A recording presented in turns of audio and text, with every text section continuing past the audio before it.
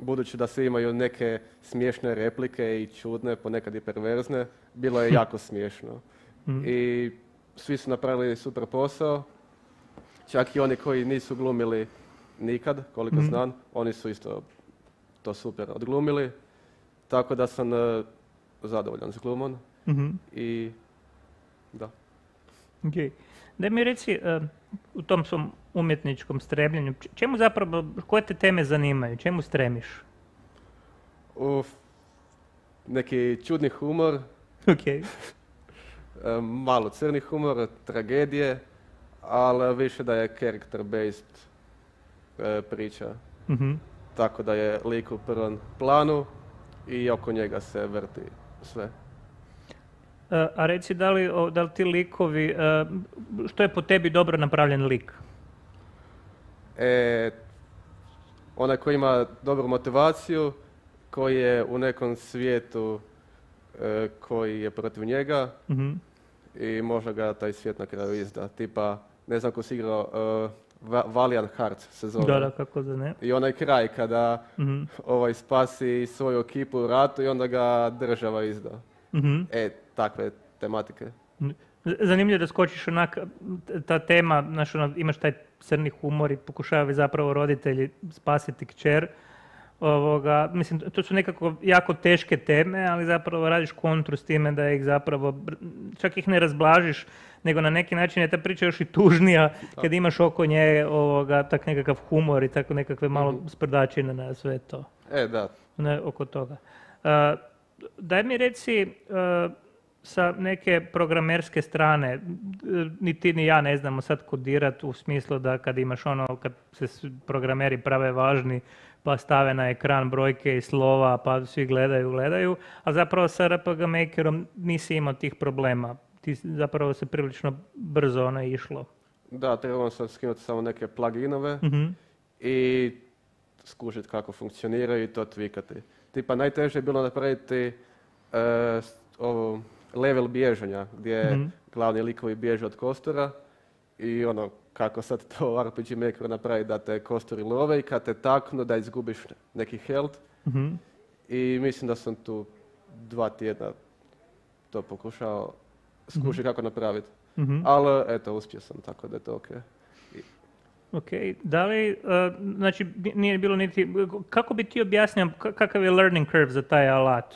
Prilično ok, ono, nije, je to dobar, dobar način da se ukrene u svijet game developmenta? Ma da, RPG Maker je super. Mhm. Možeš napraviti neku priču, igricu kakvu želiš. I da, nisam htio staviti kombat kao u Final Fantasy da je svakih ono 5 sekundi da Mhm. ti se pojavi neki enemy, nego više da svaka prepreka ima neki meaning, neko značenje, Mhm. tako da nema klasičnog kombata, nego skužiti kako preći prepreku bez fajtanja. E, da li imaš neke možda ideje, da, e, ne znam, ili imamo još možda nekakav footage od igre, ili smo pokazali sve već? Ne znam, ekipi. E, ako ima da možemo još pogledati ne, nešto ovoga što je Kevin ovoga napravio. A, evo ga, krećemo dalje. Ovi efekti zapravo su isto, to je ovoga, Je, to je in-game. to je in-game, to je napravljeno ovoga zapravo sa e, ovoga sa uh, engine-om, jel tako? Ali to, ni- to je, nije, nije niko animirao, to, to je već do- došlo sa, u paketu sa Da. asetima, sa ovim. Ok, dobro. Uh, da, da li planiraš možda, da li bi rad se okušao i u nekim drugim žanrovima, tipa platformer ili uh, first person shooter, multiplayer, ne znam što. Da, sigurno bi Mhm. i stavio neki čudni e, spin na to, Mhm. humorni. I opet nešto, doki doki stil, doki doki ovako. Sad se stalno se priča, bit će o tome uh, govora još kroz uh, reboot online, online Games Week. Uh, da će možda Havc uskoro početi davati nekakve financije za video igre. Uh, pa ili se ti planiraš možda ovoga prijaviti, imat neki projekt, imaš neki projekt u planu? Pa čim mi padne neka ideja šta bih htio napraviti, tipa nastavak za ovo, Mhm. mogu bi se prijaviti. Možda bi prošlo ako stavim da je cijela radnja u Hrvatskoj ili negdje. Da je, Fantasy Hrvatska. To je trebalo bi, mislim če- često puta i razmišljam da imamo dosta tu nekakvu bogatu bogati fundus i legendi i, i svjetova koji bi nam mogli ovoga biti nadahnuće. Mislim, Japanci su od svoje religije napravili cijelu jednu malten industriju animiranog filma koliko se oslanja na Shinto i na, na, na, na cijelu tu mistiku e, i iz njihove kulture. E, koju bi ti domaću legendu stavio u gaming? Pa vjerojatno nešto istarsko. A istarsko, da, ti si iz Istre. Nešto o vampiru, ono, iz Kringa. Jure Grando, e, to, Jure Grando. Da. to, je, ono, to je super ovoga, to, to bi moglo biti zanimljivo. Je, ima i stop motion film o tome, mm-hmm. ali mislim da nema. E, da, znam, ja, ja znam čovjeka koji je radio ovoga, taj film, ovoga, odličan. Evo, evo za sve nas koji gledaju, uh, pogledajte, mislim da je na YouTube uh, odličan hrvatski stop motion film uh, Vampire of Kringa ili tako nekako. Pišite Vampire i Kringa i dobit ćete sigurno ovoga rezultat. Stvarno odličan i, i, i baš sam happy i ponosan što takva kvaliteta motion animacije se radi kod nas u Hrvatskoj. Zašto mora biti ružna mjesta? Zašto ne bi za promjenu Kevine, daj mi reci, što, kak, kad bi ti mogao napraviti igru kakvu želiš, ono, da, da, nije, da, da, da novci nisu problem, niti programeri, niti, niti artisti, kakvu bi napravio? Pa vjerojatno nešto slično Witcheru. uh I opet bi stavio neki svoj crni humor, neku uh čudnu uh, atmosferu isto. uh Ali da, vjerojatno bi bio neki fantasy svijet s mačovima, vješticama, zmajevima. To je bilo tamo. Misliš da ćemo ikad doći do te razine? Šta u Hrvatskoj? Pa da, dobro, mislim već imamo neke studije koje se bave sličnim stvarima, ali ovoga, da, da misliš da, evo, da, da, će, da će možda i, i hrvatske institucije raditi na tome da takve igre izlaze kao što ovoga, Poljaci rade zapravo na svojoj gaming industriji? Pa ja se nadam, to bi bilo brutalno da možemo. mm Tako da, vidit ćemo, možda da. Šta ti misliš? Pa što, mislim, a ja se isto nadam i onako, ovoga, kreću se dobre stvari u gamingu, na kraju krajeva već smo i ovdje smo, mi za, nismo došli ovako iz nijotkuda, ima ljudi koji nas gledaju, ima i mladih ljudi koji zanimaju, zanimaju ove tematike, pa ovoga, sigurno se kreću stvari u dobrom smjeru. E, evo za kraj nam još reci, koje su tvoje igre koje su tebe osobno nadahnule i pokrenule da se počneš baviti ovim poslom? Ok, osim Witchera, mm ima ovaj uh, To the Moon si igrao. Aha, da, kako, pa isto je sa RPG Makerom napravljen. Kao najtužnija igrica ikada. mm Onda ovaj What Remains of Edith Finch. Dobro. To je onda najdepresivnija igrica. To sve depra. sve depra. sve depra, okej. I igram sam puno uh, wrestlinga, catchera. Dobro, Tako da evo, kontra, to je kombinacija. Totalna kontra. E, dobro, Kevine, imaš li nešto za poručiti našim gledateljima za kraj? Pa za kraj bi poručio Ništa mi ne pada na pamet. Igrajte igre se, ono, korona je, uživajte. Igrajte igre, korona je. Da korona malo popušta, ali mislim da je gaming puno ljudi pomogao da e. pređu kroz, ove ovoga probleme. Uh, pogledajte srednjovjekovnu tajnu na uh, Twitch, ne, na, uh, na ovome. HIO. HIO, HIO, HIO. E, pogledajte što je Kevin napravio, možda je i vas nadahne da se počnete baviti ovim poslom, napravite svoju e, tajnu, a mi krećemo dalje. E, tjedan je tek počeo, proljeće je tek tu, tičice okolo cvrkuću, nisu još promukle, vraćamo se uskoro.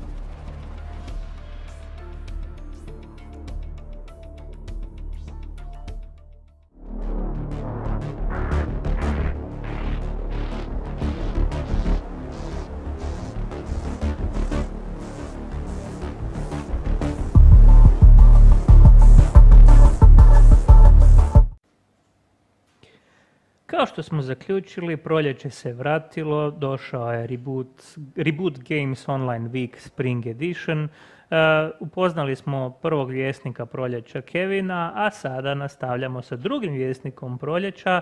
To je jedan Zeko, jer Zečevi se isto bude u, u, u proljeće. Uh, ovo nije zapravo Zeko, ovo je Zecko.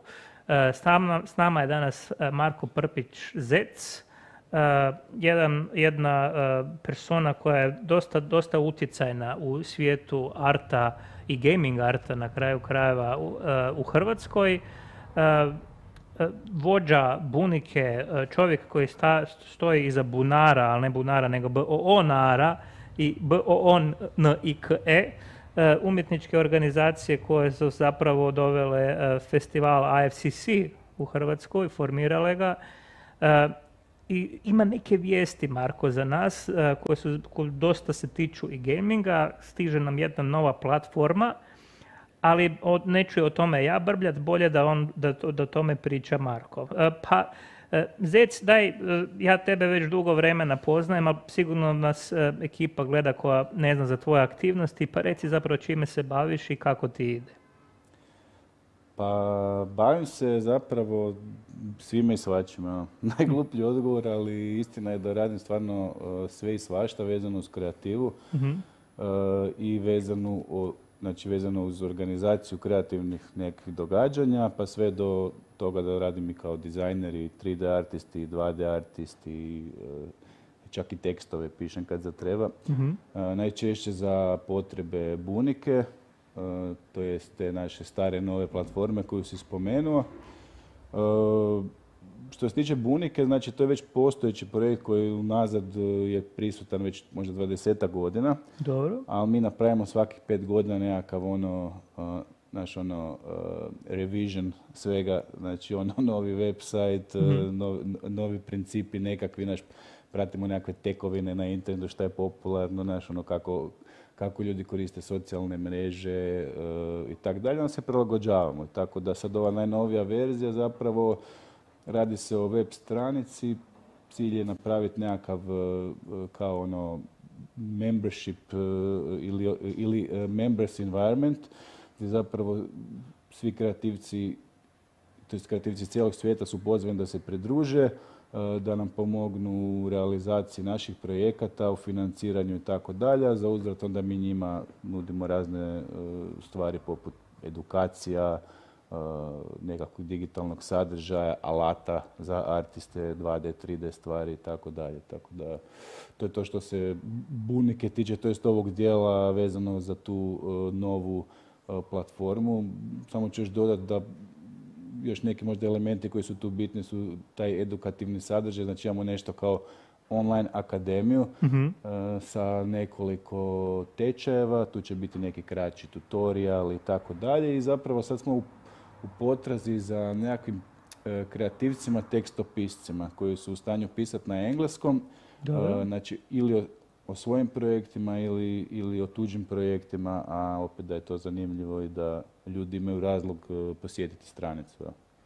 Ok, recimo da, sad, da sam ja uh, neko ko bih želio pisati o gamingu, šta ja moram napraviti da pristupim uh, Bunika, kako se zove Bunika platforma? Bunika.net je domena, uh-huh. znači b o o net Ba, vrlo jednostavno, samo se registriraš, mm nekako želimo sve zadržati na onom personal level, tako da zapravo tu ima puno interakcije između admina i e, korisnika. Znači za sve što te zanima možeš direktno nas kontaktirati e, jer mi isto zapravo u, usavršavamo platformu znači, u, u hodu.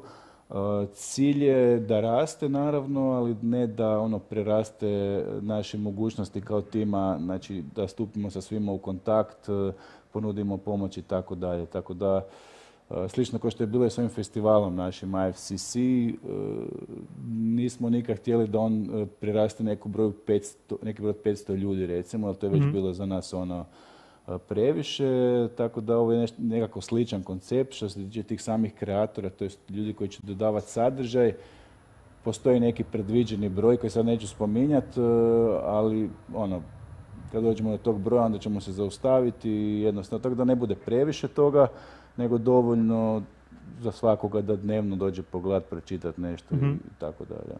Uh, što se tiče artista, što misliš, uh, koji je neki skill level koji bi ljudi trebali imati da pristupe i počnu pokazivati svoje Pa radove? svako se može pridružiti. Mhm.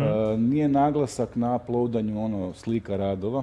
E, M zato što mi imamo i limitirane nekakve resurse, Mhm. e, ali zato što je više to mjesto za nekakvu diskusiju. Znači dijeljenje nekakvih iskustava i e, kažem čitanje i pisanje nekakvih e, članaka i, i tako dalje, a manje za sad pokazivanje, jer to je ono što zapravo najčešće e, artisti rade na tim drugim platformama, ono, uploadaju svoju sliku, naprave ono, e, hashtag ovo, ono, dvije riječi i bok.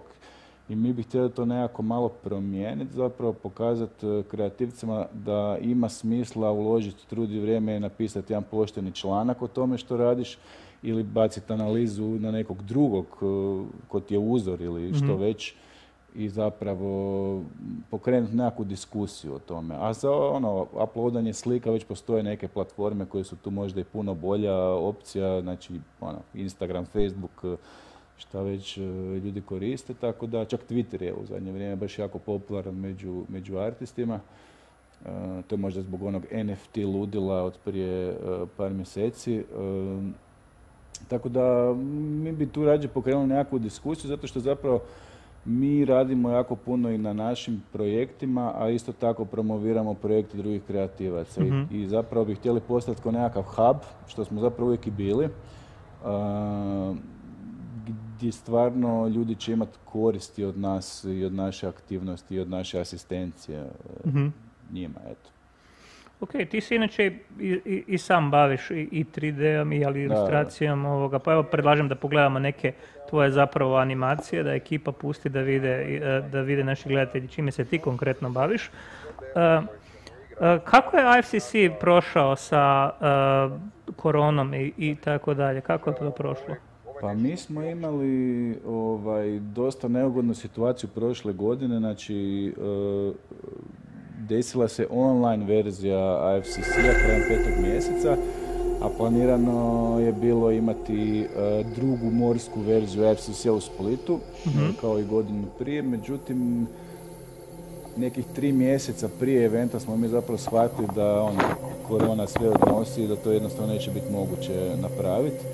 I nekako smo uspjeli e, složiti online event e, sa nekih možda i stotinjak predavača iz cijelog svijeta. I mislim da je to, kažem, u odnosu na naše mogućnosti, da je to sve dosta kvalitetno izgledalo. Stvarno smo imali ono vrhunske goste, e, pred- pred- predstavnike nevjerojatnih studija i iz svijeta gaminga, ali isto tako i video produkcije, filmova i tako dalje. Ko što i svake godine smo imali na eventima uživo. Tako da, to je bio jedan, ajmo reći, super eksperiment. Međutim, dosta iscrpljujuće. Naš tim je uvijek bio ono dosta malen i jednostavno e, ne, ne znam kad ćemo opet, e, ove godine sigurno nećemo raditi taj tip eventa, nekako je sav fokus, fokus na taj, na Bunika platformi i htjeli bi zapravo dio takvog sadržaja od prije što imamo snimljeno, a i sve što ćemo u buduće htjeli bi prvo na toj platformi uh publishat, pa onda ćemo vidjeti ono, šta će se, koje će se kombinacije sve otvoriti.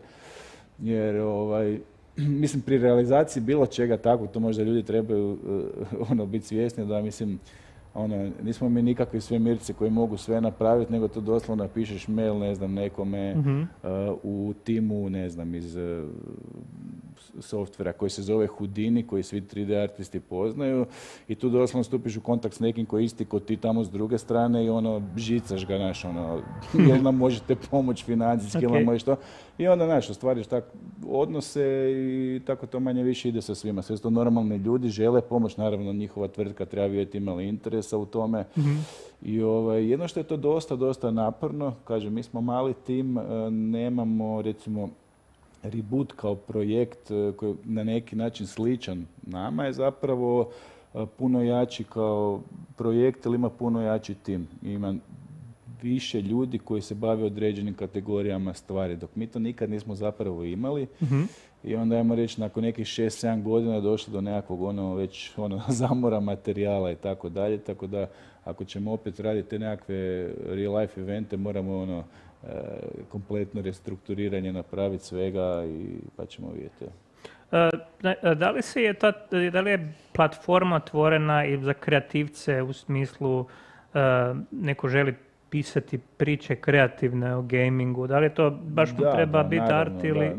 Pa ja sam nekako zagovaratelj te nekakve antifah idiot politike, mhm. znači mislim da ljudi trebaju biti ono otvoreni novim iskustvima, znači netko ako ga zanima samo teksturiranje 3D modela, ne znači da mu cjelodnevni fokus treba biti samo na to. Uh, mislim, nekad je bio običaj lijepi da ljudi čitaju knjige fino poslije posla i tako dalje, što ja rijetko kad nažalost radim, ili stalno radim, ali ovaj, ljudi imaju, treba imati, proširiti svoje vidike nekako. Mhm. I zato mislim da svatko ko može ponuditi bilo kakvu informaciju korisnu, a da ima veze s kreativom, e, može sudjelovati, znači može netko pisati o 3D e, mappingu za neku kazališnu projekciju, znaš, ono, totalno nevezano uz bilo kakvu, kakvu, ono, gaming scenu, ni bilo što tako, tako da Nama je samo bitno da, ono, da je tu uloženo nekakav kreativan napor i da govori o nečemu što, iz čega ljudi mogu naučiti.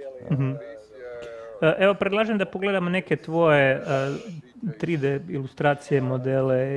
Pa nisu samo 3D, ima, Aha, e, ima, i, ima i drugi. Ono, 2D, mhm. recimo. Mislim, ja, ja sebi isto tako u radu nikad nisam ograničavao, to mi bila samo, to je meni bila i medviđa usluga na neki način, zato što Uh, najbolje imati ono portfolio kao artist, najbolje imati portfolio ono u, u nekakvom uh, jednakom stilu koji se vremenom samo poboljšava, ne, na taj način je puno lakše dobiti posao. Ali ovaj, mene jednostavno volim istraživati, ono, volim, ne volim se ono zakucati samo u jednu temu, u jedan stil, volim istraživati, tako da animacija, 2D, 3D, ono, bilo šta. Ja sam zapravo ono idealan uh, art direktor, ajmo reći, za, za, za, za, nekakvu, za nekakav studio koji nije ono fokusiran na jedan stil koji ima više projekata, recimo. Ti si imao neke svoje gaming projekte, jel tako? Pa im, radio sam na nekoliko tih projekata, čak smo izlagali neke na reboot događanjima. Jedan sam čak i publishao. Mm-hmm. Uh, to je bila mob, mobilna igra. Sad je do, dostupna još za Android. Uh, Cubiton se zove. Uh, C-U-B-I-T. Ona ko hoće provjeriti. Ovaj, to, ono, volim raditi na igrama, to bez daljnjega, jedino što realnost je sada puno drugačija nego što je bila prije 15 ili 20 godina. Mm-hmm. kad mi nije palo na pamet da radim igre, zato što je bilo prekompleksno tada raditi igre.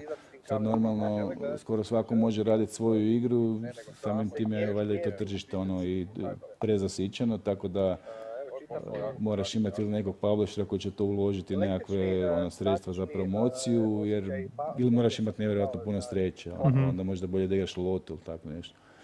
Tako da, da, Cubitona, radili smo jednu igru s 23 dakta, mhm, Sjećam se. Da, to, je, to mi je žao što nikad nismo završili, ali možda budemo jednog dana. E, pa vidio sam ja da to je bilo već dosta u produkciji pa na je, visokoj je, razini. smo napravili ono puno toga, ali, pa znaš kak ti je, svako od nas ima i svoje poslove, naš, pošto to još uvijek nije bilo profitabilno, e, a zahtjeva ipak nekakav rad, e, ona, ljudi se malo raziđu, pa kao budemo, budemo, budemo, baš evo kolegu doma ja ono stalno zezam kad se čujemo, da imam sa jednog od ributa njegovu snimku, baš sam ga snimio ono video namjerno i rekao mu sad reci u, kao u kameru da nikad nećemo prestati razvijati redaktu. da ga stalno zezam ono kao objavit ću ti taj, taj mhm. video kad tada ono. Mhm.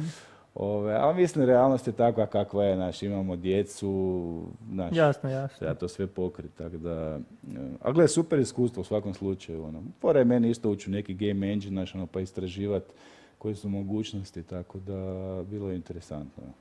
Ok, recimo, gleda nas puno mladih e, ljudi koji bi htjeli možda početi raditi art i za igre i mhm. općenito.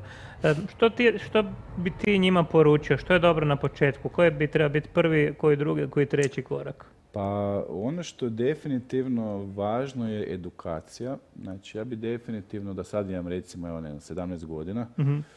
Definitivno bi išao istražiti, raspitao bi se koji su ono najcjenjeniji nekakvi e, instruktori i koji su njihovi tečajevi za ono što mene konkretno zanima. Recimo ako je to nekakav koncept art, istražio bi koja su tu top imena Mhm. i šta se tu nudi. Naravno, obavezno bi gledao nekakve reviewove, ko, ono, ko kad kupuješ mikser pa gledaš ono kakav je review. To zapravo govoriš o online tutorialima. Pa ili... tutoriali i kompletni tečajevi, znači ono online courses e, Online, i to. I ovaj, jer e, ništa ti ne može zapravo zamijeniti e, to znanje koje ti oni mogu dati, a ono što će ljudi uvijek raditi krivo je to da će preskakati te nekakve osnove i što je jako bitno za svladat. Netko ko možda je, ne znam, pohađa neku umjetničku školu ili akademiju ili nešto, tamo će naravno od početka učiti, znaš, ono, kako se crtaju nekakva geometrijska tijela, kako se, ono, eh, kako postavljaš svjetlo, sjenu, pa kako je ovaj bouncing light, eh, to jest ovo svjetlo koje se odbija na objekti, bla, bla, bla, bla, pa tek onda na nekoj, ne znam, drugoj, trećoj godini kreneš na nekakvu ono, anatomiju, znaš. A sad normalno da eh, kad si klinac i želiš raditi točno to što taj netko tebi, uh, uh, ono, ko ti je uzor radi, onda kreneš odmah s ovim najkompleksnijim. Dobro. A zapravo to nije dobro jer dugoročno se zezneš. Znaš, ako te osnove ne sladaš, puno će ti teže ići taj, uh, taj razvoj kao kreativcu. Tako da definitivno ona edukacija prva stvar. Ne? A druga stvar, ako baš želiš ono raditi u studiju i baš te to interesira i sad već možda, ti si čak možeš već sada zacrtati, ja hoću raditi ono, ne znam, za Blizzard ili whatever, e, gradi portfolio u tom nekakvom stilu koji odgovara tome što studio traži i, i onda, znaš, pokušaj što manje od toga odstupati jer e, to će te najprije dovesti do, do te pozicije koju želiš. Jednostavno je to tako, to je nekakav zakon tržišta, znači e, ja recimo tu sam definitivno najgori, znači ja dajem dobre savjete, ali za sebe sam najgori jer ja, ono, ja ne mogu izdržati. tako često. Ja ne mogu izdržati raditi ono dva tjedna nešto u istom stilu, kojiš Mm. mene to ono, znaš, odmah prebaci, hoću sad nešto drugo. Ali definitivno s- 99% onih koje sam ja upoznao, koji su jako uspješni, koji su došli kod nas na festival kao predavači, znači ono svjetske face, oni svi imaju svoj prepoznatljivi stil, svi su ono hard workers, znaš, ono, to, Mhm. nema, to nema odmaranja, ne, to se radi ili su super organizirani, pa dok rade tih 8 sati nema nikakvih ni mobitela, ni, Mhm. ni, ni, ni Facebooka, ni Instagrama, ni Twittera i, ovaj, i to je definitivno, uh, mislim da to ono 100% garantira nekakav uspjeh, kužiš, uh, dugoročno. Ne? Na kraju krajeva skužiš da i svi mi koji možda nešto prigovaramo, naš joj, Zaka, ja nisam dobio priliku, Zaka je ovo, Zaka, ono, zapravo da, nisi baš radio tak puno kak je ovaj tam radio. Aha, kužiš, kuž, znači ipak da- je, marljivo se ipak da, mislim i talent je tu isto bitna stvar i Mhm. kreativnost tvoja, ali ako baš želiš neku određenu poziciju, naš, ne znam, 3D modeler ili tak nešto, ili, ili koncept artist ili tak nešto, gle, ono, zna, zna se ono šta trebaš, e, e, koji, koji put trebaš preći da dođeš do tamo. ne. Kužim. Evo, a, mislim da je vjerojatno Zec e, jako puno vas nadahnuo da se možda okušate u e, Blenderu, u Maji, u 3ds Maxu i cijeli sličnoj ekipi. Pa ako je i Paintbrush i to je ono početak nečega Sve možda. može. Sve može. Dođite, ako i niste baš ovako osoba od kista, ako bi više želite se baviti slovima, evo Bunika ima i za vas e, prostor koji vam može ponuditi. E, sk- skočite na bonika Točka net. .net, bunika.net, e, vidite šta se nudi, možda je to prvi korak prema vašoj profi, karijeri kao art, u artu, a mož, ko zna, možda i u gaming artu. Nastavljamo dalje, hvala Zec, vidimo se opet. Može.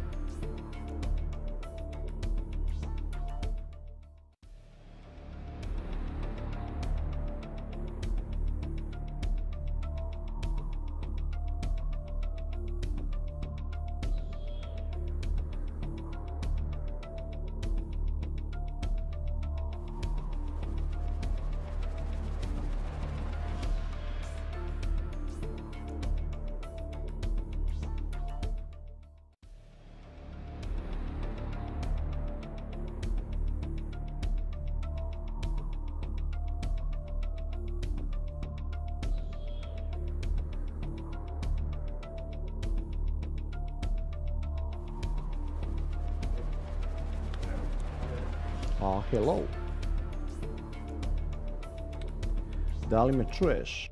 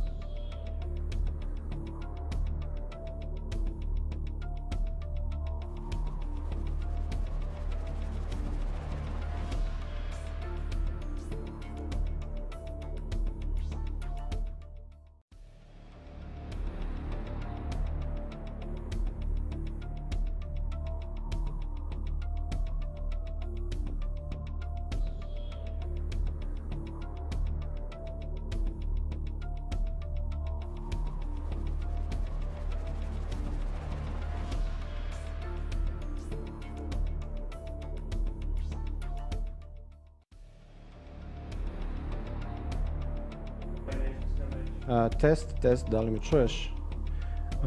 Da, ona, ona, ne čuje, ona ne čuje naš zvuk.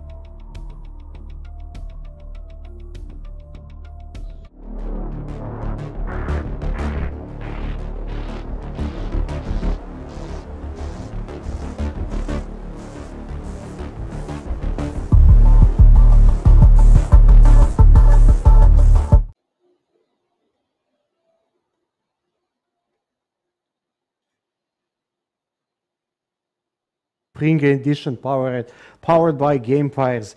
Uh, meni je jako drago da možemo ovo da uh, radimo ponovno uh, i za tako kratko vreme i uh, veoma mi je drago, da li smo vam falili, to, to nas zanima, recite, recite mi uh, u četu dole da li smo vam falili, mi, e, da, nadam se da, jes, da jesmo, jer smo vam pripremili gomilu uh, games industry sadržaja i gomilu najboljih profesionalaca i vamo iz regiona koji će nam pričaju vlastite iskustva i karijere i da vam daju nekakve uh, savjete kako vi možete da se upustite.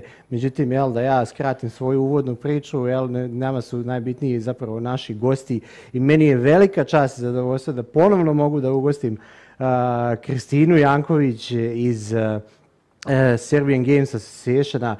Kristina, da li ti nas čuješ i da li nas vidiš? Odlično se čujemo i vidimo, Eurovizija može da počne. Eurovizija, može, super sjajno. Za koga, za koga si pored Srbije navijala ovaj, za Euroviziju? I teško pitanje, Teško Ukrajina, je. jel smem to da kažem? Smeš, zašto ne? Ono, nije, Eto, nije uopšte, ne, ne- nema, ne, nema apsolutno ovaj, a, frke. Svi su nekako navijali za ove Italijani i pobediš Italijani. ono, Jel, I sad svi, ono, svaki drugi story koji vidim na Instagramu, I wanna be a slave, I wanna be a master, mislim da je to ono, šta ja znam. Haos. Međutim, da, da, da sad ovaj, a, ne pričamo o Euroviziji, jel, da sad ne, zabavljamo oko toga. A, Nama je Kristina ponovo došla u goste da nam približi tu perspektivu Serbian Games Associationa, znači šta se dešava sa gaming zajednicom tu preko grane, odmah evo tu smo. Jel, a, tako da, e, Kristina, za one koji nas možda prvi put gledaju, možda za, malo da uzmemo dve minute da objasnimo šta je SGA, koji je ko- koncept, na koji način pristupate. Može za one koji nas nisu gledali recimo prošle godine. Uh, pozdrav svima. Prvo, uh, kako smo i rekli, ja sam Kris uh, iz SGA. Um, I u suštini mi smo osnovani u martu 2018. i asocijacija smo koja okuplja sve kompanije, timove i studije u Srbiji koji se bave proizvodnjom video igara i ne samo proizvodnjom igara nego i nekim drugim uh, servisima i outsourcingom i svime u suštini što, što ima veze sa industrijom. Mhm. Uh, od tada, od tih osam članica osnivača koje smo imali na početku, sad smo stigli do 97 članova, tako da još malo pa ta stotka. Ovaj, I verujem da ćemo u narednih pola sata pričati malo detaljnije šta sve radimo. Super, sjajno. Uh, ja imam jedno, na par pitanja, jel, s obzirom da, da vas pratim i da kakve sve stvari radite, jel, kakve sve pobjede imate. Pitanje broj jedan, da li vi spavate? Uh, broj dva, koje droge koristite? Broj tri, gde mogu ja da nabavim te droge? Zato što, jel, apsolutno ste proaktivni, jel, svašta nešto stvarate. Gde je to? Daj, daj mi to, jel? Daj mi puno. kontakt. Pa, ono. voljela bih da kažem soma, eto, ako bi postojala jedna, uh, jedna droga iz neke fikcije koju bih voljela da probam, to je definitivno soma. Ali uh, spavamo malo, spavamo malo, radimo, ali Da. više, pa znaš i sam kako je to u cijeloj našoj industriji. Strast je ono što te vodi i, mislim, stvarno zvuči kao floskula, ali uh, verujem da niko od nas koji tu radimo ne doživljava to baš kao posao, nego svaki dan, bukvalno svaki dan vidiš uh, neki tim kojem si pomogao, neku priču koja je uspela, novi release igre i to je sve jednostavno zbog čega, zbog čega radimo sve, tako da ovaj, sve to lepo ide i hvala puno što, što nas pratiš i nadam se da, da se vidi sav trud i da, da sve to ima nekog E, smisla. Koji zadnji put, kažem, jel uvijek bio, ako bi na neki način htjeli da delujemo, verovatno bi uzeli jel, nekakvu referencu od vas, zato što jel, smatram da radite jako dobar posao kao i svi ostali vamo. Jel. U Hrvatskoj sve je viđeno, sve se gleda to, na- znači svi vas pratimo, tako da nemam frke. Međutim, na, pošto, koliko je sad prošlo, ja nemam pojma, ono, 7-8 mjeseci, jel, 7 otprilike. Uh, unutar tih 7 mjeseci se jako puno nekih uh, projekata uh, novih uhvatili, nekih novih angažmana, pa ne znam, možda da ti, da te pitam prvo šta ti je najbitnije od svega toga, da li je najbitnije i uh, šta bi možda od tih svih projekata koje ste sad u skorije vreme napravili nešto jel, uh, naglasila, jel, koje vam je sad baš najnapetiji? E, definitivno. Pa prvo, e, ništa nije napeto, sve to ide kako treba, a odvojila bih dve stvari. E, prva je Playing Narratives. To je naš prvi međunarodni projekat, e, višemesečni, koji smo radili u saradnji sa Get institutom i Francuskim institutom i još uz podršku naravno drugih partnera i sponzora. E, ukratko, kako izgleda projekat. E, 23 mladih ljudi koji su modelari, ilustratori, pisci i sound dizajneri uh, koji nisu do sada imali dodira sa gaming industrijom, prolaze kroz 8 meseci, kroz niz raznih uh, radionica, uh, kurseva, poseta u kompanijama, imamo razna gostujuća predavanja i verujemo da će oni nakon toga biti u mogućnosti da naravno i nađu posao u gamingu ako to budu hteli, ali pre svega i da iznedrimo nekih 4-5 koncepata za igre koje će možda jednog dana biti napravljene iz toga. Uh, ono što je možda tu najzanimljivije je da smo imali 200 prijava za tih uh, 23 mesta. Uh, tako da mislim da to najbolje od svega to pokazuje koliko je interesovanja, apsolutno. Mm. A zapravo uh, Playing Narratives, iza tog imena se u stvari i krije, krije koncept. Mm. Hteli smo da stvarno bogatu istoriju uh, stripa u Francuskoj i sve ono što sjajno što radi gaming industrija Nemačke nekako spojimo u jedno i da to njihovo znanje donesemo i kod nas u Srbiju i da svi ti eto ljudi sad prolaze kroz, kroz te programe uz njihove gostujuće predavače i naravno i naše i tako. To je bilo isključivo za, za region Srbije, ako se ne varam, to je to play, play narrative. Za, za sada samo za Srbiju, tako okay. je.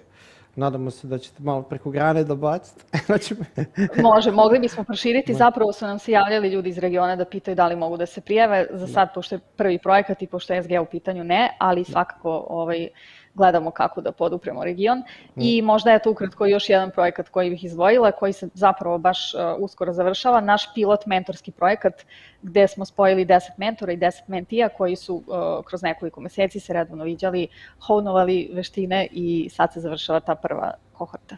Kohorta, će uroditi plodom.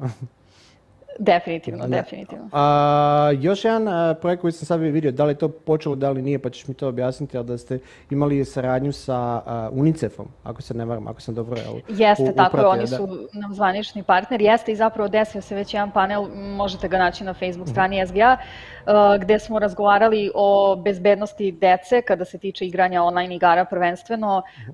Doveli smo takođe i stručnjake iz PEGI-a koji su zaduženi za onaj PEGI rating sistem mhm. koji vam govori da. do koje starosti koja igra može da se igra, što mhm. definitivno preporučujem svim developerima da, da uzmu u obzir u startu kad počinju da prave igru. tako da eto, cilj nam je da se možda borimo protiv nekih uvreženih predrasuda koje postoje o gamingu, da istaknemo ono što je pozitivno i eto, to je, to je bila poenta tog panela, možete ga naći na internetu. Super, sjajno. Uh, ponovno se opet desila neka saradnja sa ovim uh, slu, uh, formalnim obrazovanjem, ako se ne SGA tu ima, tu ima svoj, svoje uh, ruke u tome, pa mi, da mi samo pojasni ovaj, taj deo šta trenutno radite za, fa, za fakultete. Uh mhm. -huh. Jeste, to je baš e, veliki korak, mnogo smo srećni što se to konačno desilo e, na inicijativu, e, digitalne inicijative Srbije i njihovih mhm. partnera i naravno državnih univerziteta. Ono što uskoro kreće su prvi jednosemestralni program iz gaminga za mhm. game art i zvuk u gamingu mhm. koji nose standardno ove bolonske bodove, tako da može neko da ih upiše recimo ne znam, ako završi srednju školu, pa pre fakulteta ili između fakulteta ili mastera ili bilo kada, ako već i rade u industriji, mogu da ih upišu. Uh, tako da nadamo se da je to prvi korak i ako se dobro pokažu ti programi, verujem da će nam biti mnogo lakše da lobiramo za neke veće stvari, a takođe na jesen počinje i uh, master program na univerzitetu, na univerzitetu u Beogradu, koji isto spaja uh, umetnost i tehnologiju, da neki oni možda analogni umetnici koji su izašli sa različitih akademija mogu da se ajde da kažem na neki način, prekvalifikuju i nađu posao u gamingu. Jasno. Uh, pošto ste, jel, kako vas ja pratim, pa ja smatram da ste jedna od aktivnijih uh, zajednica uh, što se tiče jel, gaminga u sklopu ove Evropske federacije, Evropskog tog o, mhm. krovnog o, ovaj, udruženja. Kako bi ti sebe, ovaj, to jest kako bi vas opisao, da li ste jedna od ak, najaktivnijih ili, ili ste najaktivnija ovaj, članica ti EGDF fondacije? Mm -hmm. Pa, mislim da svi rade e, sjajan posao, sad nije diplomatski odgovor, nego zaista smo u kontaktu sa njima. E, svaka od tih industrija je na nekom različitom stepenu razvoja, mhm. E, neki su na početku, nečije industrije postoje već 40-50 uh -huh. godina, tako da sigurno ono što Juki, recimo Britanska asocijacija radi, se mnogo razlikuje od onoga što mi sad radimo. Mi smo sad da. tek na početku i sve to što oni rade, mi se ugledamo na njih ovaj, pa ćemo ujeti. Tako da definitivno svako od njih radi svoj posao i mhm. mislim da, eto, ako nas danas gledaju developeri i ljudi koji su u industriji, da bi trebalo da prate rad svih tih asocijacija, da će sigurno naći neke i događaje koji su zanimljivi za njih. Većina stvari je sada online i sve na engleskom, tako da definitivno ako pratite rade SGA, pratite i druge asocijacije. Uh -huh. vaše ustrojstvo se sad u skorije vreme promijenilo, to interno, jel, ta interna struktura. Mhm. Koliko je to bitno jel, za jednu asocijaciju da menja tu strukturu ili da ne menja? Jel, mhm. Pa mi smo našli neki kompromis gde je dogovor bio da od sedam članova upravnog odbora, da pojasnimo pošto pričaš o našem novom da. upravnom odboru, Pardon, da, e, da. od sedam članova, da da, u redu je, ovaj, četvoro bude iz starog sastava i troje da bude novih. Tako da smo onda osigurali da se stalno ta originalna vizija naša i naši ciljevi nekako nastavljaju, da imamo vezu sa, sa tim početcima, a naravno da onda malo i osvježimo tu ekipu sa E, novim ljudima. E, super mi je što su oni svi iz različitih gradova mm -hmm. i mhm. iz timova koji su različitih veličina i rade na, na skroz različitim projektima. Mm -hmm. Tako da imamo direktan input svakog od njih mm -hmm. uh, i uz njihovu pomoć onda navigiramo sve te projekte o kojima smo pričali i tako. Super. Uh, uvek pit, znači verovatno ću ovo ponoviti, dragi naši gledalci, jel do kraja ovaj, uh, ovog našeg eventa, e, tražim uvek zrce mudrosti od naših profesionalaca iz industrije uh, koji bi ponudili našim gledalcima ukoliko žele da se upuste u industriju ili jel, da sad počnu negdje da rade ili da počnu nekakva vlastita udruženja, neke mikrozajednice ili bilo šta. Pa Kristina, jel, ja uvek volim čuti od tebe, jel, šta, šta bi nam ponudila, daj nam neke mudrosti. Ajmo neke mudrosti. Pa, da. ko je baš na samom početku? Uh, najvažnije je proaktivnost. Uh -huh. uh, a ako ne radiš sada na svom projektu, ne, ne znam šta radiš. to je prvo. Znači, raditi na svojim projektima, bez obzira da li si artista, developer, uh, pisac, uh, sve to može da se, uh, da se radi u sobstvenoj režiji i da imaš neki svoj spakovan projekat koji ćeš pokazati sutradan na razgovoru za posao i stalno nas pitaju ljudi, pa šta ako nemam iskustva, kako ćemo zaposliti na juniorsku poziciju, baš tako što imaš taj svoj projekat koji radi. Druga stvar je pratiti sve događaje koji se dešavaju, ima sad stvarno toliko zajednica, sve online, znači gledati događaje, tutoriale, ići, nadam se da ćemo sad možda malo ući u ove hibridne, znači upoznavati ljude iz industrije na licu mesta i ono što bih dodala, definitivno naći mentore, a to su mhm. stariji i iskusniji ljudi koji su već u industriji. Stvarno je skroz u redu da nekome ko vam je idol, na primjer u 3D artu, pustite poruku na LinkedInu, e, jel bi htela da mi pogledaš ili, da, ovaj, ili htela da mi pogledaš recimo moj portfolio, da mi kažeš šta misliš, verujem da su većina ljudi iz gaminga je vrlo Uh, otvorena, transparentna po tom pitanju, stvarno su spremni da, da pomognu i da pričaju sa ljudima, uh, pridružiti se online zajednicama, nađite, sad ne znam, ako nas gledaju iz različitih država, nađite koje je to online mesto u vašoj državi gde se ljudi okupljaju, kod nas je to SGA Discord, sad imamo preko 1100 ljudi koji su svi baš u gaming industriji, ovaj, hoću da kažem, nije gamerski Discord, nego, nego game dev Discord. Game dev. Ovaj, mm. tako Malo... da eto, samo proaktivnost, pratiti sve, uh, raditi što više na projektima, gledati tutoriale i to će onda sve da, da klikne kad bude trebalo. Kakva je budućnost SGA? Uh, možeš li nam otkriti neku ekskluzivu, šta sad novo planirate, nešto novo, nešto divlje? Mm. Pa evo recimo sad malo idemo na letnju pauzu, neće više biti događaja, mislim da nam je dovoljno bilo za, za ovu prvu polovinu godine, pa u tih mesec dva uh, peglamo nešto što će izaći kada, kada krene jesen, znači u avgustu, ovaj, sigurno ćete videti. Nešto novo što bi trebalo svima da pomogne da prate sve što se dešava ovaj, u industriji. Kristina, hvala ti mnogo. Bilo je kratko, mi moramo se držati, imali smo tehnički problema, ja ti se izvinjavam zbog toga, ali dobro, jel?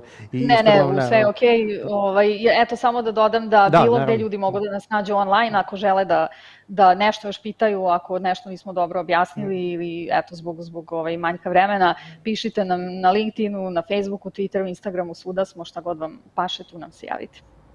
Kristina, meni uvijek bi bilo zadovoljstvo, jel, e, nadam se, da ćemo se, nadam se da ćemo se vidjeti u nekom normalnom okruženju, da ono već više ove online, ja mislim da je već svima muka, ne znam kako vi, ali možda malo jeste, ali kad moramo jel, kompenzirati za neke stvari, ali svakako, jel, e, drago mi je da, da, da smo te ponovno ali kad se vidimo, bit će to u nekom velikom stilu, znam sigurno. Važi. A, ništa, a, a, mi te pozdravljamo, a vi, na, dragi naši gledalci, ostanite jel, na ovom kanalu, zato što sledi a, redom indie showcase koji ćemo svaki dan da držati u istom terminu nakon ovoga, tako da ostanite ako želite da vidite šta to nama naši regionalni developeri rade. Vidimo se uskoro.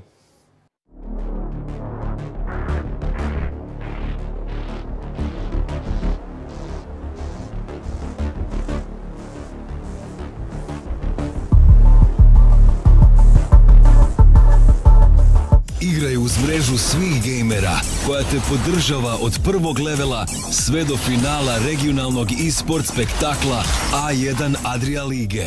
Uz vrhunsku brzinu i kvalitetu interneta za superiorno iskustvo gaminga na svim uređajima.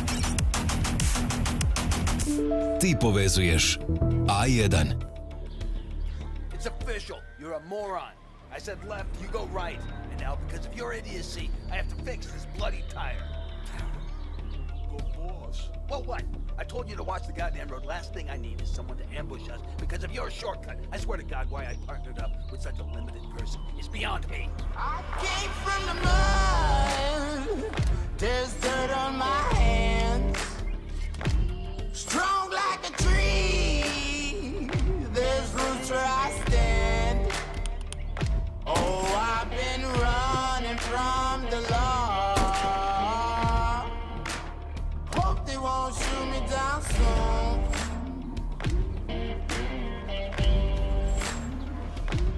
They sleepless. Try to catch me howling at the moon.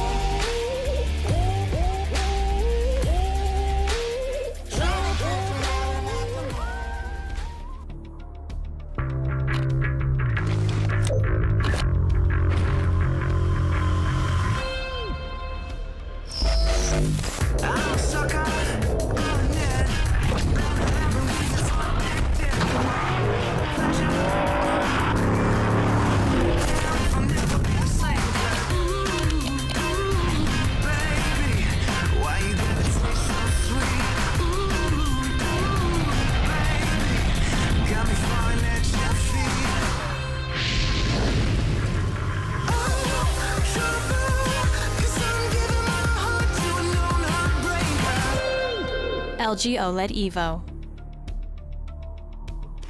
Znaš li ti da navijači godišnje pogrickaju 270 tona kvik igrica? Naravno da ne znaš. Tebi je došla ekipa, pivo se hladi u frižideru, a grica ima dosta i za produžetke. Tri dana sam si super i obožavam se i onda me tresne neka depra i tjedan dana sam ono za ništa, mislim da ne vrijedim ni pišljiva boba i mislim da nisam sposoban napraviti išta što ljudi rade u ovom svijetu. ali ono, ne možeš biti non stop alfa, brate. Ne? Ali možeš tome težiti da budeš nekakav jaki lik, samopouzdani lik, svjestan sebe, svjestan svojih mana, svjestan svojih vrlina, ne? A to postaneš svjestan kad razgovaraš o tome. Kad si priznaš. Kad si ono... Hrabar si reći, gle, frajeru, u banani sam. Sjeban sam. Ne idem dobrim putem. Gubim se.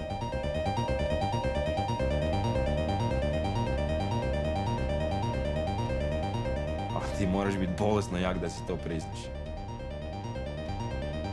Bolesno jak.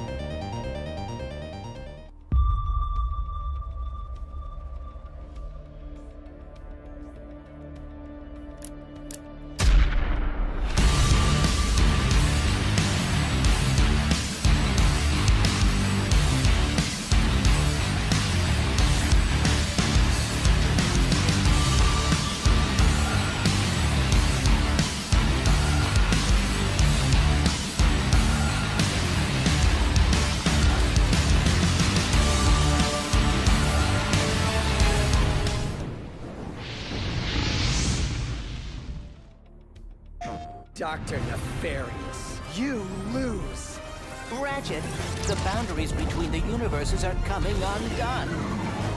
Another Lombax. You okay, Bolts? Dr. Nefarious just crowned himself Emperor of this dimension. Ratchet, we need your help. You! We can level up only if we're willing to change, only if we're willing to evolve.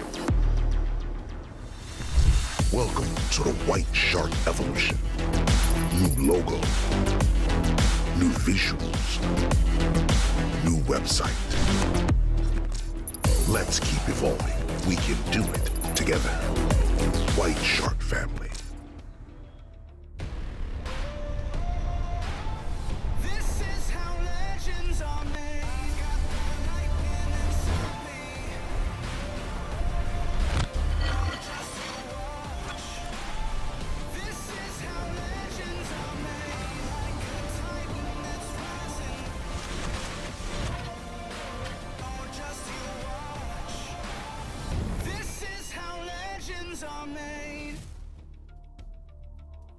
Igraj uz mrežu svih gejmera koja te podržava od prvog levela sve do finala regionalnog e-sport spektakla A1 Adria Lige. Uz vrhunsku brzinu i kvalitetu interneta za superiorno iskustvo gaminga na svim uređajima. Ti povezuješ A1. It's official. You're a moron. I said left, you go right. And now, because of your idiocy, I have to fix this bloody tire. boss. Well, what? I told you to watch the goddamn road. Last thing I need is someone to ambush us because of your shortcut. I swear to God, why I partnered up with such a limited person is beyond me. I came from the mud. There's dirt on my hands. Strong like a tree. There's roots where I stand. Oh, I've been running from the law. Hope they won't shoot me down soon.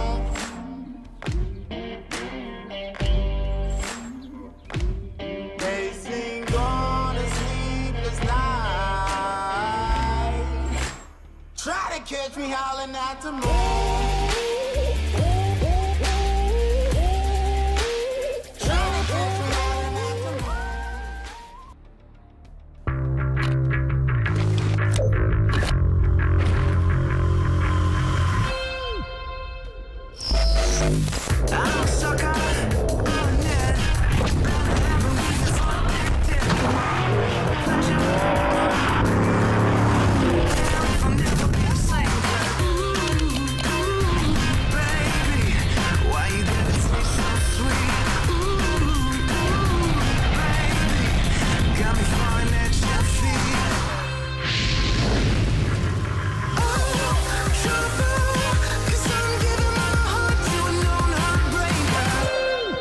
LG OLED Evo. Znaš li ti da navijači godišnje pogrickaju 270 tona kvik igrica? Naravno da ne znaš. Tebi je došla ekipa, pivo se hladi u frižideru, a grica ima dosta i za produžetke. Tri dana sam si super i obožavam se i onda me tresne neka depra i tjedan dana sam ono za ništa, mislim da ne vrijedim ni pišljiva boba i mislim da nisam sposoban napraviti išta što ljudi rade u ovom svijetu. Ali, ono, ne možeš biti non stop alfa, brate, ono, ne? Ali možeš tome težiti da budeš nekakav jaki lik, samopouzdani lik, svjestan sebe, svjestan svojih mana, svjestan svojih vrlina, ne? A to postaneš svjestan kad razgovaraš o tome. Kad si priznaš. Kad si ono... Hrabar si reći, gle, frajer, u banani sam. Sjeban sam. Ne idem dobrim putem. Gubim se.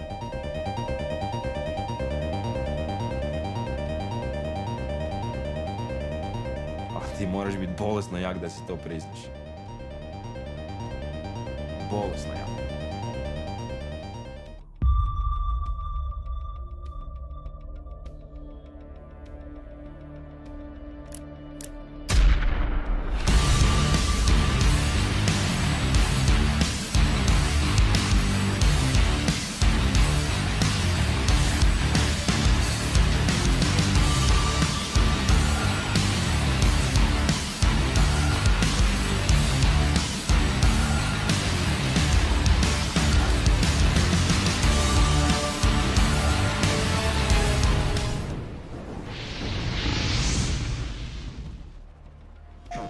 Dr. Nefarious, you lose.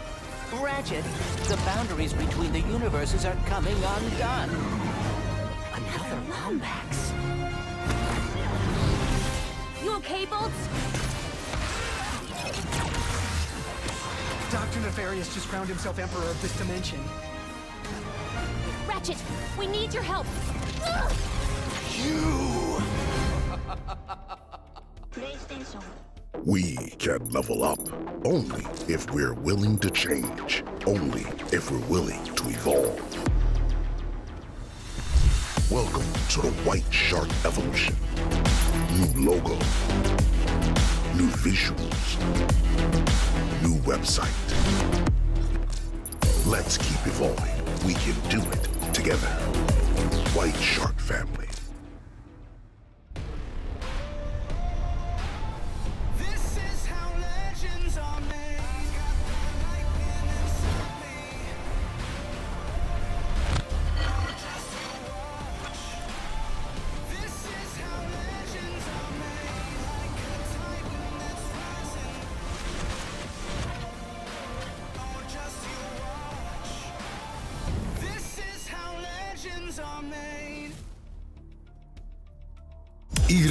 Mrežu svih gejmera koja te podržava od prvog levela sve do finala regionalnog e-sport spektakla A1 Adria Lige.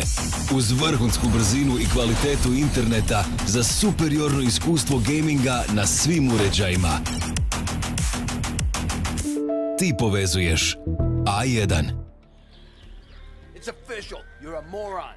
I said left, you go right. And now, because of your idiocy, I have to fix this bloody tire.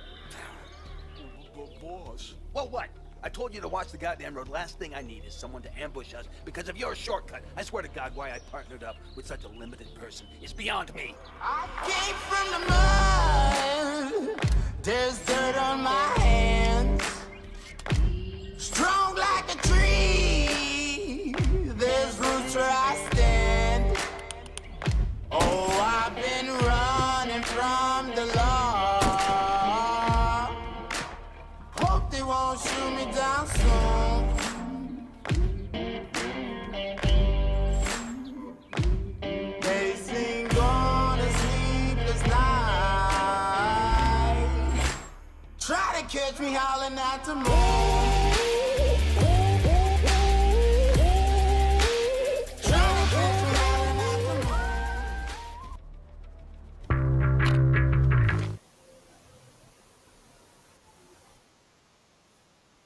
Dobrodošli nazad i dobrodošli u Indie Showcase blok. E, Vreme posvećeno našim regionalnim e, developerima, da vidimo kakve e, projekte rade, čime se zabavljaju po u ovo doba jel, korone, kakve su im igre koje, koje rade. Tako da ćemo provjeriti danas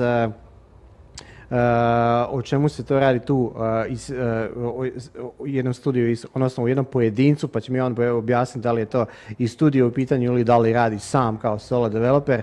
Sa mnom na vezi je Filip Zemljak koji nam je, do, jesam dobro rekao, Filip Zemljak, jel tako? Da, dobro sam rekao. ovaj, samo da vidimo, jel mi tebe čujemo? Čujemo. Daj reci nam nešto.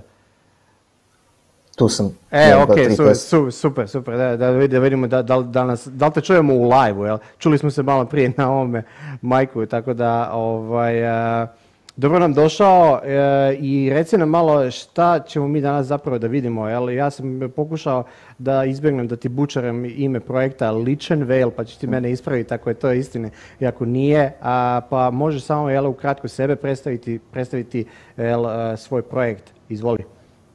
Bolje vas našao. Ja sam Filip Zemljak, e, dolazim iz Beograda. Mhm. E, Game devom se bavim od svoje 13. godine. Profesionalno sam radio u Ubisoftu 3 godine, a ovo ostalo je sve nešto za svoju dušu. Mhm. Uh, Lichen Veil je first person hack and slash naslov, Mhm. koji sam ja krenuo da radim u doba korone od dokolice, jel to je bilo mi jako dosadno. I još sam tako da se igram sa nečim i to je zapravo preraslo u nešto možda se nazove video igrom. I radim ga sam, znači kao solo developer, radim programiranje, ajde kažemo level design koliko god to je moguće što se toga tiče, dok se arta i sound efekat i ostalo kupuje na internetu sa Asset Store-a. imam ispomoć u vidu muzike od domaćeg kompozira Branislava Gagića Mhm. i moj prijatelj Nikola Bulj mi pomaže malo oko marketinga i testiranja i tako neke stvari. Uh, daj mi nekakav thought, thought process behind uh, Legion Veil, zapravo o če- uh, ko- kako je tematski orijentiran, vidim da je jel, nekakav mid-deal uh, okruženje, pa ćeš ti jel, um, mnogo bolje na, da, da, da, da predočiš uh, kome je usmereno, jel, kak, koju publiku ciljaš, zbog čega baš njih.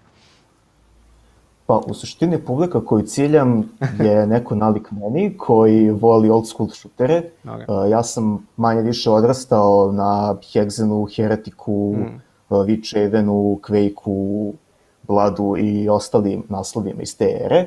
I u suštini meni su to igre koje od što se tiče šutera najviše odgovaraju. Mhm.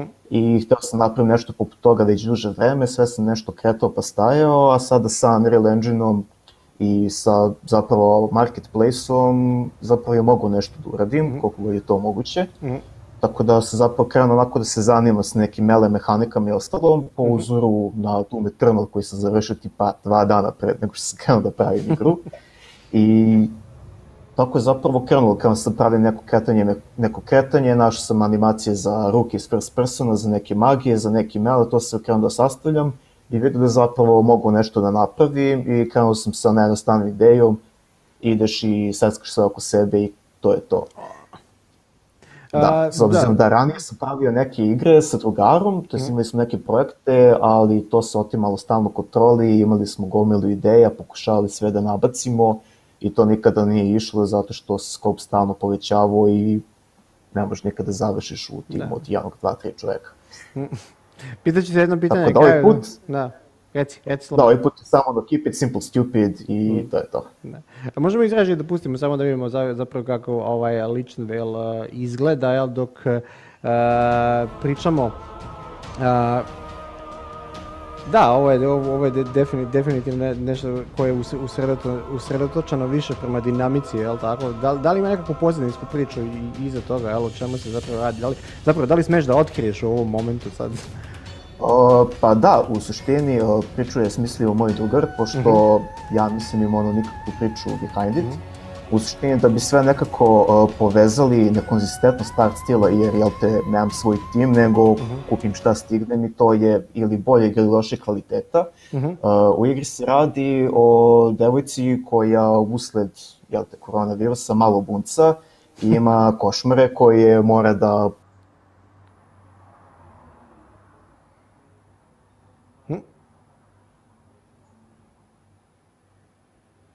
Mm. Smo zamrzli, možda?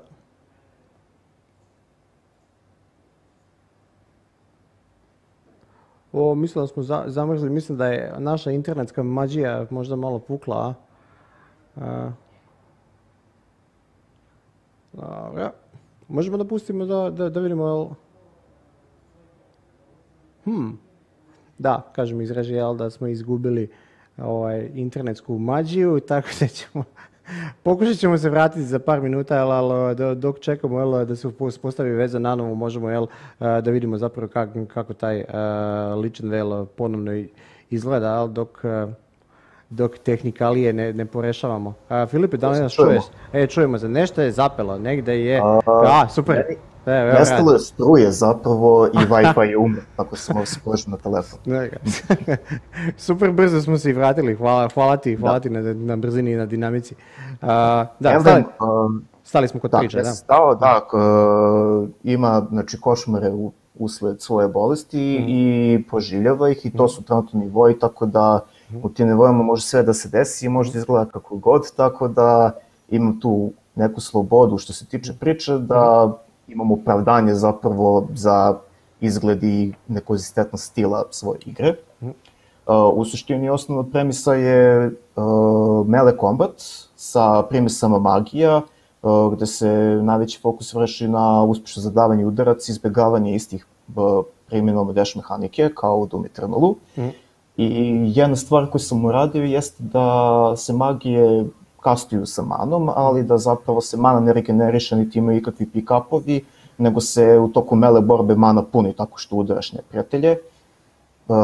to sam uradio zato što e, tokom ve- većine igara sam se uvek nalazio u situaciji da štekam manu i municiju za sva jaka oružja, igram ono ko tupan sa najslabijim, čisto da bi ono štekao sve ovo i na kraju ih nikad ne iskoristim. Poznato. Onda sam hteo da izbegnem da igrači rade tu istu stvar, nego da zapravo ono, ulete u borbu i da igraju tako kako sam ja hteo da se igra zapravo.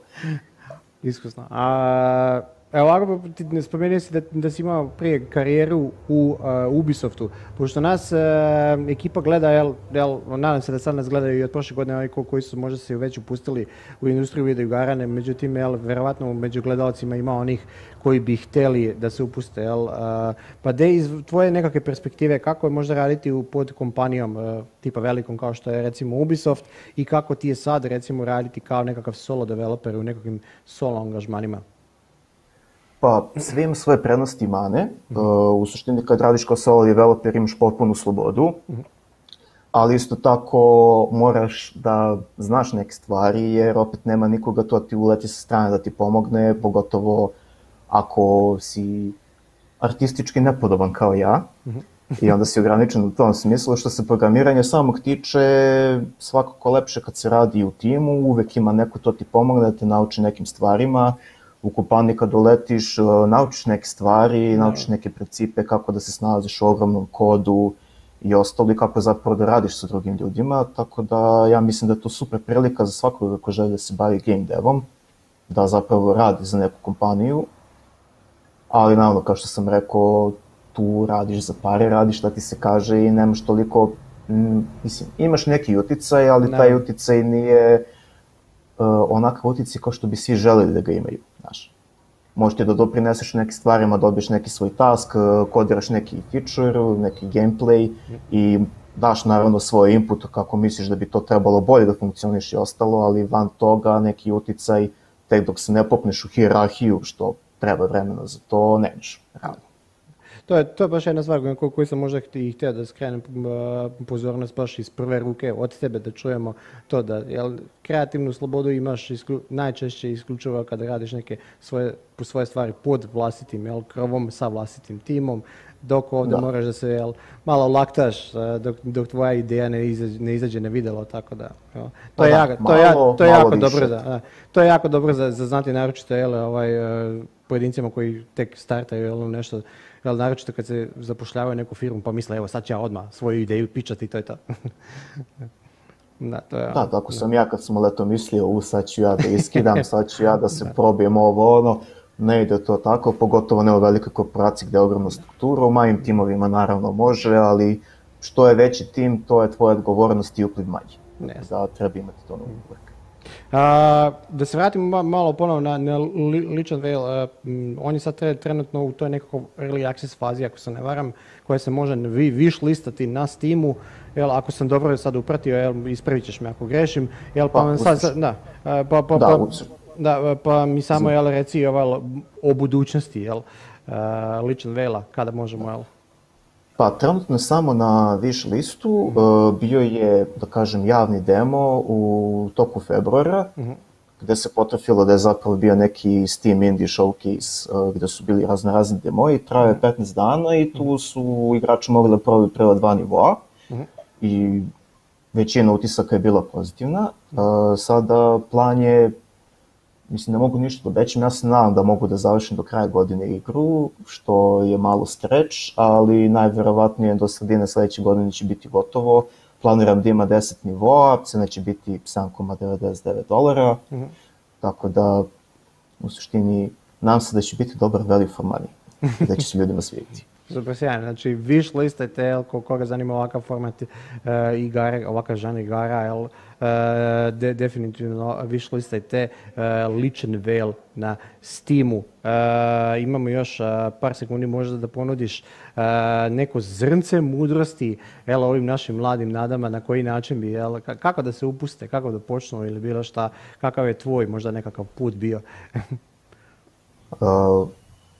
Samo rad. U suštini ja sam krenuo tako što mi se pravilo nešto, zapravo kao klinac sam hteo kad dok sam igrao Duke Nukem imao sam ideje kakve bi oružje stavio, kakve neprijatelje nivoje i ostalo. Mhm. I zapravo sam krenuo sa Game Makerom sa tipa nekih 12-13 godina i bitno je samo da, imaš, da imate neku ideju i da je pravite, da nije nešto pretredno sada kompleksna, Mhm. nećete se pogubite, ali čisto napravite neki proizvod koji ima glavu i rep jer to zaista pomaže. Mhm. Meni je pomoglo da se zaposlim u ubiju što sam imao u portfoliju gotove igre.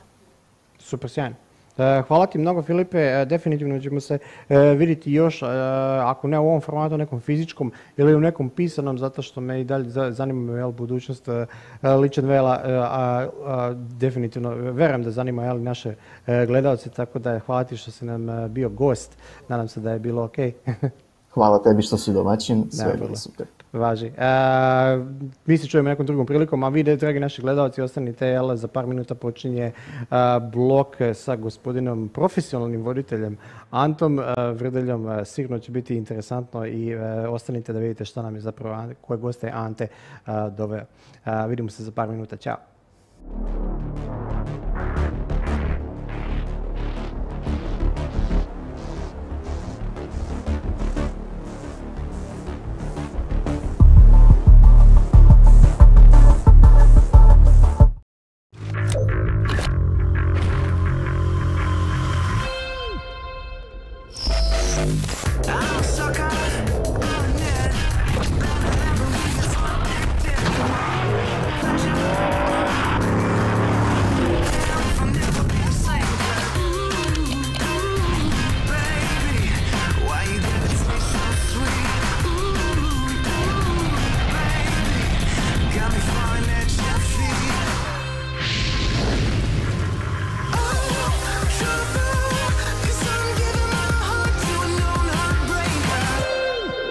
OLED Evo. Znaš li ti da navijači godišnje pogrickaju 270 tona kvik igrica? Naravno da ne znaš. Tebi je došla ekipa, pivo se hladi u frižideru, a grica ima dosta i za produžetke. Tri dana sam si super i obožavam se i onda me tresne neka depra i tjedan dana sam ono za ništa, mislim da ne vrijedim ni pišljiva boba i mislim da nisam sposoban napraviti išta što ljudi rade u ovom svijetu. Ali, ono, ne možeš biti non stop alfa, brate, ne? Ali možeš tome težiti da budeš nekakav jaki lik, samopouzdani lik, svjestan sebe, svjestan svojih mana, svjestan svojih vrlina, ne? A to postaneš svjestan kad razgovaraš o tome. Kad si priznaš. Kad si ono... Hrabar si reći, gle, frajeru, u banani sam. Sjeban sam. Ne idem dobrim putem.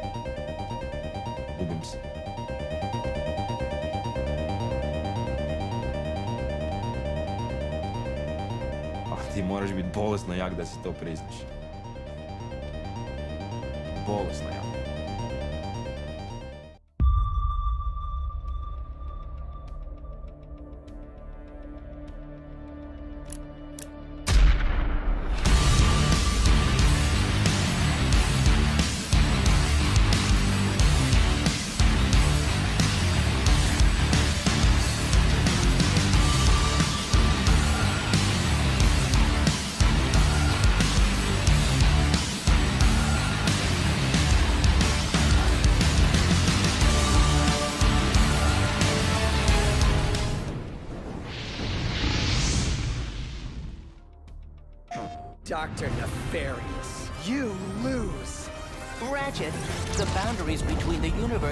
Coming undone.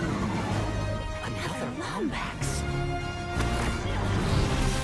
You okay, Bolts? Dr. Nefarious just crowned himself Emperor of this dimension. Ratchet, we need your help. You. We can level up only if we're willing to change, only if we're willing to evolve. Welcome to the White Shark Evolution. New logo, new visuals, new website. Let's keep evolving. we can do it together. White Shark Family.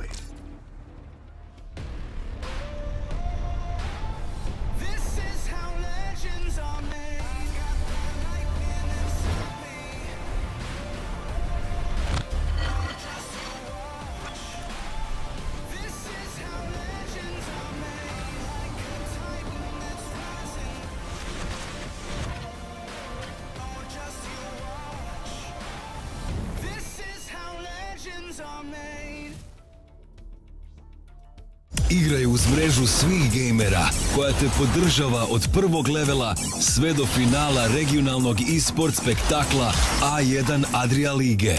Uz vrhunsku brzinu i kvalitetu interneta za superiorno iskustvo gaminga na svim uređajima. Ti povezuješ A1. It's official. You're a moron. I said left, you go right. And now, because of your idiocy, I have to fix this bloody tire. Boss. Well, what? I told you to watch the goddamn road. Last thing I need is someone to ambush us because of your shortcut. I swear to God, why I partnered up with such a limited person is beyond me. I came from the mud. There's dirt on my hands. Strong like a tree. There's roots where I stand. Oh, I've been running from the law. Won't shoot me down soon.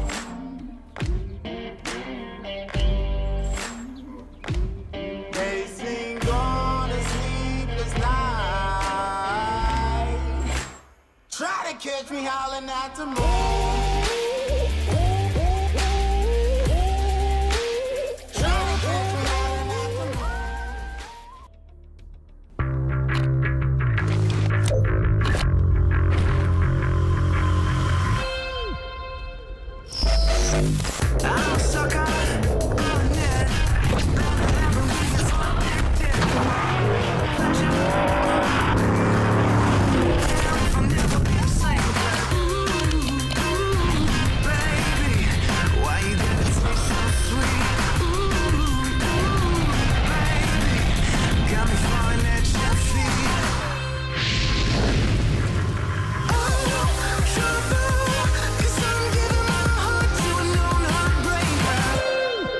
LG OLED Evo. Znaš li ti da navijači godišnje pogrickaju 270 tona kvik igrica? Naravno da ne znaš. Tebi je došla ekipa, pivo se hladi u frižideru, a grica ima dosta i za produžetke.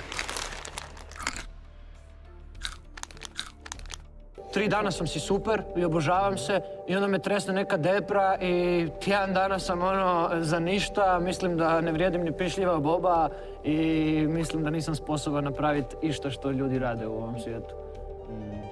Ali, ono, ne možeš biti non stop alfa, brate, ono, ne?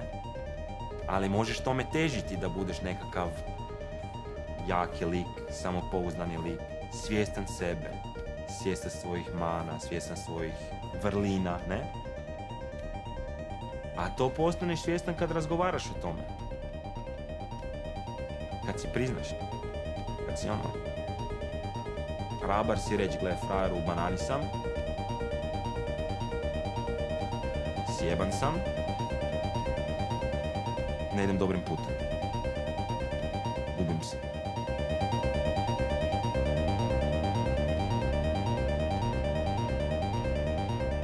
Ti moraš biti bolesno jak da si to priznaš. Bolesno jak.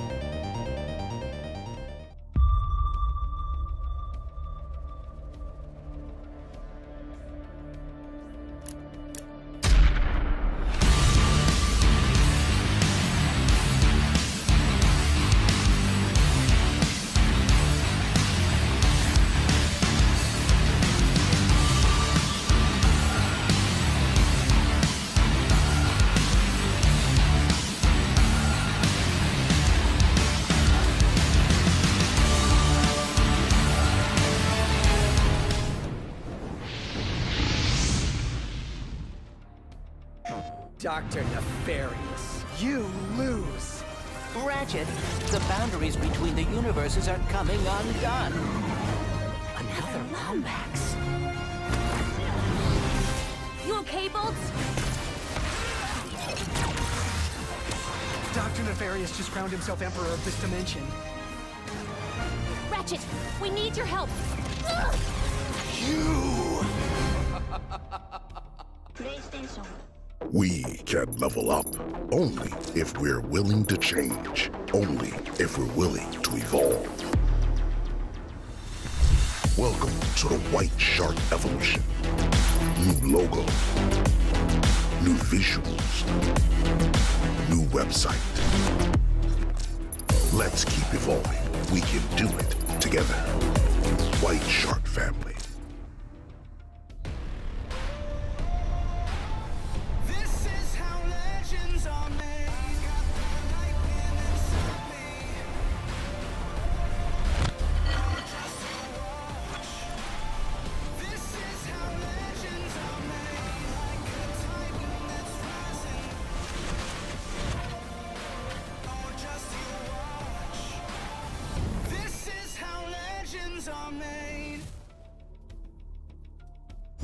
Uz mrežu svih gejmera koja te podržava od prvog levela sve do finala regionalnog e-sport spektakla A1 Adria Lige.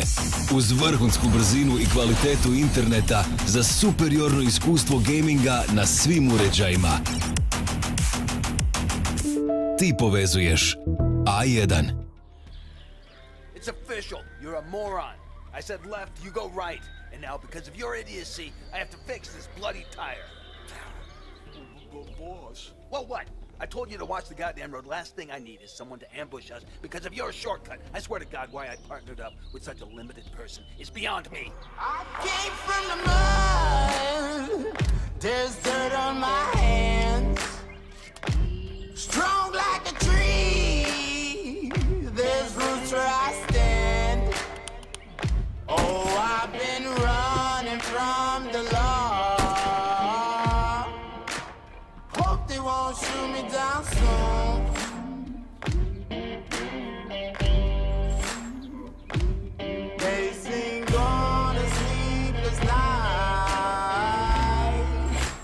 Try to catch me howling at the moon.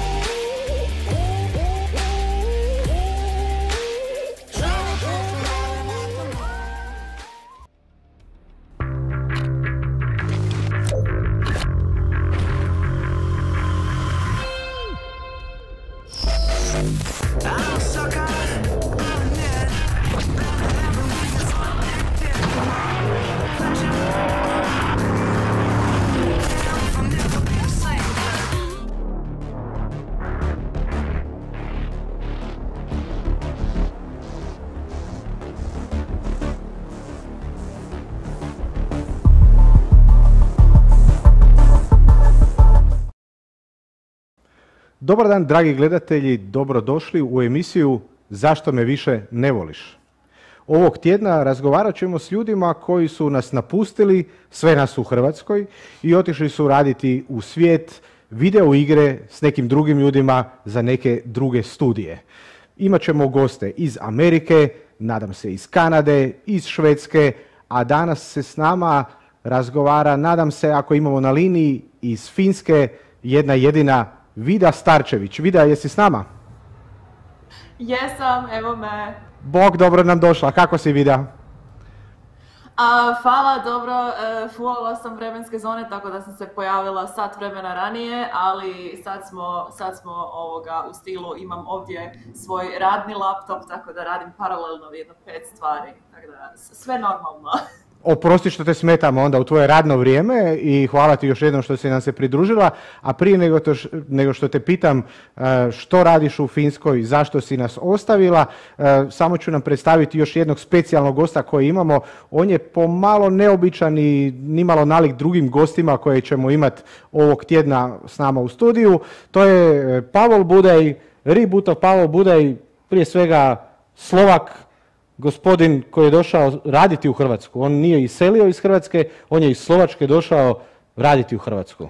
Dobrý deň a ďakujem, že môžem byť s vami v štúdiu. A môžete provoditi.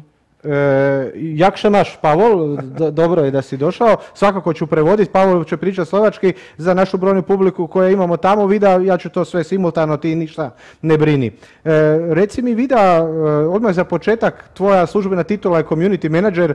E, čime se bavi community manager? Šta radiš ti u Finskoj? A, dakle, to je komplicirano to je jednostavno pitanje sa kompliciranim odgovorom, zato što community menadžeri se razlikuju od studija do studija i od projekta do projekta. Ja trenutno radim u Remedy Entertainmentu, mi smo tvrtka koja je napravila Max Payne, Quantum Break, Alan Wake i Control. Um, i šta ja radim? E, ja se prvenstveno bavim društvenim mrežama i e, managementom community što znači da se brinem da naša zajednica fanova e, ima osjećaj kao da ih mi kao developeri i kao studio slušamo njih i njihov feedback. Ja sam recimo vezivno tkivo između onoga što se događa u studiju i onoga o čemu pričaju naši fanovi i publika koja igra naše igre. A kako moj prosječan dan izgleda, em, sastoji se od puno sjedanja na društvenim mrežama i čitanja feedbacka e, na Discordu, na Twitteru, na e, Redditu i slično, e, sastanaka, mailova, razgovora, M sa svojim timom, dakle sa marketinškim timom i M sa razvojnim timovima e, na našim projektima, obzirom da je Remedy multi-project studio. Što znači da imamo nekoliko projekata na kojima paralelno radimo, tako da se trudim biti em, Ispričavam se što će mi upadat simultano neke engleske fraze, ali up to date. Da pače, da pače. Da. Kad kažeš sa svojim ljudima, oprosti što te prekidam, kad kažeš sa svojim ljudima, jesmo to i Pavol i ja na neki način ili, ili to misliš na kolege iz Remedija? Na kolege iz Remedija, mislim, da. Pa do- dobro. Do- dobro, ok, fair enough. Vidim da imaš lijepe tapete. Reci mi, jesu ti to tapete u redu ili radiš od doma? Ne, radim od doma već e, od trećeg mjeseca prošle godine sa malim pauzama i ekskurzijama u ured zbog nekih stvari koje ne mogu obaviti od doma, recimo live streaming, igranje igara naših i slično. A, I bilo je ok, mislim, ima, ra- rad od doma ima sve, e, e, kad se zastanemo onda se ne mogu sjetiti riječi na hrvatskom. Wow. Pavol će ti pomoći, on, on ti zna. Pavol na slovačkom se to kaže, Ne, ne počul sam, sorry. Pavol igra igrice, oprosti vida, vratit ćemo ti se skoro. A, rekla si da ti si vezivno tkivo između onoga što se događa u studiju i vaše publike. A meni se čini da možda ovoga je pandemija počela svega godinu dana, ako sam dobro pratio nakon što si se ti pridružila studiju ili tako nekako. Jel ti bilo možda onda teško znati šta se događa u studiju koji je krenuo raditi virtualno i od kuće i onda to iskustvo prenositi publici? Ja sam došla u Remedy znači u siječnju 2018. Znači otprilike godinu i pol dvije prije covida. E, ne znam matematika, covid je počeo 2020. E, bilo je teško u toliko da e, srećom pa smo, e, mislim srećom, ne, ok. Znači, Control kao igra, to nam, je, to nam je zadnji projekt koji nam je izašao, je bila izašla i gotova, izašle su nam ekspanzije dok je bila pandemija. Znači, izašla nam je prva ekspanzija, druga ekspanzija i Ultimate Edition. Um, bilo je teško toliko da je puno teže komunicirati sa, sa ljudima s kojima moraš raditi svakodnevno, jer se ne možeš jednostavno, ja se ne mogu sad ustati i odšetat e, nekome do, do, do stola i reći, e daj mi reci, odgovori mi na neko pitanje, nego se moram javljati na Slack i moram slat mailove i sve tako da nedostaje ta organska svakodnevna komunikacija i to ti stvarno fali. Ali uspjeli smo se prilagoditi je da to znači da puno više sjedimo na Zoomu, imamo puno više sastanaka, ali mislim da smo se uspjeli dosta dobro i što je najbitnije dosta brzo prilagoditi na rad od doma. Neki uh, neki odjeli uh, u firmi bo- brže i bolje, a neki manje zato što su ne, ono, neki, neki departmenti tipa, tipa audio odjel ima, neki od njih moraju raditi jednostavno iz studija jer nemaju sve što im treba, ne mogu imati od doma. I, ali smo se, u globalu smo se dosta dobro prilagodili. Meni se tako isto čini, koliko ja promatram s ove strane a, publike a, i čini mi se da si dobro se povezala sa timom, ali koliko je uopće taj tim velik? Meni se Remedy ovako izvana čini kao velik studio, a onda to znači i puno ljudi s kojima se moraš upoznat. Da, i velik, mislim velik smo studio, relativno velik, mislim da ima oko 300 ljudi trenutno, ali eh, ne osjeća se ta veličina toliko, zato što, kao što sam rekla, mi smo eh, studio sa nekoliko projekata, tako da postoje raz- razni timovi koji rade na raznim projektima, tako da ti ne radiš svaki dan sa 300 ljudi. Um, I ono što je bilo problematično je da stalno nam se pridružuju novi ljudi. Tako da ima neke ljude koji su se pridružili u ovih zadnjih godinu i pol koji ja nisam uopće uživo upoznala. Ali zato imamo uh, virtualna druženja razna, imamo uh, ne znam, tjedni newsletter u kojima ljudi kad, kad neko novi dođe u firmu onda snimi kratki video i kaže bok ja sam taj i taj, radim to i to, jako mi je drago šta, šta sam ovdje i to slično, tako da uspjeli smo naći e, te neke zamjene za, za e, IRL druženje, e, virtualne pandane IRL druženju, a kako se zove, koje je bilo originalno pitanje, ne osjeća se, ne osjeća se ta, ta, da je to veliki studio zato što još uvijek imamo taj nekakav um, attitude, što bi rekli na hrvatskom, uh, malog studija i, i nema toliko, većinom nema toliko ega i ljudi su uvijek uh, spremni na komunikaciju i spremni ti pomoći i spremni ti nešto objasniti, tako da uh, nema, nemam osjećaj da je to sad neka, neki monolit da ja nikad neću upoznat jednu osobu od tih, od tih 300. Manje više znam sve ljude, uh, ako ne imenom i titulom, onda im barem znam lice i znam otprilike gdje sjede i to. Imam ja još jedno pitanje za tebe vezano uz te ljude koji dolaze i pridružuju se još uvijek studiju, ali to ćemo možda ostaviti za kraj. Prije toga me zanima zašto baš Remedi za tebe i zašto baš Finska? Jesi ti uh, finofil, jel si zaljubljena u Remedi? Uh, ja znam za neke studije koji su jako popularni, puno mojih prijateljica bi htjelo raditi na Assassin's Creedu, a ti si možda imala takvu želju ili je naprosto se dogodilo tako da si dobila ponudu koja se ne odbija. Kako si dospjela u Remedi?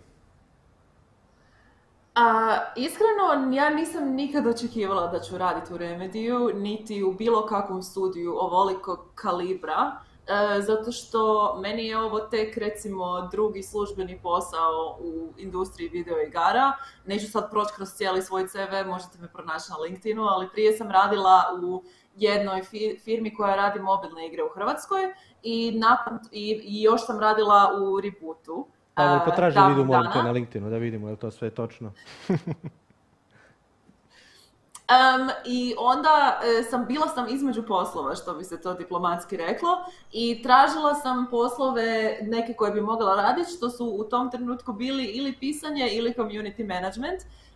I s obzirom da u Hrvatskoj nisam mogla naći slične poslove, a u regiji sam tražila, ali eto nije se ništa e, na vrijeme e, nije dalo plodom, e, onda sam odlučila proširiti potragu na recimo Europu i na Sjevernu Ameriku i da vidim šta tamo ima.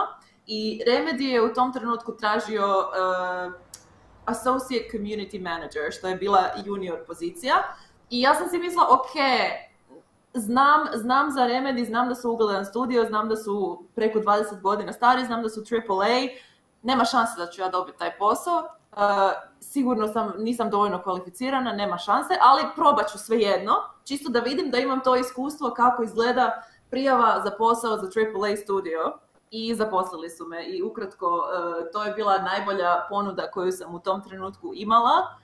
Um, i, i zaključila sam da jednostavno je to to za mene jer mi je uh, ljude koje sam upoznala kad sam bila na on-site intervju su mi se činili jako simpatični. Projekt mi se činio jako atraktivan, to je tada bio Control, kodnog imena P7 uh, u to doba. I jednostavno uh, bilo mi je više pozitivnih nego negativnih stvari. Nije skoro bilo uopće negativnih stvari zašto, zašto ja ne bi išla uh, u Finsku. I evo me. I tu sam već tri godine. Sjajna priča.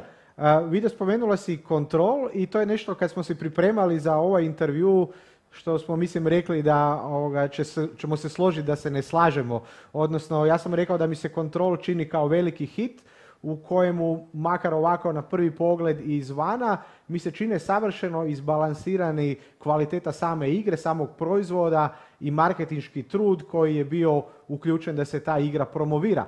Em, ti si rekla da si čula druga mišljenja. Jel možeš to malo sad nam objasniti o čemu se radi i zašto misliš da je stvarna situacija druga od ovoga kako mi to vidimo izvana? Ma ne, e, mislim, kao prvo ja, ja stvarno mislim da se mi jesmo trudili, apsolutno. I mi kao studio i naši izdavači 505 Games smo stvarno dali sve od sebe sa resursima koje smo imali i Control se pokazalo kao e, možda ne e, instantni uspjeh, ali svakako ima, što bi englezi rekli, staying power. Ne znam kako se to kaže na hrvatskom. Ne znamo ni ja, Ima- ali možda znamo na slovačkom, Pavlo. Ne znam ni ja. Nažalost. Ali s hrvatskim mu ide. E, nema veze. Ima dugotrajnog potencijala, ja mislim. Mhm, Bravo, Vida. Da. Nema problema. Um, a kak se zove, uh, mislim nismo, nismo, uh, prodali smo dosta, a mislim da uh, postoji, postoje te, te brojke su negdje, negdje javne i dobili smo što je prekrasno, dobili smo puno uh, pohvala od kritike. E, rec- dobili smo recimo nagradu za Art Direction na Game Awards, dobili smo četiri DICE nagrade i slično, što znači puno ljudima iz branše, ali ne toliko ljudi, igračima, jel? Ali e, mislim da, da je Control, e, smo dobro napravili potez, to jest naši izdavači i mi, e, da smo dali igračima način, to jest pružili smo, pružili smo im mogućnost da, da dobe igru ili da kupe igru ili da ju dobe besplatno na jako puno različitih platforma i različitih servisa, recimo GeForce Now. Ovaj tjedan je Control besplatna na Epic Games Store-u, još danas i sutra. Um, I bilo je na, na PlayStation Plusu i slično. Um, tako da glede toga, glede toga nam je sva- svak, cijelo vrijeme nam je, nam je baza igrača sve, sve veća i mislim da utoliko što bi rekla da smo, slažem se s tobom da smo, da, da je marketinški, uh, gubim opet reći na, na hrvatskom, Uh, Kampanja. da, da je marketing bio uspješan utoliko da, Effort. zato što smo uh, surađivali međusobno. Znači, surađivali smo mi kao marketinški tim unutar Remedija, plus marketinški tim uh, naših izdavača 505 Games i naš uh, razvojni tim ljudi koji je radio na, igre, na igri. I bila je konstantna komunikacija između tih timova i, i mislim da bez te komunikacije ne bi imali ništa, jer, jer je komunikacija naravno najbitnija u, u poslu. Uh, Vida, bližimo se polako kraju. Kad nam se vraćaš? Ako se vraćaš uopće. Za Božić, za praznike, ali ne, mislim da e, ostaću u remediju do daljnjega. Kako Pa za se Božić, kraju? Pa imamo da. toliko pitanja, Ante. A, za Božić, ako se vratiš, to će biti najljepši poklon svima nama ovdje. A, imamo, da, još pitanja, ali mi smo tu, a, kad god želiš, mi ćemo s tobom razgovarati. Ja se nadam vrlo brzo, ali nismo još gotovi ni, ni sasvim danas. Imam e, za kraj par brzo poteznih pitanja. Naime, kad ja putujem svijetom, meni se uvijek e, čini da, da mi fali svašta, možda najviše pekara. I onda kad idem na ugao i nema pe- pekare, to mi bude ono malo čudno. Kao ne možeš kupiti burek, nema komad pice, ali nemam pojma šta ljudima fali kad se presele ovako kao ti za duže vrijeme, ako ne baš i trajno. E, pa me zanima sljedeće, ako ti nedostaje, da li ti više nedostaje A ili B? A. Frank kava ili B. Domaćica keks? Napolitanke. Napolitanke, dobro. C. Pavol, molim te zapiši, ja nemam, idemo dalje, žurimo se. Žao kraju mi je, Frank kavu ne pijem, a domaćica ima ovdje za kupit. Ne, još bolje, to je dobro za tebe, ništa ti ne fali. Ali možda Ajvar ili Cedevita? Ajvar, Ajvar, definitivno, to je razumljivo. Čokolino ili Ćevapi? Čevapi, Jasna stvar. Bajadera ili Griota? griota, Pavol ili Ante? Pavol. Uh, A, s tim ja ću moliti Pavola onda da održi em, jedan, jednu završnu riječ i prokomentira iz svoje perspektive čovjeka koji je došao u Hrvatsku iz koje svi odlaze, zašto je tome tako? Pavol, molim te, par riječi za kraj. Uh, thank you very much. I will switch into English because it's much more easy for me than in Slovakian You're or, amazing, or, Paolo. or Croatian. Thank you, thank Awesome. you. Uh, I have a I have a question for you, Vida. Uh, thank you, by the way. Uh, we will have a conversation after this with Antel, who is better. So I, I clearly uh, winning. Um, uh, Yeah. When I was listening to you, you are struggling to find some Croatian words. Uh, uh, do you actually learn Finnish language? Is it hard to learn? So, do you want me to answer in Croatian or in English? In Uh, Finnish. Gr- uh, Finnish. Finish, please. Uh, For a finish, you need to Ei, finish kiitos. in Finnish. Um, the, um, so um, like we do get free, we do get free Finnish language courses at Remedy. Like that's a service, a, a, service that Remedy provides to all of the foreign employees. I have not been going uh, because I do not have the time or the concentration, unfortunately. But uh, it's like also Finnish. You, you don't need to know Finnish to, to live and work in Finland because a lot like remedy is an english speaking company obviously so you don't need you don't need finnish and then a lot of people almost everyone in shops and everything else like in your daily life everyone speaks english so um, I, I do want to learn finnish just just so i can be in touch with the culture more Yeah. but i i have been i have been lazy about that All right. Uh, that, that was my actually final question from, That from my was an excellent question. Thank you, Pavel, and thank you, Vida. Uh, Vida, ja ću se sad opet malo prebaciti na hrvatski, jer takva je tema. Uh, ovo pitanje koje sam ostavio za kraj, to ćemo možda Pavel i ja poslati privatno. Naime, ako nam ikad propadne ova voditeljska karijera, mislili smo možda nas možeš pogurat, ali budemo se mi čuli oko toga još.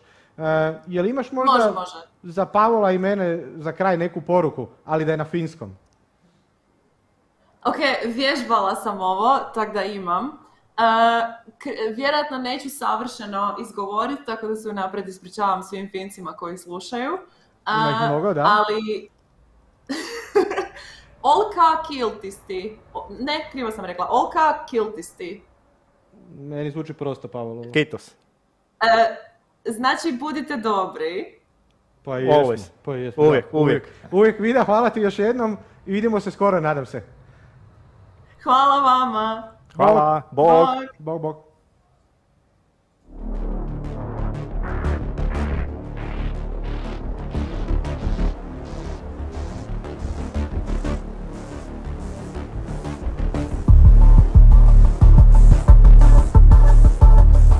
Igraj uz mrežu svih gejmera koja te podržava od prvog levela sve do finala regionalnog e-sport spektakla A1 Adria Lige. Uz vrhunsku brzinu i kvalitetu interneta za superiorno iskustvo gaminga na svim uređajima. Ti povezuješ A1. It's official. You're a moron. I said left, you go right. And now, because of your idiocy, I have to fix this bloody tire. Boss. Well, what?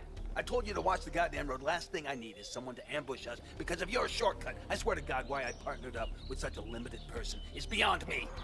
Came from the mud. There's dirt on my hands. Strong like a tree. There's roots where I stand. Oh, I've been running from the law. gonna shoot me down soon.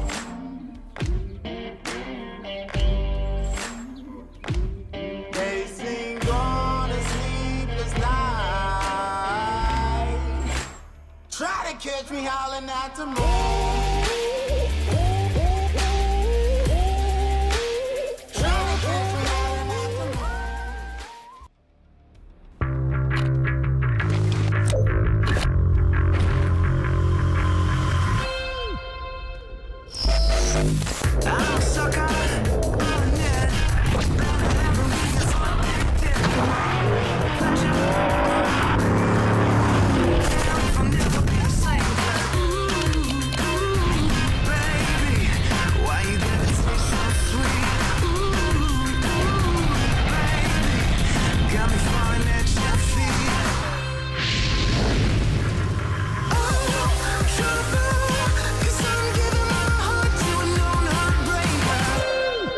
LG OLED Evo. Znaš li ti da navijači godišnje pogrickaju 270 tona kvik igrica? Naravno da ne znaš. Tebi je došla ekipa, pivo se hladi u frižideru, a grica ima dosta i za produžetke. Tri dana sam si super i obožavam se i onda me tresne neka depra i tjedan dana sam ono za ništa, mislim da ne vrijedim ni pišljiva boba i mislim da nisam sposoban napraviti išta što ljudi rade u ovom svijetu. Ali, ono, ne možeš biti non stop alfa, brate, ono, ne? Ali možeš tome težiti da budeš nekakav jaki lik, samopouzdani lik, svjestan sebe, svjestan svojih mana, svjestan svojih vrlina, ne? A to postaneš svjestan kad razgovaraš o tome. Kad si priznaš. Kad si ono... Hrabar si reći, gle, frajeru, banani sam. Sjeban sam. Ne idem dobrim putem. Gubim se.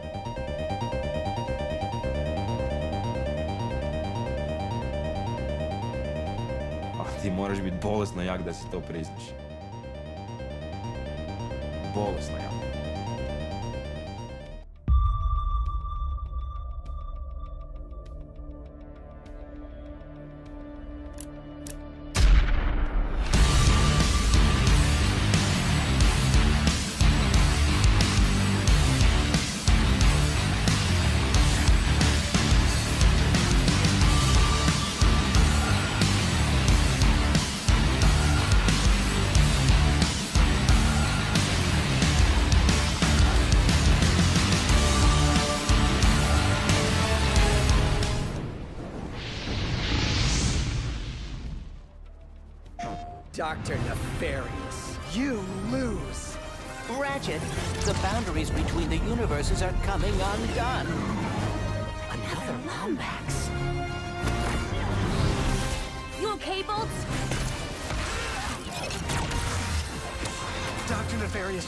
Nefarious just crowned himself Emperor of this dimension. Ratchet, we need your help. You! We can level up only if we're willing to change, only if we're willing to evolve. Welcome to the White Shark Evolution. New logo, new visuals, new website. Let's keep evolving. We can do it together. White Shark Family.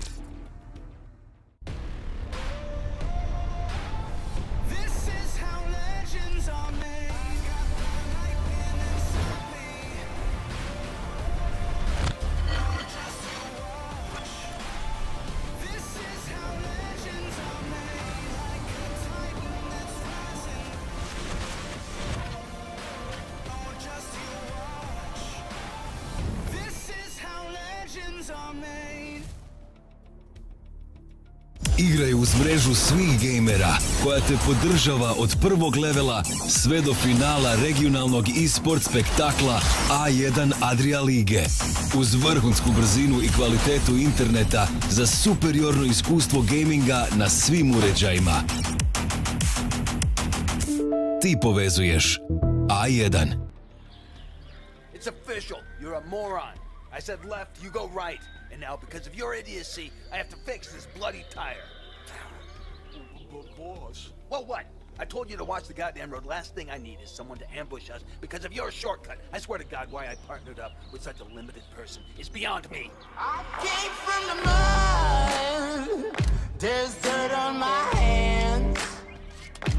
Strong like a tree. There's roots where I stand. Oh, I've been running from the law. Me howling at the moon.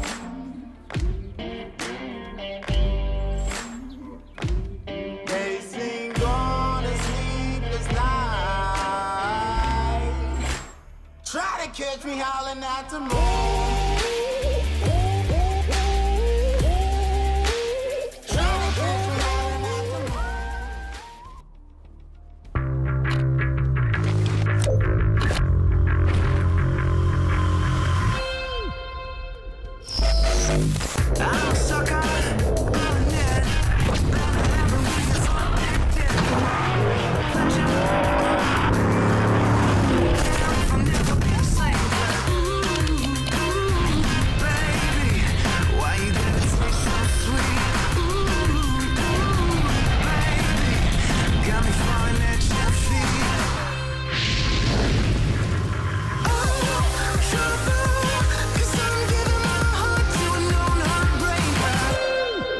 LG OLED Evo. Znaš li ti da navijači godišnje pogrickaju 270 tona kvik igrica? Naravno da ne znaš. Tebi je došla ekipa, pivo se hladi u frižideru, a grica ima dosta i za produžetke. Tri dana sam si super i obožavam se i onda me tresne neka depra i tjedan dana sam ono za ništa, mislim da ne vrijedim ni pišljiva boba i mislim da nisam sposoban napraviti išta što ljudi rade u ovom svijetu. Ali, ono, ne možeš biti non stop alfa, brate, ono, ne? Ali možeš tome težiti da budeš nekakav jaki lik, samopouzdani lik, svjestan sebe, svjestan svojih mana, svjestan svojih vrlina, ne? A to postaneš svjestan kad razgovaraš o tome. Kad si priznaš. Kad si ono... Hrabar si reći, gle, frajeru, u banani sam. Sjeban sam. Ne idem dobrim putem. Gubim se.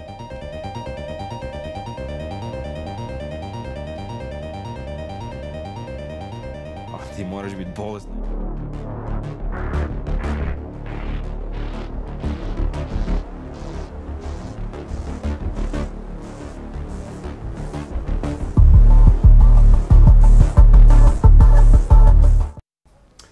I dobrodošli nazad, evo, iz, iz nas vole, iz režije nas ovaj, vole nas smijati, tako da eto, izgubim nit čim, čim je neko iz režije ovaj cimne. A, dobrodošli nazad u Reboot Online Games Week na naš Games Industry uh, kanal powered by Game, uh, Game Pass. Uh, sa nama u gostima su uh, neki poznati, neki nepoznati likovi, od prošle godine ste ih mogli vidjeti, jel? Josip Delić, narrative dizajner iz Playrix, Croatia i David Kelečić, game design lead, iz, isto tako iz Playrix Croatia i danas ćemo zapravo da razotkrijemo tu nekakvu, to jest da se upustimo u neku tematiku uh, demografije, jeli, kako uh, sam manipulirati, kako usmjeravati prema demografiji i kako je zabavljati dugoročno, uh, pretežito na projektima koje Playrix Croatia jel, na- naravno rade, ne nužno o projektima, nego baš samo o pristupu jel, na, na koji, koji se to svodi. Dobro nam došli, kako ste? Šta ima kod vas? Ništa posebno. Ništa posebno, jel? Da, dobro je, vrući dan, evo, Da, sve jako Vrući dan, evo, ovaj, na domaku smo leta, jel, pa se nekako po- ponašamo svi kao da smo ovaj, na godišnjem, nemam pojma, barem ja. E, šalim se, ono, kao, u stresu sam od jutra, ono kao samo da dranim Skoro nešto. ko ribut u Dubrovniku, da. Da, da, znači haos. Je, jednom ćemo i to doživjeti, ja na- nadam se, nadam se jel, da ćemo uskoro se vidjeti jel, i na, Mm. ovaj, na plaži negdje da možemo jel, normalno da funkcionišemo, a ne u ovim online formatima. Kao što sam rekao, jel, danas ćemo da se posjetimo tome, međutim prije nego što počnemo da našim gledalcima skrenemo pažnju na to šta vi zapravo radite iz pozicije koju obavljate u firmi, pa ja bih počeo sa Josipom. Josipom, reci nam par reći o tome. E, ok, dakle ja sam narativni dizajner, e, što znači da e, smišljam radnje naših igara, Mm. ako radnje ima, e, smišljam dijaloge, smišljam likove, ponekad ideje za razno razna mjesta na kojima se odvija radnja. E, I da, e, mislim da inače u Playrixu se ta uloga zapravo odvaja na writere i narativne dizajnere. E, narativni dizajneri osmišljaju taj okvir priče, e, dok e, writeri, to pisci, pišu, zapravo dijaloge i konkretne tekstove u igri, no pošto sam ja jedina, osim Davida koji je djelomično u tom odjelu, ja radim ta, te ob- ta oba aspekta posla. Pretty much everything. A, vratit ćemo se isto na narativ. Mene zanima jedna činjenica baš što se tiče narativa u casual igrama, koliko bitan, koliko, je to, koliko zapravo se s njemu posvećuje vremena. Međutim, Davide, reci nam par reći o čemu, jel, kako, kako ti funkcioniraš u svojoj firmi i E, šta zapravo radiš. Pa mislim, ja generalno vodim dakle, game design, dakle tu je baš ona stvar da definiramo sve nekakve funkcionalnosti koje igra ima, ono, dakle, ono, bilo koju igru koju razmislite ima nekakve brojke iza sebe, ima razne menije, dijaloge koje otvorite, imaju razne, ne znam, gumbe na njima, funkcionalnosti, šta koji radi i slično.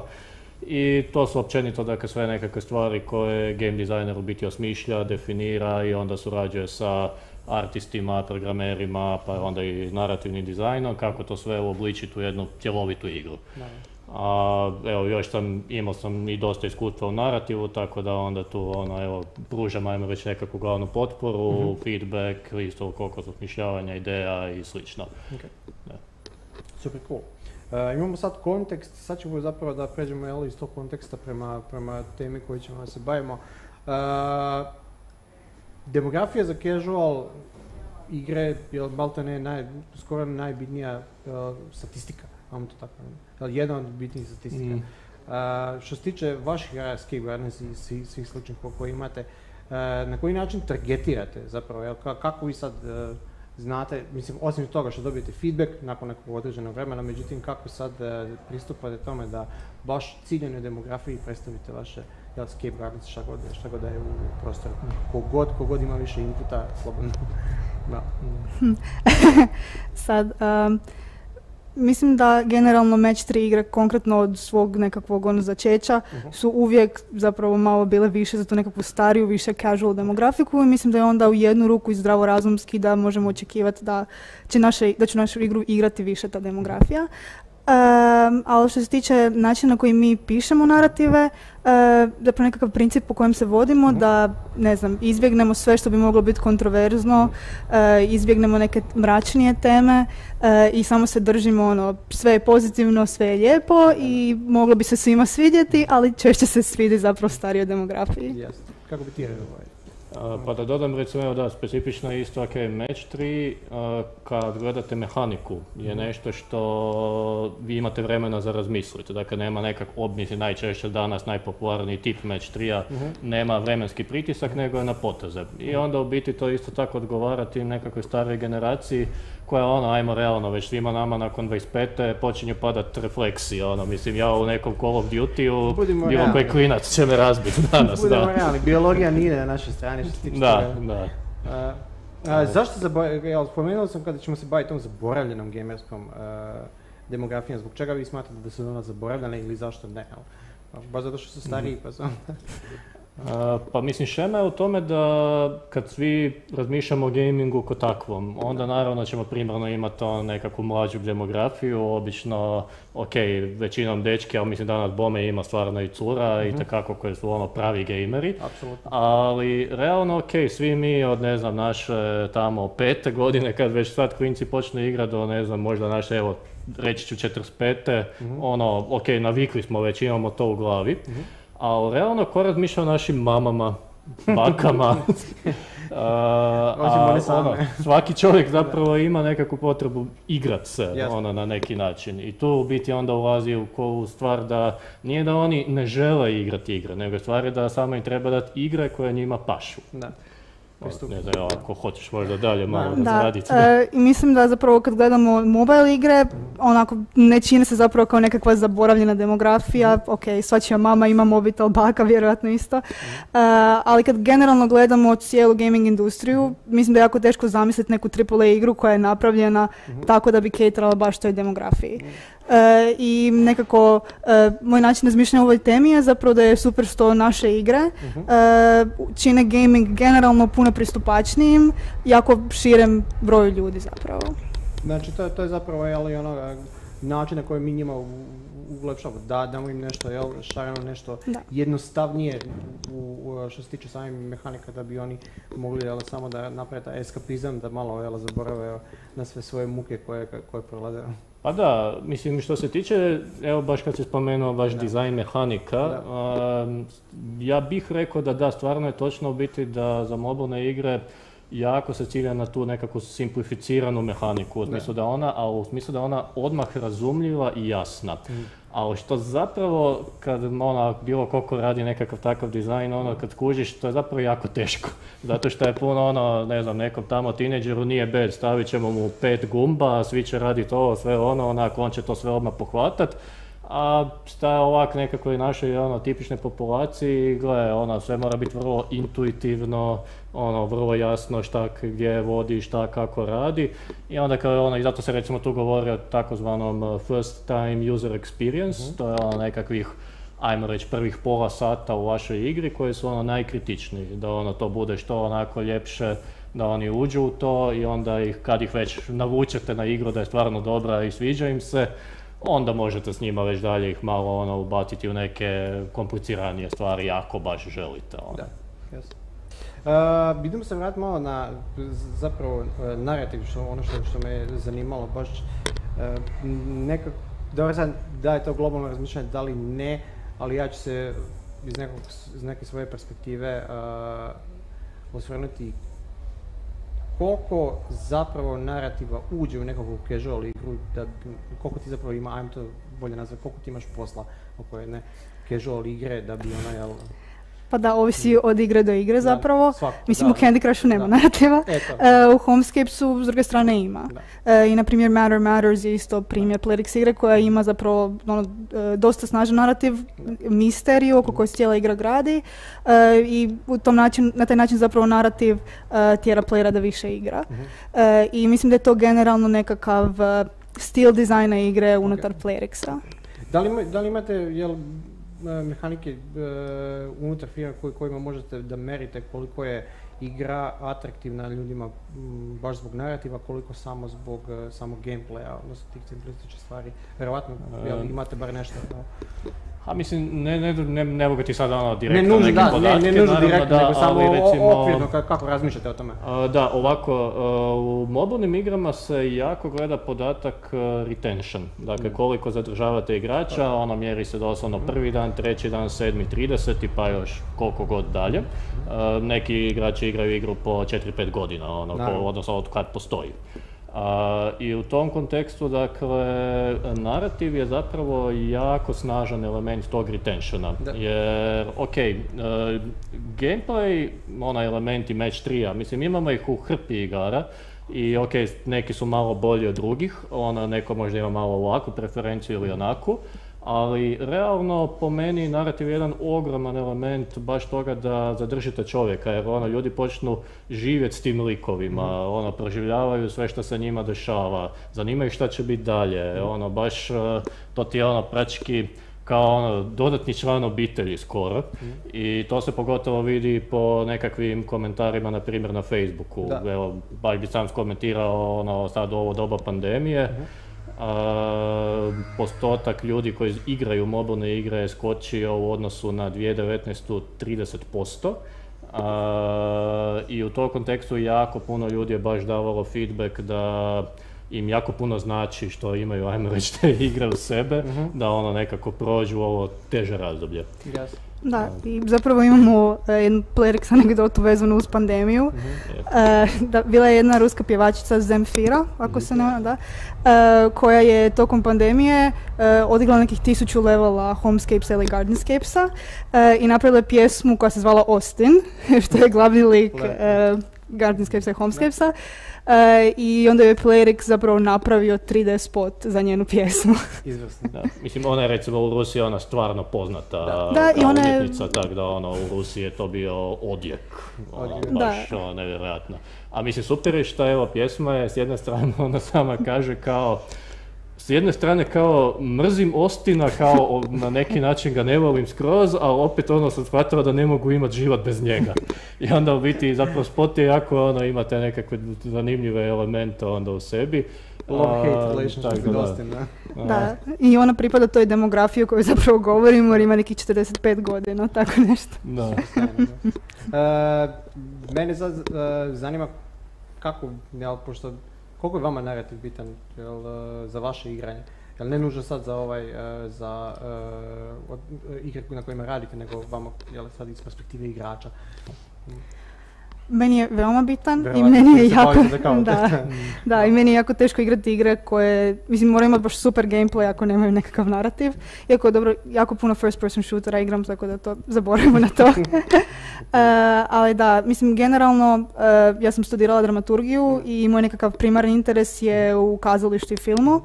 E, i uvijek radim nekakve osobne projekte sa strane što se narativa tiče E, i mislim da nikad ne možemo zapravo očekivati istu količinu narativa od casual igara koje radimo e, sa onim što zapravo bi htjeli recimo igrati ili gledati. da. Da. Šta ti da, kažeš, mislim, pa mehanički ti da. bili narativ, narativ je okej, ne. Pa mislim, naravno, narativ mi stvarno je iz- Da. izuzetno bitan i ono, no, a- ako mi recimo igra ima nekakav kao jači narativ, a ne naprave ga dobro, onda baš dam biti jako ljut.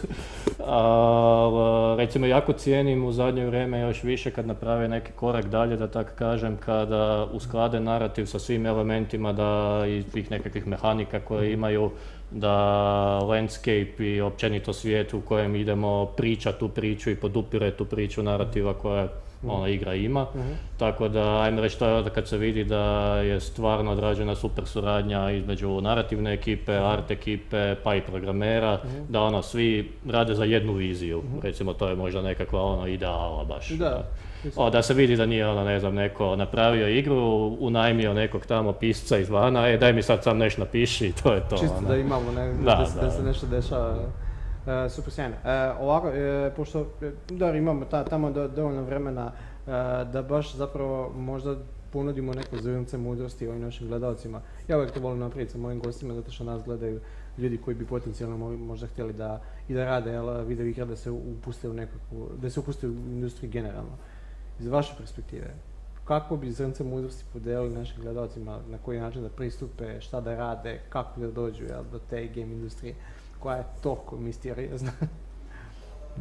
Pa, e, ja bih mogla dati jedan savjet više e, mladim piscima koji zanimaju nekakve malo onako više umjetničke e, i- stvari. I zbog pozadine iz dramaturgije, to je isto, to sam baš teo da naglasim. E, I bivšim kolegama isto.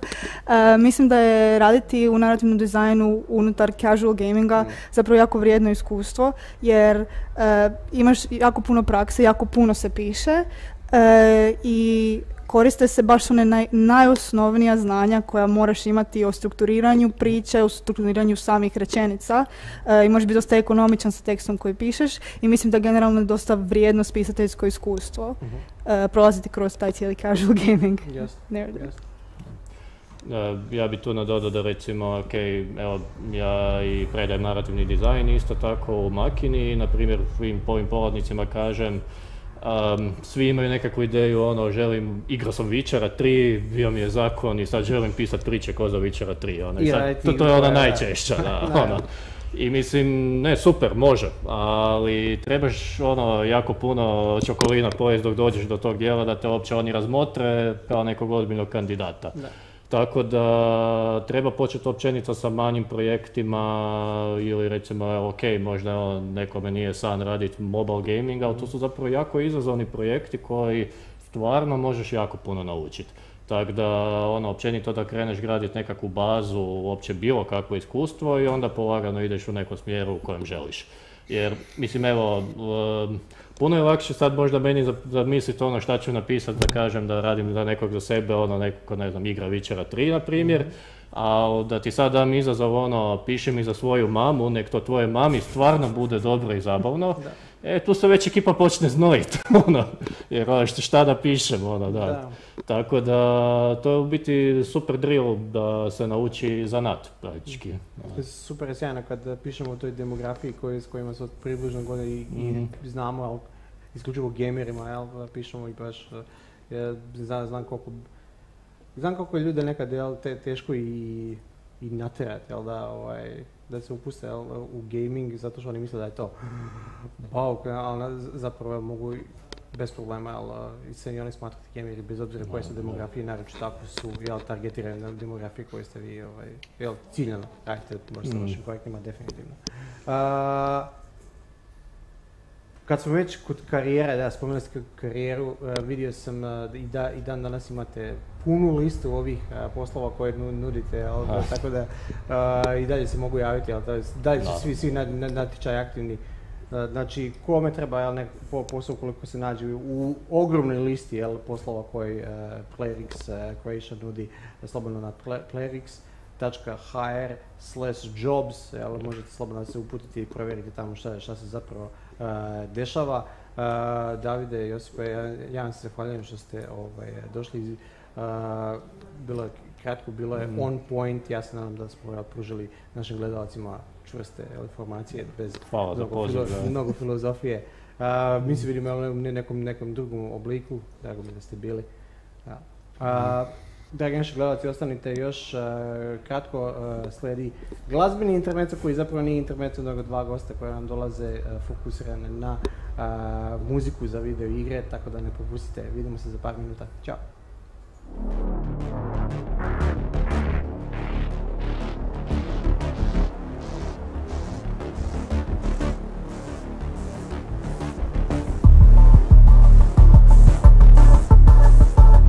Igraj uz mrežu svih gejmera koja te podržava od prvog levela sve do finala regionalnog e-sport spektakla A1 Adria Lige. Uz vrhunsku brzinu i kvalitetu interneta za superiorno iskustvo gaminga na svim uređajima. Ti povezuješ A1. It's official. You're a moron.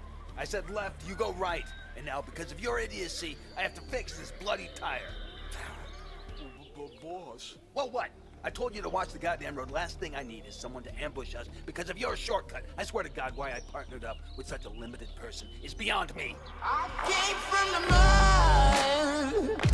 There's dirt on my hands.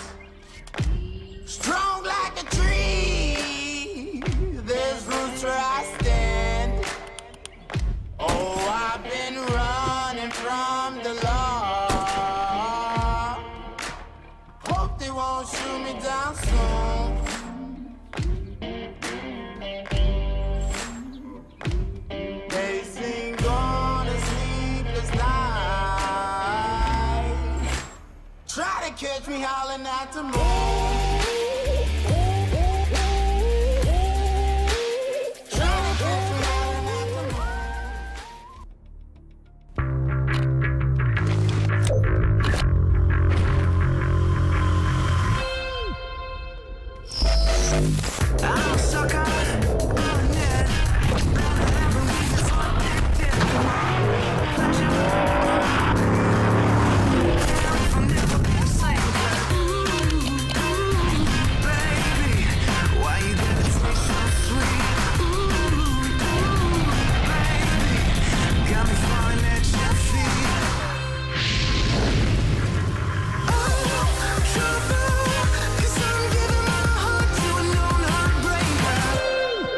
LG OLED Evo.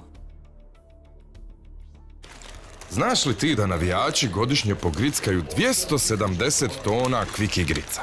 Naravno da ne znaš. Tebi je došla ekipa, pivo se hladi u frižideru, a grica ima dosta i za produžetke.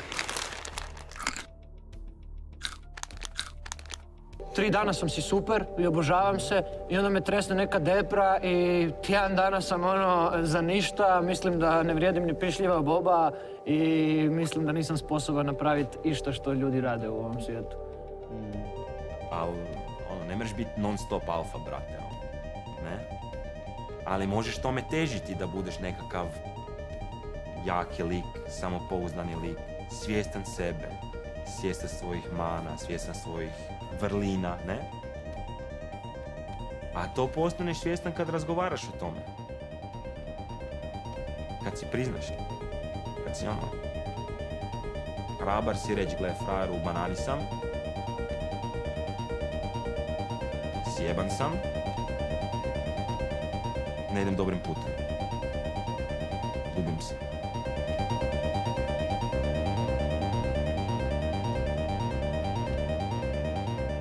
Ti moraš biti bolesno jak da si to priznaš. Bolesno jak.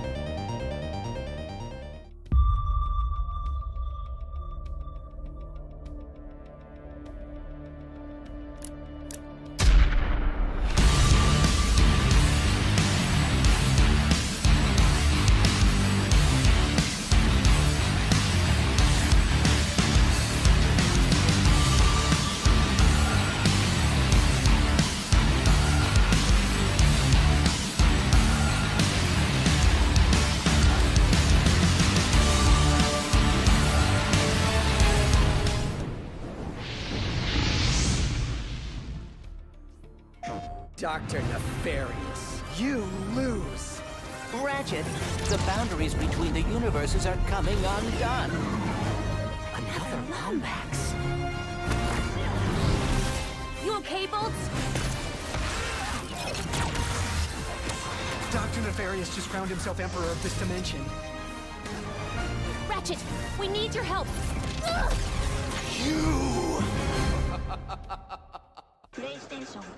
We can level up only if we're willing to change, only if we're willing to evolve. Welcome to the White Shark Evolution. New logo, new visuals, new website. Let's keep evolving. We can do it together. White Shark Family.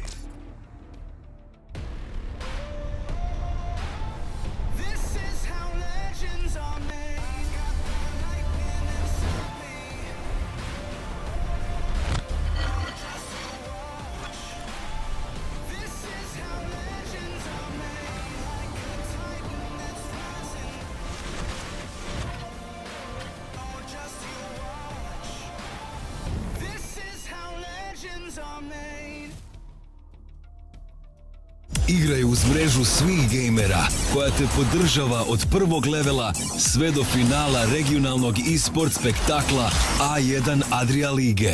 Uz vrhunsku brzinu i kvalitetu interneta za superiorno iskustvo gaminga na svim uređajima. Ti povezuješ A1. It's official. You're a moron. I said left, you go right. And now, because of your idiocy, I have to fix this bloody tire. Boss. Well, what? I told you to watch the goddamn road. Last thing I need is someone to ambush us because of your shortcut. I swear to God, why I partnered up with such a limited person is beyond me. Came from the mud. There's dirt on my hands. Strong like a tree. There's roots where I stand.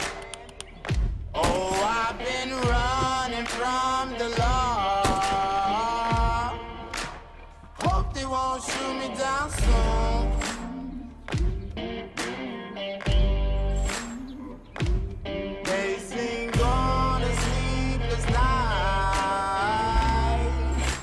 Try to catch me howling at the moon.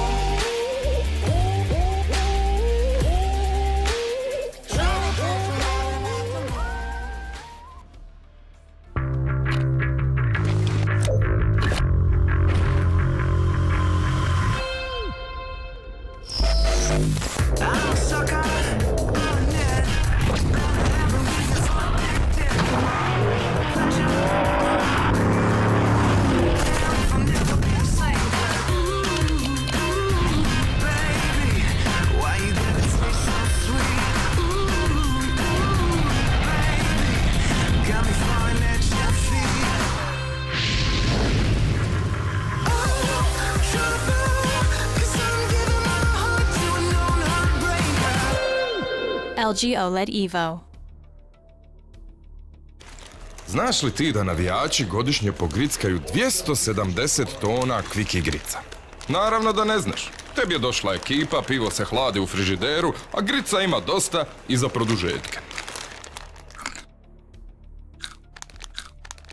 Tri dana sam si super i obožavam se i onda me tresne neka depra i tjedan dana sam ono za ništa, mislim da ne vrijedim ni pišljiva boba i mislim da nisam sposoban napraviti išta što ljudi rade u ovom svijetu.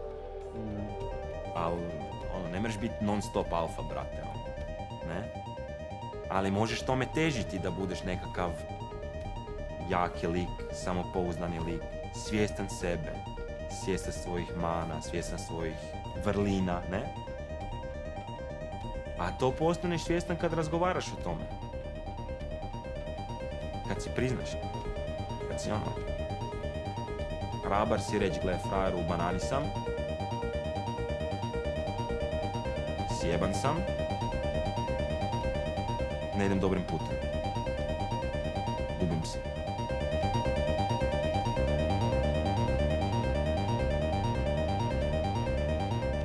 Ti moraš biti bolesno jak da si to priznaš. Bolesno jak.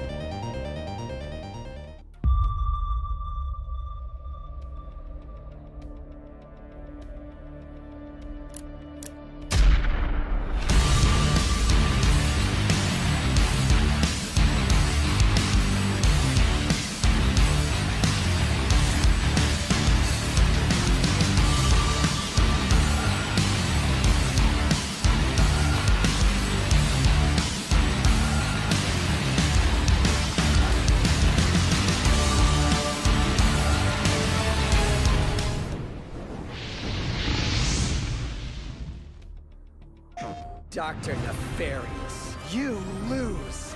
Ratchet, the boundaries between the universes are coming undone. Another Lombax. You okay, Bolts? Dr. Nefarious just crowned himself Emperor of this dimension. Ratchet, we need your help. You! We can level up only if we're willing to change, only if we're willing to evolve. Welcome to the White Shark Evolution. New logo, new visuals, new website. Let's keep evolving. We can do it together. White Shark Family.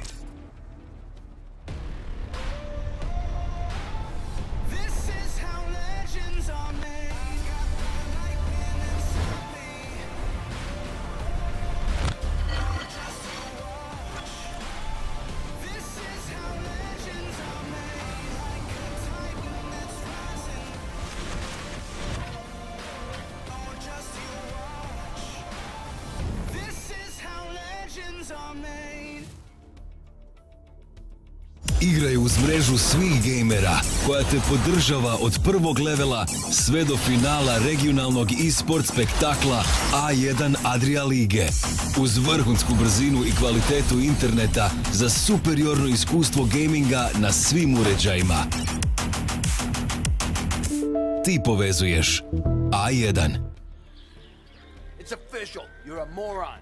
I said left, you go right. And now, because of your idiocy, I have to fix this bloody tire. But boss. Well, what? I told you to watch the goddamn road. Last thing I need is someone to ambush.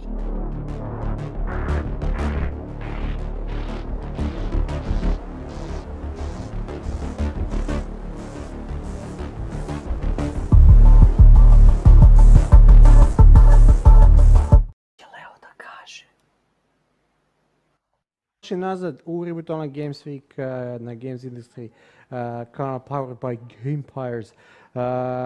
Sa nama u gostima, znači ovaj blok je posvećen uh, tom glazbenom intermecu, međutim glazbeni intermeco nije onaj klasični kao što ste možda vi jel, navikli. Uh, sa mnom u gostima putem internetske mađije uh, su dva naočita momka koji se u industriji videogara i generalno entertainment industriji bave najviše, iako ne i isključivo, produciranjem muzike uh, za videoigre, za, za ovaj, entertainment, jel kako ko je uhvatio svoj, projekte, o, tome ćemo isto da razgovaramo.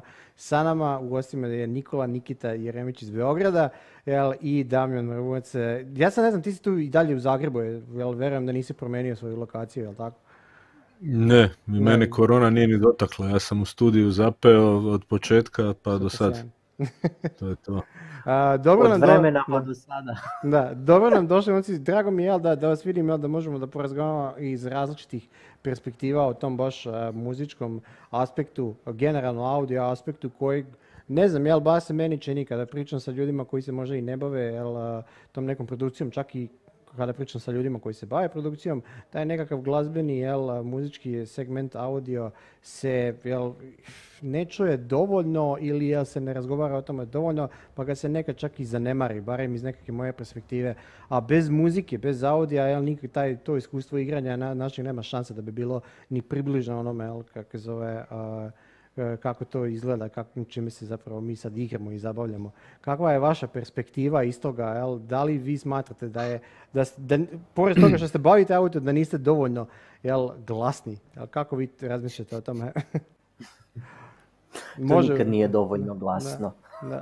Može, evo, re- evo Nikola, reci nam ti iz tvoje perspektive. Evo ja ću prvi. Pa da, ja mislim da je to ovaj, tema o kojoj se generalno u, u, u, developer, u development studijima, bar ovde kod nas u regionu, ne razgovara toliko često i, i čak se možda i ne razgovara dovoljno. Mhm.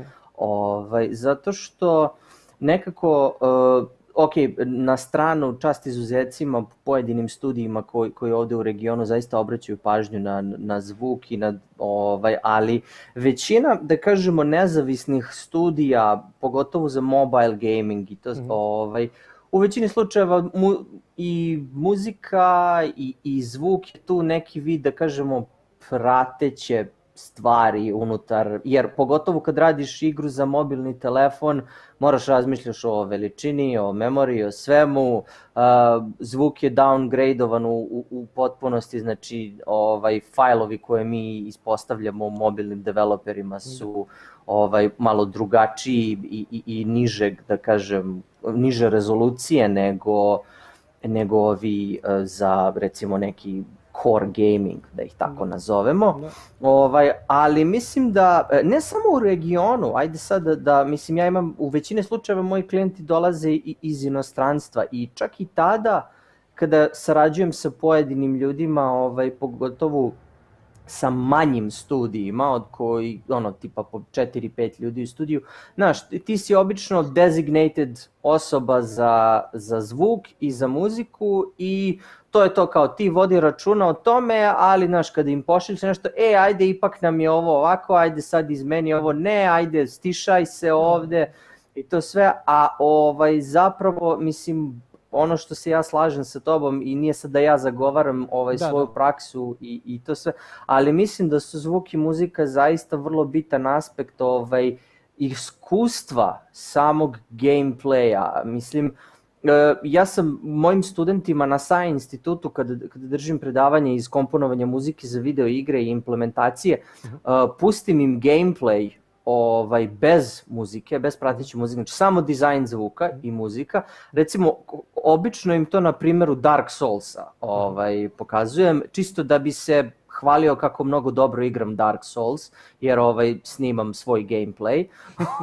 ovaj i onda ovaj im pokažem tako snimak ovaj koji je samo ovaj zvučni efekti, gde oni kao "A, pa ok, kao boss fight, znaš, to je neka grdosija ispred tebe koja skače, stompuje, sve kao Da, da. super lepo, a onda kad upališ e, soundtrack koji prati celu tu borbu koja ima više stage-eva i kako progresira ovaj soundtrack tokom ovaj kako sve teže i teže postaje ovaj e, borba pogotovo sa onim električnim zmajem ne znam da li je tu Dark Souls trojici ja mislim. Ovaj to muzika mnogo mnogo doprinosi tome iskustvu. E sad problem je u tome kad isto ovaj kada dođemo do toga da se sukobljavaju zvuk i muzika tu je sad opet treba zato postoji audio direktor Ove, e, to je super, ja zavidim Damjanu što je on ovaj audio direktor u, u, studiju gde radi, on radi i zvuk i muziku i sam balansira sve svoje, lepo, a ja moram da se ovaj, raspravljam sa dizajnerom zvuka u studiju gde treba da pojača, gde treba da stiša itd. itd. Jer ne želimo da dođemo u situaciju kao sa ovim uh, Man of Steel ovaj, scenom gde Superman i General Zod lete kroz ovaj grad i da Ništa. čuješ hrpu Hans Zimmerovih perkusija i ništa osim toga, ono, ostatak dizajna zvuka ne postoji. Ovaj, Ajde vidimo, tako da, a, da. Kak- kako, kako Damjan razmišlja o kompletnoj toj si- situaciji? E, Ja sam već pitanje zaboravio, Da. razmišljam kako nisam igrao Dark Souls, kako sam propustio ovaj. A, kako je to razmišljanje o tome da se možda nekad, sad ne znam kakva su tvoja iskustva, jel svakako ćeš nam Pa gle, moje iskustva su, ja sam, kak se kaže, one stop shop. Ok. Znaš, ja za svoj tim, e, kao što je lijepo Nikita rekao, sam i audio direktor, i sound designer, i music designer, i implementiram to u engineu, i Mhm. podešavam glasnoće, balansiram, i tražim programere da mi ugrade sijaset stvari koji da će mi život biti lakši Da. u konačnici. Znači imam, imam cijelo vrijeme u glavi jednu globalnu zvučnu sliku kako ta igra mora zvučat i ovaj, neki put, ne znam, nastrada mjuza, neki put nastradaju efekti, ali bitno je da je finalni miks dosta kompaktan. Mislim, evo, baš primjer filma koji Nikita navodi, ovaj, u filmima obično to ekipa dosta dobro izbalansira kad gledaš te blockbustere, Uh, mjuza i sound efekti su komplementarni, ne sukoboljavaju se, Mhm. osim u ovakvim ekstremnim slučajevima. E sad u igrama je to malo pf, neki put i nepredvidivo, Viš, igre su vrlo dinamičke, interaktivne, ne mreš baš, ovaj, ne mreš baš predvidjeti svaku okolnu situaciju, ali kad si jedan čovjek koji se bavi svim aspektima zvuka, puno ti je lakše nekad moraš surađivati sa desetak drugih e, ljudi uključenih u audio produkciju. Jasno, jasno.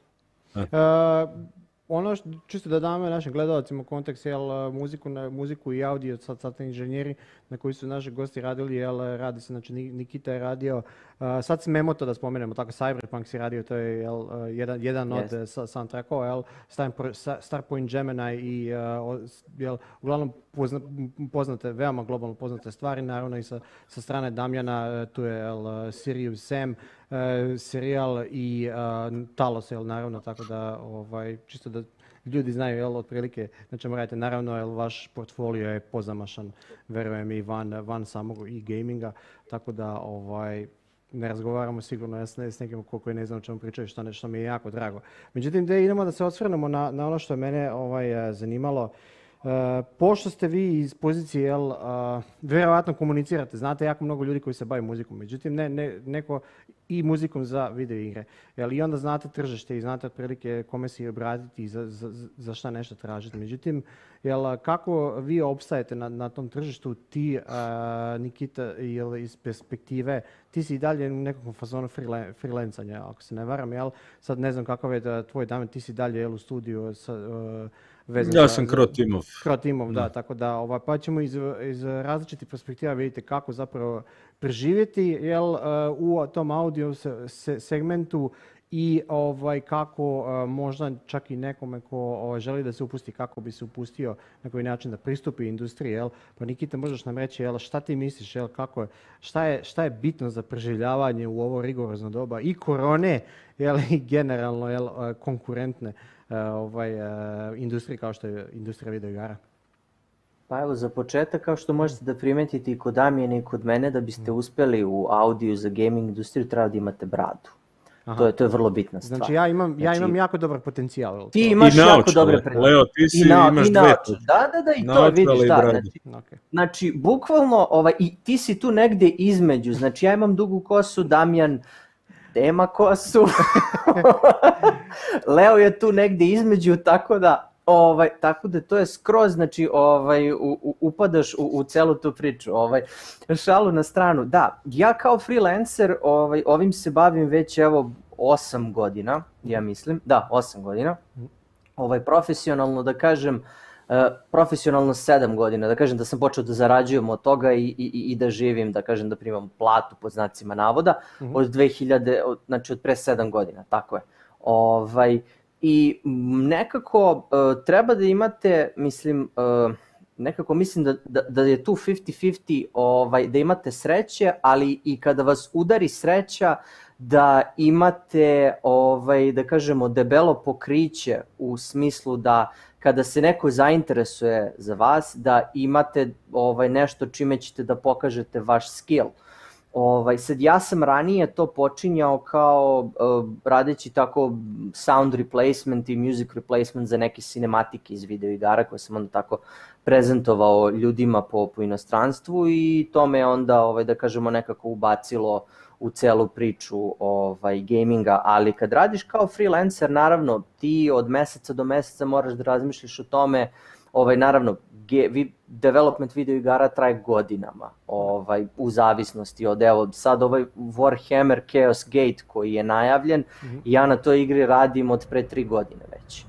Ovaj ja i još jedan kompozitor. I sad, znači ti na nekom mesečnom nivou naš uradit ćeš određeni deo muzike, to ćeš naplatiti, ali pored toga što to radiš, ovaj, ti moraš obavezno kao freelancer, naravno, da razmišljaš o tome koji će ti naredni projekat biti, kako da nađeš naredni projekat, jer to što si zaradio, to ćeš da naravno da trošiš i to će u jednom momentu da nestane. I sad kako ćeš ti da omogućiš sebi naredni, ono da kažem, priliv novca, income, u, u, u tom smislu, to je stvar koja je individualna i različita kod, kod svakog od nas koji se bavimo ovim sa freelancer tački gledišta.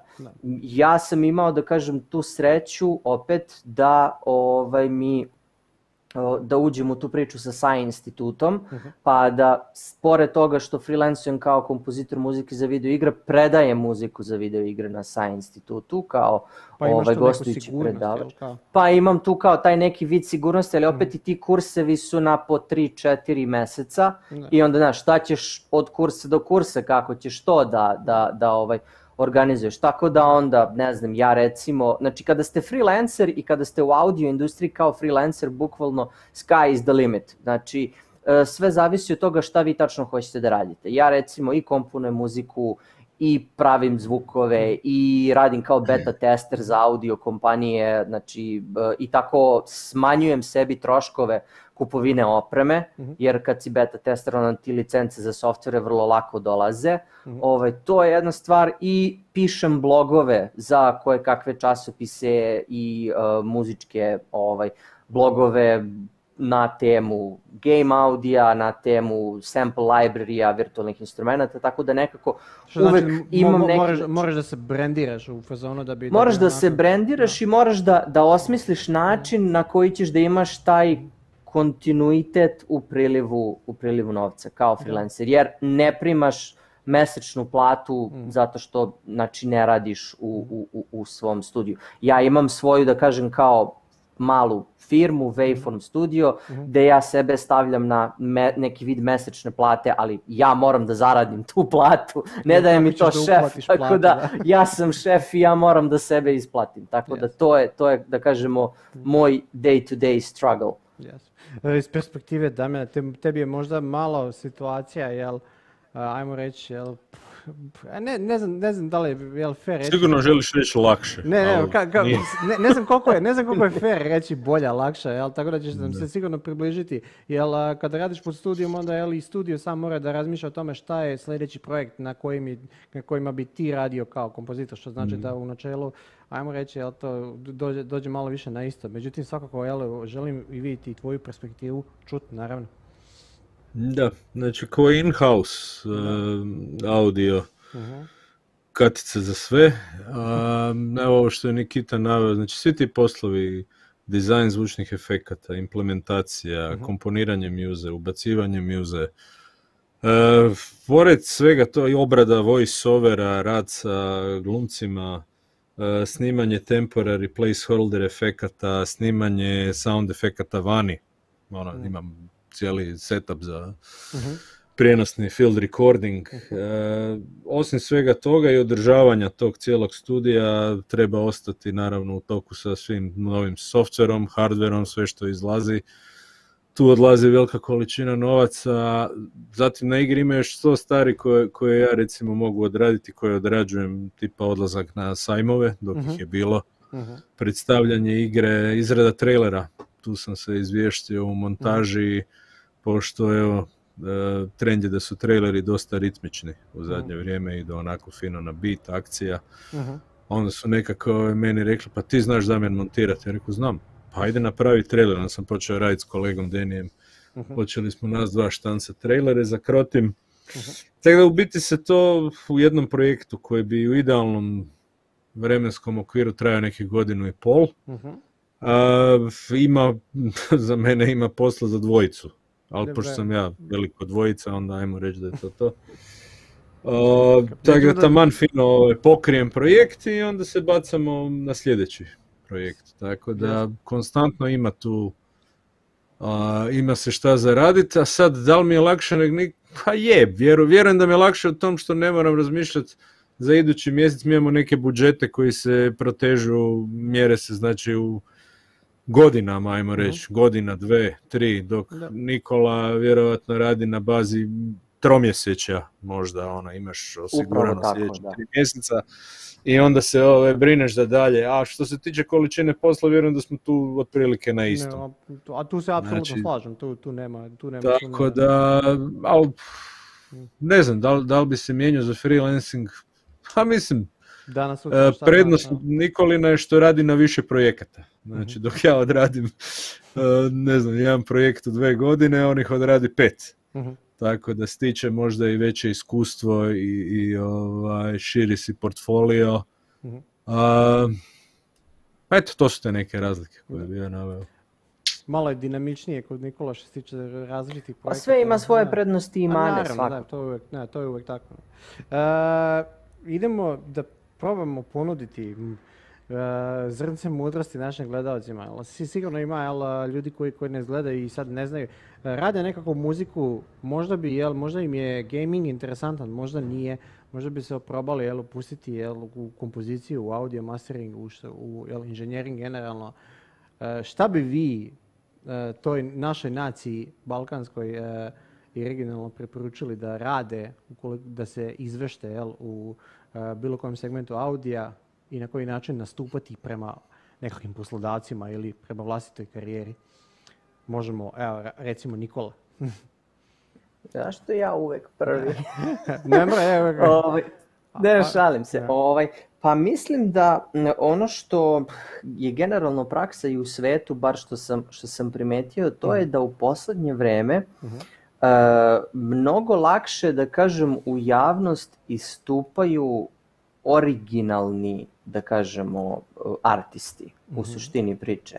E, zato što naša industrija, pogotovo gaming i, i industrija zabave, nekako postoje trogodišnji trendovi koji se ovaj koji se prate. Jel se sećate, jel se seća neko dubstepa u periodu od, od, od- od 2011. do 14.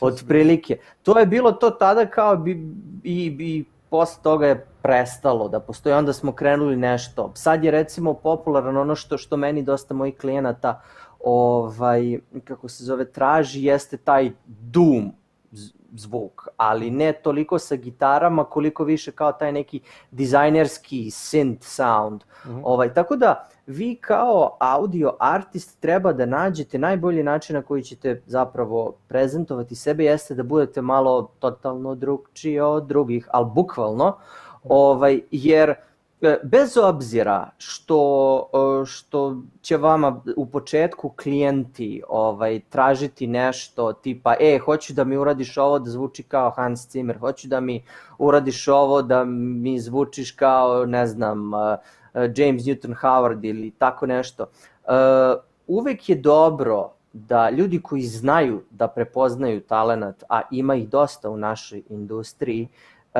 će vas procenjivati po tome kako vi, da kažemo, tuđi stil prezentujete, znači na svoj način. Isto kao recimo i Damjan i ja smo gitaristi i sad možeš da nam daš obojici da odsviramo tipa solo iz neke pesme, ovaj, i obojica ćemo ga, od- bit će to iste note, bit će to ista fora, ali ćemo ga obojica odsvirati drugačije, jer suština priče je da obojica pristupamo različito sviranju gitare. I to je, mislim da je ono što upravo ovaj, je potrebno da, da novi artisti znaju, ovaj, jeste to kako da brendiraju sebe u, u moru drugih ajkula, kako da budeš najveća ajkula. Evo, otprilike. To je to. Damjane, šta ti kažeš? Kao, nemoj- Razmišljam baš. kao, ovaj, nemojte Teško je uopće, industrija je toliko, mislim industrija. Da. Ajmo ovako reći. e, jedan glazbenik, kompozitor, e, u godinu dana može odraditi 4-5 projekata. Znači, puno je, puno je ovaj, manja potražna za audio stručnjacima u gamingu nego recimo za ne znam, level dizajnerima, 3D artistima koji imaju tonu aseta za napraviti. Tako da je i konkurencija je tu veća. Znači ima, postoji, ja znam osobno hrpu kvalitetnih muzičara a, koji bi komotno mogli mene i Nikitu zamijeniti, ali tu postoji par e, stvari gdje se, ajmo reći, odvajaju ljudi koji su profesionalci od amatera. a To je prvo, moraš imati skill za komunikaciju. Znači, da bi U, išta to je možda još i najbitnije. napravio, Da. E, moraš imati kom- odlične komunikacijske vještine da ti uopće doznaš šta je to što se traži od tebe. Drugo, moraš zatomiti svoj ego. Znači, kad radiš namjensku glazbu, a glazba za video igre je namjenska, Da. e, nema mjesta egu.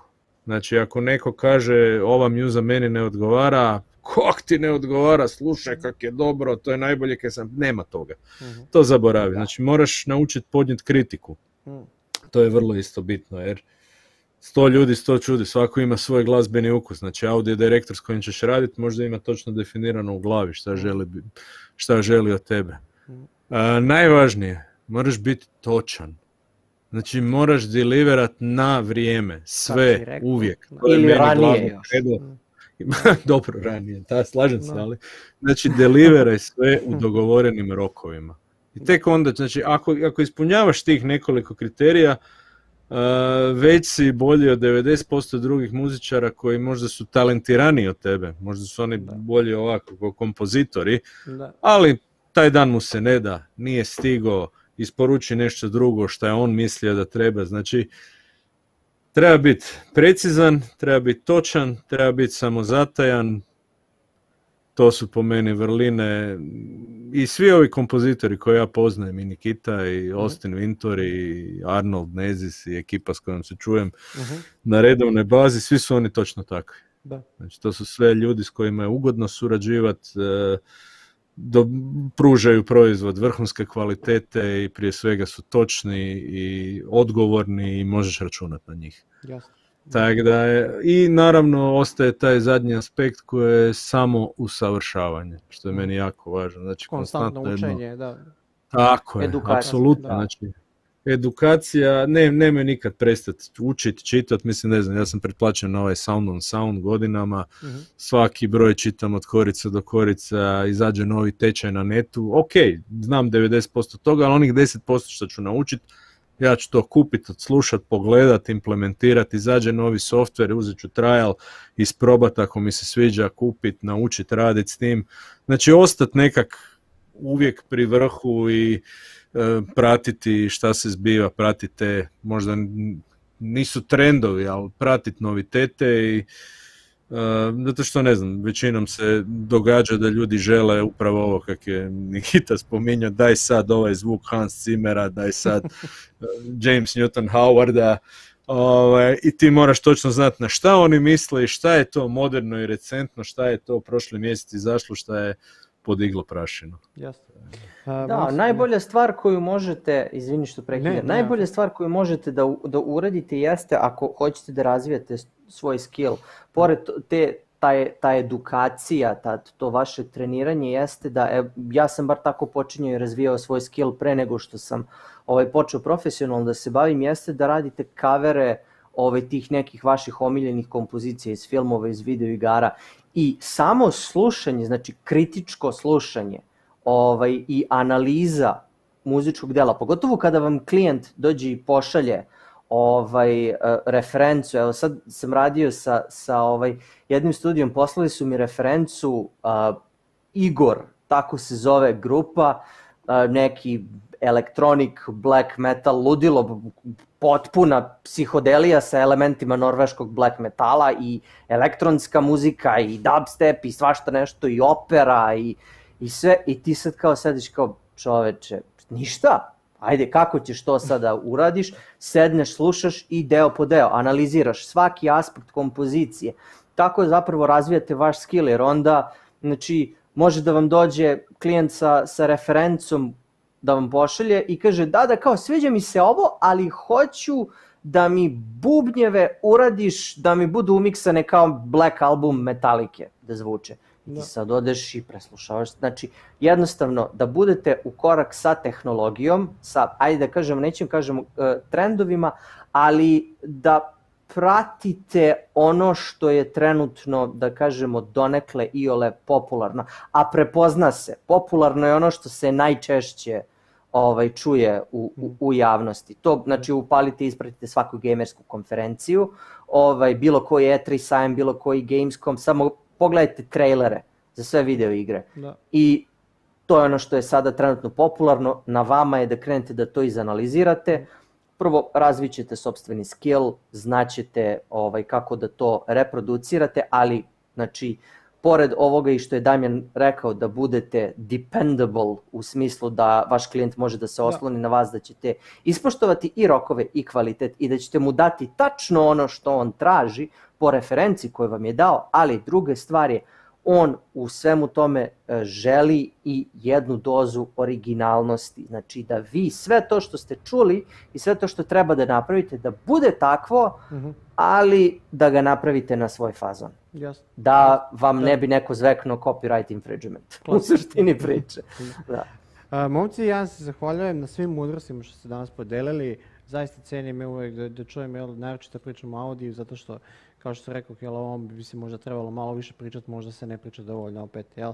Tako da, sva, a, nadam se da ste, a, dragi naši gledalci, vidjeli ovdje, jel, to jest čuli i vidjeli a, šta zapravo je potrebno da bi i opstao na tržištu, da bi, da bi uletio u industriju igara iz perspektive nekog audio inženjera, kompozitora. Ja vam se opet zahvaljujem, momci, šta da vam kažem, jel, nadam se da se vidimo u nekom normalnijem okruženju, da možemo da pričamo o ovome, jel, na, nekoj, na nekom šanku ili šta ja znam, da ne moramo ovako virtualno. Platiš neke burgere i vidimo se. Ne, realno. Da, montaža, jel? Tako da, ovaj, eh, hvala vam još jednom, zaista, jel, eh, cenim, cenim vaš input i cenim va- vaše vreme. Eh, Ja vas pozdravljam, vidimo se, jel, u nekom drugom okruženju. A vi, dragi naši gledalci, ostanite uz Reboot Online Games Week, sledi trailer mashup svih regionalnih, većine regionalnih eh, eh, projekata, pa možete da vidite što zapravo eh, radimo, a nakon toga sledi još jedan gost, tako da vidimo se za par minuta. Ćao!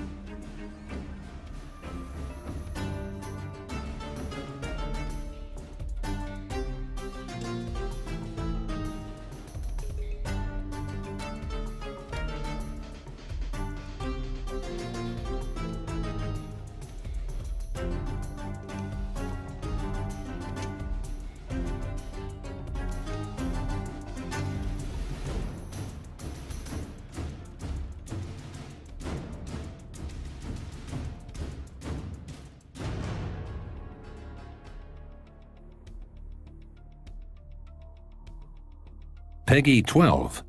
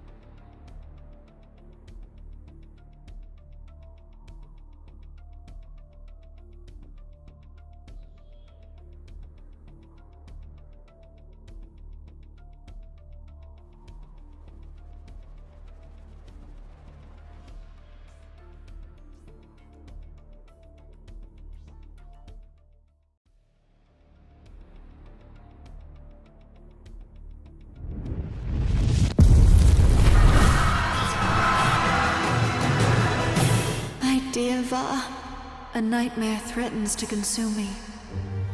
Consume our dream. I promise. I will find the Guardians. Together, we will save you.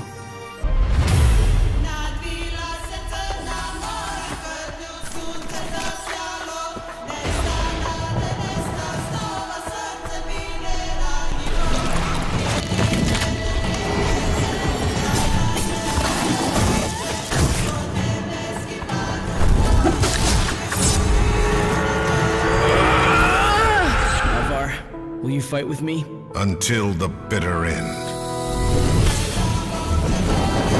Goodbye, little man. A child and a broken warrior somehow bested me? We will end this world suffering swiftly and painlessly. I don't know who you are, but go tell your master that as long as I draw breath, this dream is not his to devour. No matter how many pathetic creatures he sends to do his dirty work. Enough! Face your punishment. Show yourself, you cowardly lantern!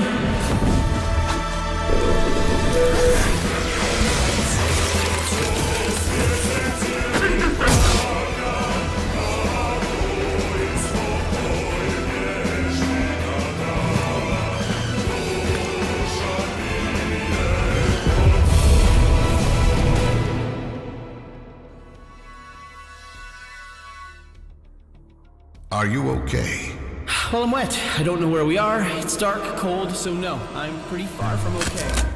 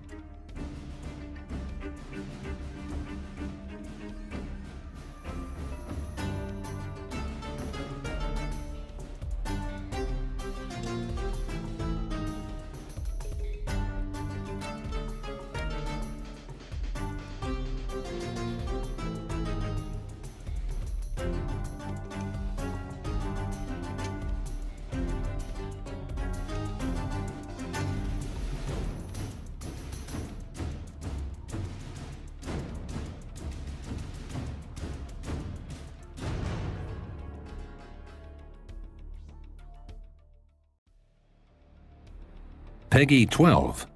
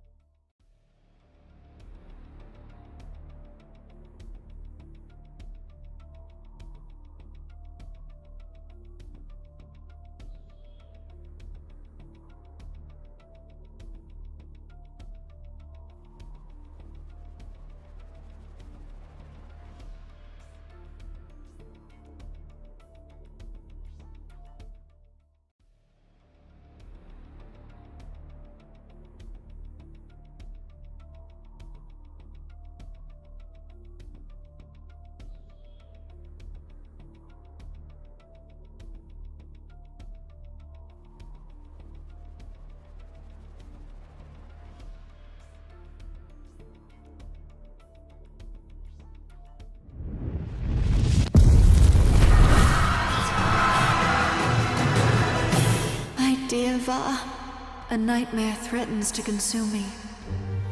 Consume our dream. I promise. I will find the Guardians. Together, we will save you.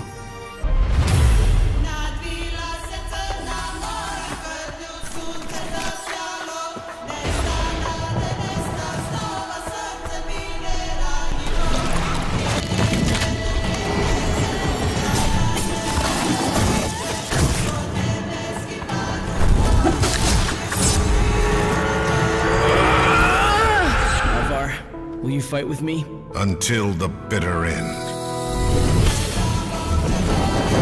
Goodbye, little man. A child and a broken warrior somehow bested me? We will end this world's suffering swiftly and painlessly. I don't know who you are, but go tell your master that as long as I draw breath, this dream is not his to devour. No matter how many pathetic creatures he sends to do his dirty work. Enough! Face your punishment. Show yourself, you cowardly lantern!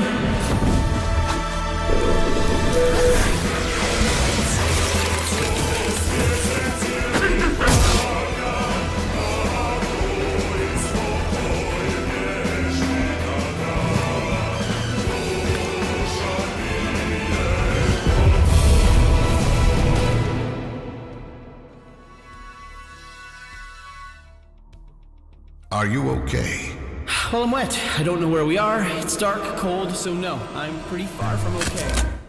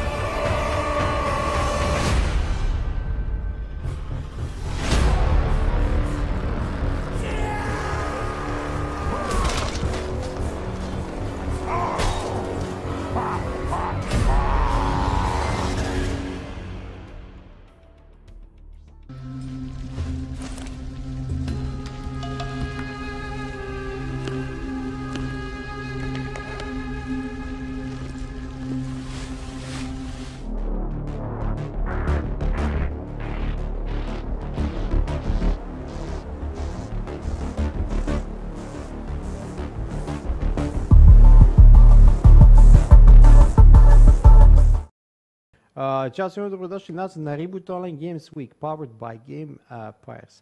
Uh, kako se šta ima? Uh, mi se jako dobro osjećamo nakon ovih svih projekata što smo vidjeli u Indie, uh, pardon, u trailer mashupu, međutim nastavljamo dalje sa našim gostima, profesionalcima iz industrije, da vidimo iz njihove perspektive kako zapravo šta rade, na koji način pristupaju industriji, šta, jel, kakve su im karijere, koliko miliona zarađuju na godišnjoj bazi i sve ostale jel, uh, veoma goruće teme iz industrije. Sa nama na vezi putem ove internetske mađije je Nikola Damjanov. Nikola, da li se, da li se sad vidimo? Vidimo se sad, jel? Odlično. Vidimo se, nadam se da se čujemo. E, čujemo se, da. Ima i uvek malo, jel, barem dve minute, jel, imamo tog audija dok se ne poštimamo, tako da to, to je klasika, jel. A, kako si šta ima, kako se osjećaš? Dobro nam došao na prvo mesto, jel? E, hvala na pozivu, bolje vas našao. Ja se osjećam ovaj, super, pravo da ti kažem, nikad bolje. Pogotovo što sam ono posljednjih četiri meseca dosta smršao, pa, pa ono, po, totalno sam se bacio malo i na sport sad, pored arta, tako da se osjećam lagano, vispreno, onako, prolećno, što bi rekli. Super, super sjajno. Jel, znači, povucimo po, ovaj, pouku iz svega ovoga. Treba da se bavimo i sportom, i, ge, i gamingom, i game developmentom, tako da ne, nemojmo biti vreće. Ovaj. Apsolutno, tajna je u balansu, ljudi, Tako to mora da se pod E, hitno tako je. postavi. A, Nikola, a, ja sam tebe a, zvao na prvo mjesto jel, da vidimo jel, iz tvoje perspektive. Mislim, ja već dugo želim jel, bilo što da, da te ubacimo nekakav na, naš e, reboot e, segment, zato što pratim tvoj rad i pratim šta radiš. Znači, ti iz, iz, iz e, Nordiusa i zato što imaš veoma kvalitetne jel, sad te jel, a, 3D o, uratke koji se meni osobno jel, dopadaju kad, kad ih vidim. Pa me uvijek e, zanimala ta perspektiva na koji način ti pristupaš. Pa ćeš ti me, na, nama ukratko reći a, ti si sad trenutno u Nordeusu, jel tako, jel, full time zaposlen, ako se ne varam, da. E sad, ako radi, rećeš mi ako radiš nešto sa, i sa strane, pa de, da uvatimo par minuta da nam kažeš zapravo šta, na kojoj poziciji ti radiš, šta tvoja pozicija znači i za Nordeus i za projekte koje radiš. E, naravno, ja sam u Nordeusu nešto se zove lead gaming artist. Mhm. E, mi imamo neke ti nisu standardne kao nekim drugim gaming kompanijama. E, šta znači to lead gaming artist kod nas? Lead znači da sam ja, e, imam dvostruko lead, lead svojstvo. Znači da u, u jednu ruku menadžujem ljude koji su moji reportovi, menadžujem njihove karijere, njihov sam kao direktni, kao functional uh, menadžer, ja se staram uh, da oni ono, uh, i napreduju karijerno i imaju, imaju ono blago- blagovremeni feedback i imaju zadatke koje treba da, i probleme koje treba da rešavaju, a u isto vreme nekako sam i lead na projektu na kom sam uh, dodeljen. Uh, znači, ako nema art direktora, ja, ja, ja vršim ulogu art direktora, ako ima art direktora, ja sam, ono, sam njegova, kažem, desna ruka na, na nekom projektu, tako da se isto vreme kao lead bavim i artom, i menadžujem i lidujem projekat i uh, ljudske karijere i, i njihov well-being generalno. Trudim se da im bude strava kao što je meni strava. Super. E, e, dakle, pričat ćemo danas zapravo o toj, ja, sam našu temu na, nazvao 3D manipulacija, međutim možemo da, da pričamo o, svom, e, o jel, većini tih aspekata iz 3D e, developmenta, pa reci nam zapravo, mislim, ako smeš zapravo da nam kažeš na kojim trenutno projektima radiš, jel, i da, da li uspeš jel, zapravo i ti da radiš jel, ono što zapravo na čemu sam te ja zapamtio, na tim nekim praktičnim nekim jel, art stvarima, po- pored toga što sad moraš da se baviš i menadžerskim a, delom posla. Uh, vidi, mogu da, ja, ja ću ti kažem sve što mogu da ti kažem. Važi. Ja sam dosta Ne, dugo sam radio na, na, na Heroiku, Mhm. uh, tu sam bio godinama, uh, Heroic Duel of Legends, tamo sam počeo kao VFX artist i na kraju dogurao i do lead pozicije. Mhm. Uh, trenutno više nisam na, na tom projektu, uh, sad sam prešao na neki drugi projekat koji baš ne mogu još da pričam o čemu se ovaj, uh, radi, Svakako. ali je podjednako zanimljiv. Uh, šta, da li, uh, da, znaš kako, ja, ja kad sam krenuo da budem lead, meni je najveća briga bila, ok, ću ja sad imati vremena za moj art, šta se tu sada dešava. Da. I uh, mogu ti kažem da put nije bio toliko jednostavan, o, opet, ono, vraćam se na ono što sam rekao u šali u nekom momentu da je tajna u balansu, Mhm. uh, ali stvarno jeste. Uh, ne mislim da sam da sam našao taj balans još uvek. Znači imaš dana kad ti je sve strava, imaš dana kada ono se ono, boriš sa brojem sastanaka koje možeš da uradiš taj dan. Ali ovaj, na kraju kad se uzme, uzme neki mesečni prosjek, eh, ja sam happy, znaš, ima tu, ono, ima tu puno eh, posla koje moram da uradim i kao menadžer, ali opet uh, i radim u, takvoj, u takvom timu i u takvoj firmi, na takvom proizvodu da mi i ono ostaje i ono velika količina nekog, nekog ono, radnog vremena da mogu da radim i na konkretnom, na konkretnim arte zadacima. Jeste. Uh, kada jel, sad razgovaramo o tim stvar, art stvarima koje radiš, uh, ja ne znam, jel bi ok bilo da te pitam kakav je tvoj taj produkcijski nekakav proces, jel od nekakvog starta, od inicijalne ideje pa sve do nekakvog jel, tog završnog uh, proizvoda, da li je, ako je u pitanju nekakav 3D model, mislim, jel, do, do neke mere 3D model, da li je VFX, VFX, da li je nekakva tekstura, bilo šta šta je u pitanju. Možda moram da me pitaš što god hoćeš, ja, ja volim pričam u svemu po humoru. Ovaj, moj produkcijski proces, znaš šta, ja sam ovaj, e, ne, neću kažem da sam lenja, da uvek gledam koliko, koliko mogu da uhvatim, ovaj, da, da nateram kompjuter da uradi što više za mene ovaj, moguće. E, tako da moj, moji produkcijski art procesi su mnogo više nakinju, na, na, na, se naslanju na stranu e, optimizacije procesa, nekih proceduralnih pristupa generativnih pristupa u, u, u radu. E, I to je ono što ja volim i da guram, ono, čak i kako na svom ličnom radu, tako i na nivou nekog ono, pipeline u, u u kompaniji. Uh -huh. uh, tako da moji procesi se trenutno najviše bave uh, tim kao masovnom proizvodnjom nekih aseta uh -huh. koji su nam potrebni i, i postakom ti nekih pipeline na neko, za neki ono veći, veći generativni uh, content. Malo sam ono uradio neki korak sa strane od nekih pojedinačnih aseta, uh -huh. tu sam više da ljudima pomognem da, um, da im postavim neke alate i procese da oni pojedinačne asete posle mnogo bolje, brže e, i uradi.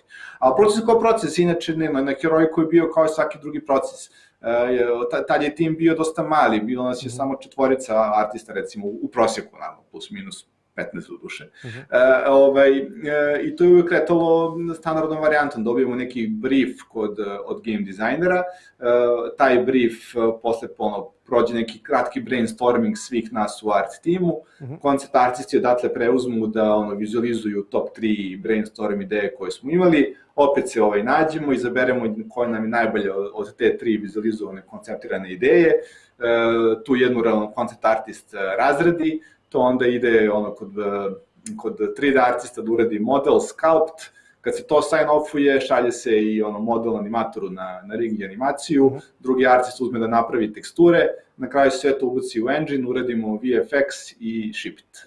Važno. E, koliko uspeš da radiš nešto za svoju dušu, recimo, šta je, kol, koliko ti to bitno da, da ostaneš no, Dobro pitanje. No, normalan, koliko, koliko je to bitno da ostaneš normalan ili u tom, uh, jel nekako majdi, kada radiš u kompaniji, naravno šablonski je nekad proces, ne mora nužno biti svaki put, ali jel, uh, koliko si razbijaš, jel, monotoniju sa tim, koliko uspeš, jel? Sa svojim projektima nekim? Veoma, veoma. Meni je, meni je lično to veoma bitno. Uh, uh, ja prosto puno vremena trošim na svoje na svoje lične uh, na svoje lične projekte. Uh -huh. uh, a ako pitaš neke ljude koji koji sa mnom druže, verovatno bi tekli da i previše vremena trošim. Ali nekako sam Uh, znaš, pre Nordusa sam ja dosta freelancova i onda sam nekako naučio sebe da dosta malo spavam noću. Uh, onda su prvo i drugo dete malo i ono podsjetili kako to kad ne spavaš noću. Pa sam ja sada nastavio taj, taj ciklus da, da bančim do kasno ono, i da, da radi neke, neke druge stvari osim da, da, da spavam. Mm e, I meni je veoma bitno zbog mog nekog sanitija i mog nekog researcha, ličnog researcha, e, puno stvari volim da sa neke TK strane trudim se da budem ono early adopter i da što pre probam nešto što može da mi koristi kako lično posle i u, i u profesionalnom radu. Tako da ja, e, znaš šta, ima dana kada bukvalno ima nedelja, kada svaki dan uveče sednem radim nešto za sebe, uh mhm. -huh. a, ali mislim da u najgorem slučaju ja bar 3-4 dana nedeljno provedem uveče ono, u proseku između 3 i 5 sati radeći na svojim ličnim projektima. I sad, zašto su mi te lični projekti cool? Ono, stvarno su nekako pokazali kao dobra uh, povratna sprega. Jer ja puno stvari naučim iz ličnih projekata i na te stvari koje sam naučio, ono, znaš, polako uvedem u, u, u procese u, u kompaniju i tu demonstriram ono, ljudima, pokažem njima, njih ono, neke stvari naučim, poboljšam, onda dobijem feedback od njih i onda to utiče da ja bolje radim svoje lične procese i, ovaj, i tako da uvijek, uvijek nekako se taj ono, del informacije i, i, i super tehnike među ličnih stvari i ovog posla. Imate neki mhm. ono ping pong koje, koje strava. A, a dodatni benefit svega toga je što, um, ajde ok, ono, lični projekti su mi nekako doneli puno exposure nekog eksternog uh, i posle tog exposure sam ja i, i ovaj, um, stvarno nekako zaradio neka divna iskustva. E, znači, imao sam saradnje sa Substanceom, sa Adobe, gde su me zvali da ono, po svetu idem po konferencijama, pričam, demonstriram. Uh, Side Effects koji pravi Houdini su me zvali neku kolaboraciju da pravimo neke njihove lične projekte. Znači, da ja kad god mogu da uglavim tako neki projekat sa strane da je meni i lično ono ekstremno zanimljiv, ja, ja se ovaj, uh, trudim da ga, da ga, da ga uglavim. Yes. Tako da mislim da je ono što bi rekli benefit across the board. Uh, Spomenuo se sad zapravo, jel to nešto što sam htio da skrenem pažnju, ako mogu da primetim, jel težiš da koristiš alate koji se nekako imaju nekakvu proceduralnu svoju dušu, da, jel, da što kažeš, da, da naprave jel, više, više stvari, a da ti što manje napraviš. Jel. Pa jel, yes. možeš, jel, možeš ovaj, ne znam, jel, ja sam čak ispratio jedan tvoj kad si u sklopu SGA držao, ako se ne varam, substance, substance designer, pa smo, pa smo mm-hmm. nekakvu, nekakvu kupolu smo, šta je bilo, nekakav kup je bio ili... ili ja mislim da su pravili smo kao pekar, pekar, pekar oni čelis e, neki je, bio, jeste, da, da, totalno proceduralni, da. Jeste, da, e, pa ovaj, koje pored, jel, substance designera alate koristiš koji bi, jel, mogu možda čak i našim gledalcima da preporučiš da bi jel, možda krenuli tvojom nekako, tvojim nekakvom jel, pristupom ili da se upuste u bilo mm-hmm. koje jel, edukacijske fore? Znaš, moje dva omiljena kao procedurna alata su svakako Substance Designer za svaki proceduralno teksturisanja, mada i to sada eskaliralo, sada, sada se bukvalno moduluje pomoću tekstura, tako da se te granice poprilično onako zamućuju. Uh, Substance Designer je nekako možda bio i moj najveći ono, ulaz u, u kao proceduralnu ono, game art produkciju. -huh. Uh, a pored toga je Houdini moja, moja, velika, moja velika ljubav, uh, kao, generalno kao alata, jel, uh, Houdini je jedan mnogo zanimljiv ovaj software, ekstremno kompleksan i pružati uh, nije baš lak da ga, da, da ga progutaš, da kreneš da u njemu, onako deluje zastrašujuće kada ga prvi put otvoriš, ali kada se malo upoznate i družite neko vreme i kad shvatite da, da nije sve toliko strašno, da možete da sarađujete zajedno, onda shvatiš koliko koliko možeš da, da sebi otvoriš vidike i procese, procese rada. Zato što Houdini je u suštini bolji uvo za art, bolji uvo za sve, uh -huh. njima je samo bitno ono, koju informaciju mu prosleđuješ gde i on će nešto da ti, da ti prikaže na, na ekranu. I, ovaj, uh, I što je fenomenalno, za eksperimentisanje bar meni, meni fenomenalno. Ja ono, u Houdini mogu da prototajpujem i 2D i 3D i teksture i animacije, uh, bukvalno što god da zamisliš možeš tamo, ja mislim, da, da napraviš.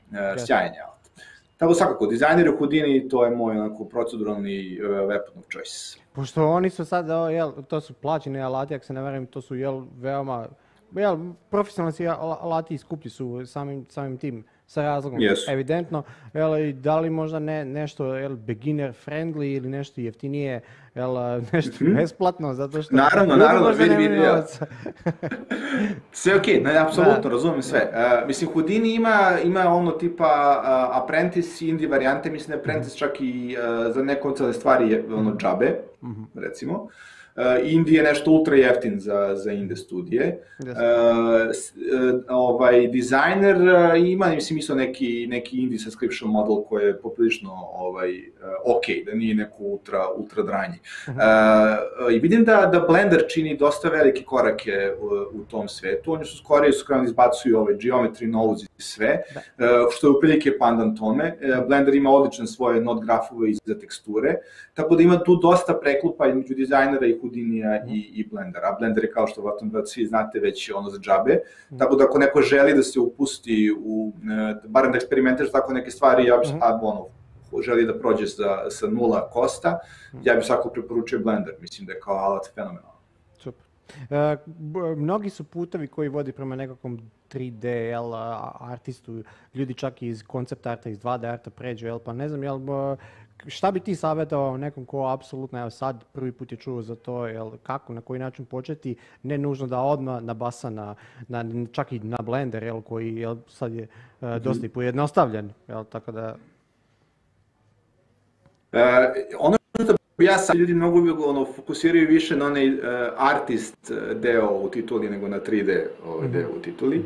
Jer obrni okre, okreni, na kraju te art osnove su ono što će uvijek da vas izvoji uh, i, da, i da pokaže kvalitet. Jasno. 3D deo je samo onako, ono, ništa, sa ništa više nego alat i tehnika koja je prikačena svemu, svemu tome.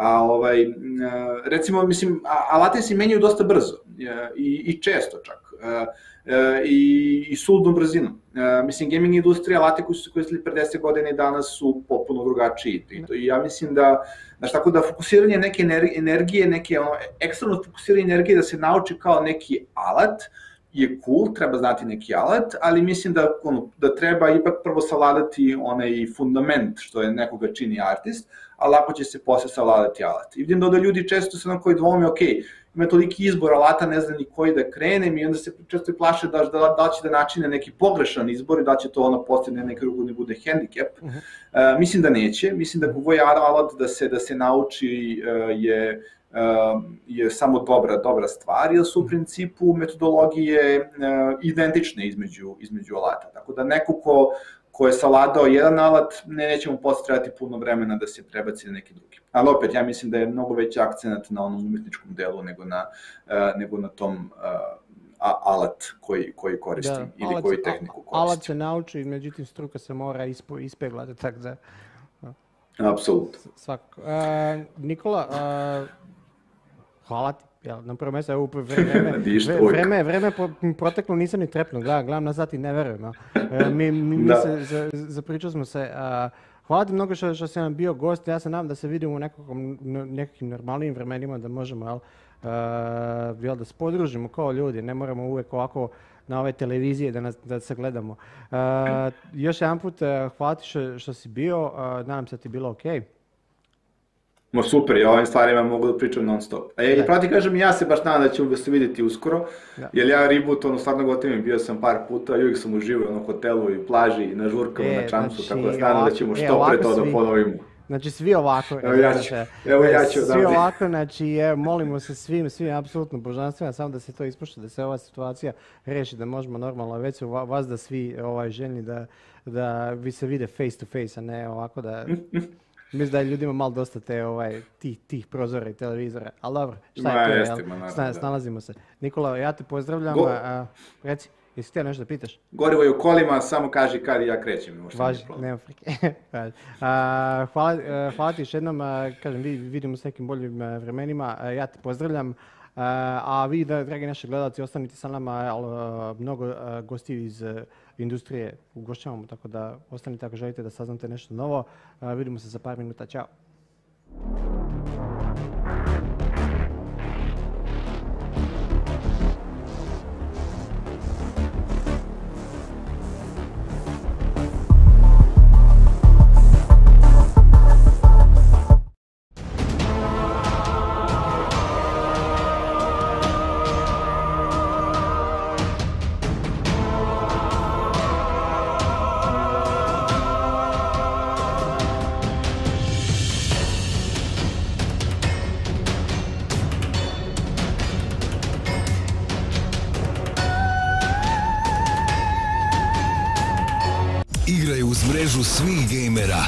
Te podržava od prvog levela sve do finala regionalnog e-sport spektakla A1 Adria Lige. Uz vrhunsku brzinu i kvalitetu interneta za superiorno iskustvo gaminga na svim uređajima. Ti povezuješ A1. It's official. You're a moron. I said left, you go right. And now, because of your idiocy, I have to fix this bloody tire. Boss. Well, what? I told you to watch the goddamn road. Last thing I need is someone to ambush us because of your shortcut. I swear to God, why I partnered up with such a limited person is beyond me. I came from the mud. There's dirt on my hands. Strong like a tree. There's roots where I stand. Oh, I've been running from the law.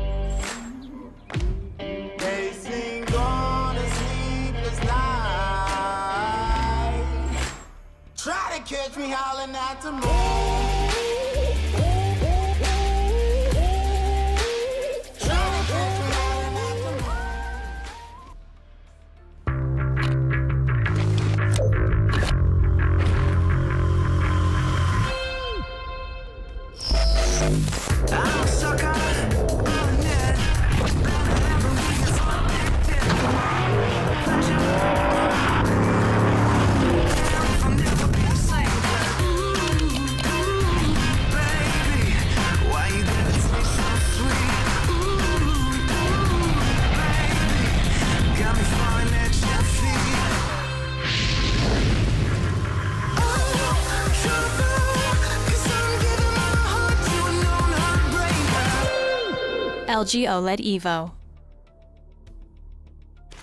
Znaš li ti da navijači godišnje pogrickaju 270 tona kvik igrica? Naravno da ne znaš. Tebi je došla ekipa, pivo se hladi u frižideru, a grica ima dosta i za produžetke.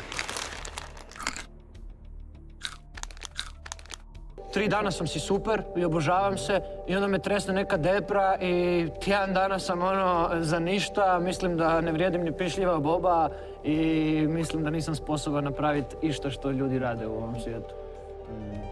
Ali, ono, ne možeš biti non stop alfa, brate, ono, ne? Ali možeš tome težiti da budeš nekakav jaki lik, samopouzdani lik, svjestan sebe, svjestan svojih mana, svjestan svojih vrlina, ne? A to postaneš svjestan kad razgovaraš o tome. Kad si priznaš.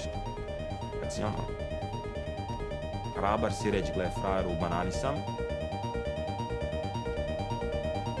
Sjeban sam. Ne idem dobrim putem. Gubim se.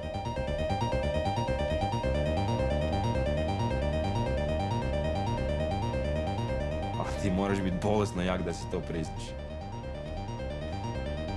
Bolesno jak.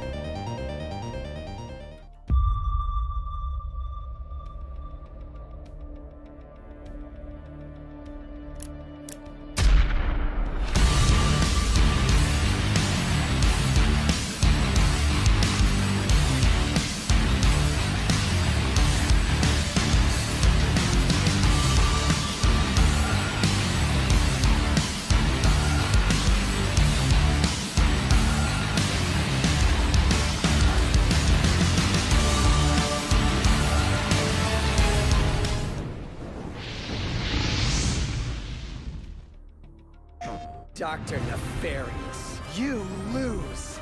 Ratchet, the boundaries between the universes are coming undone. Another Lombax.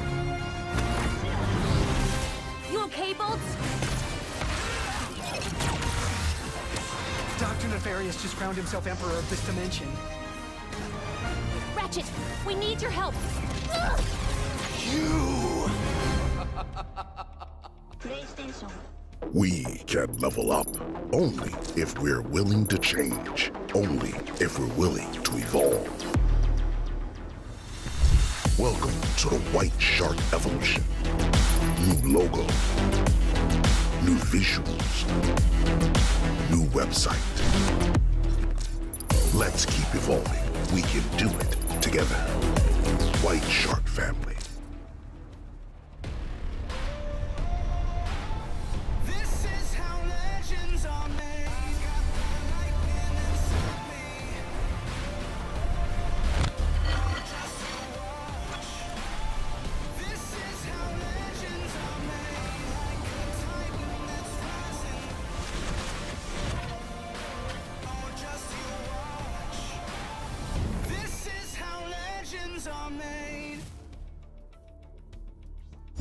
Uz mrežu svih gejmera koja te podržava od prvog levela sve do finala regionalnog e-sport spektakla A1 Adria Lige.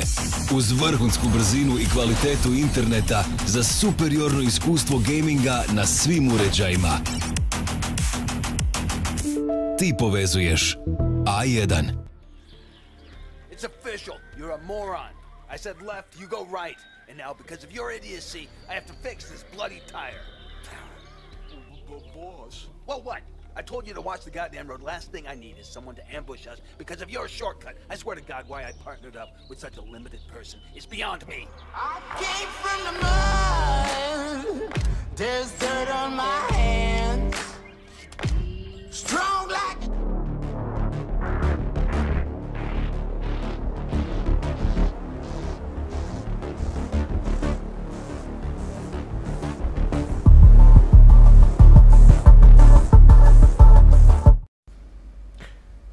Ćao svima, evo nas eh, nazad na eh, Games Industry eh, kanalu Reboot Online Games Week eh, powered by Gamepires.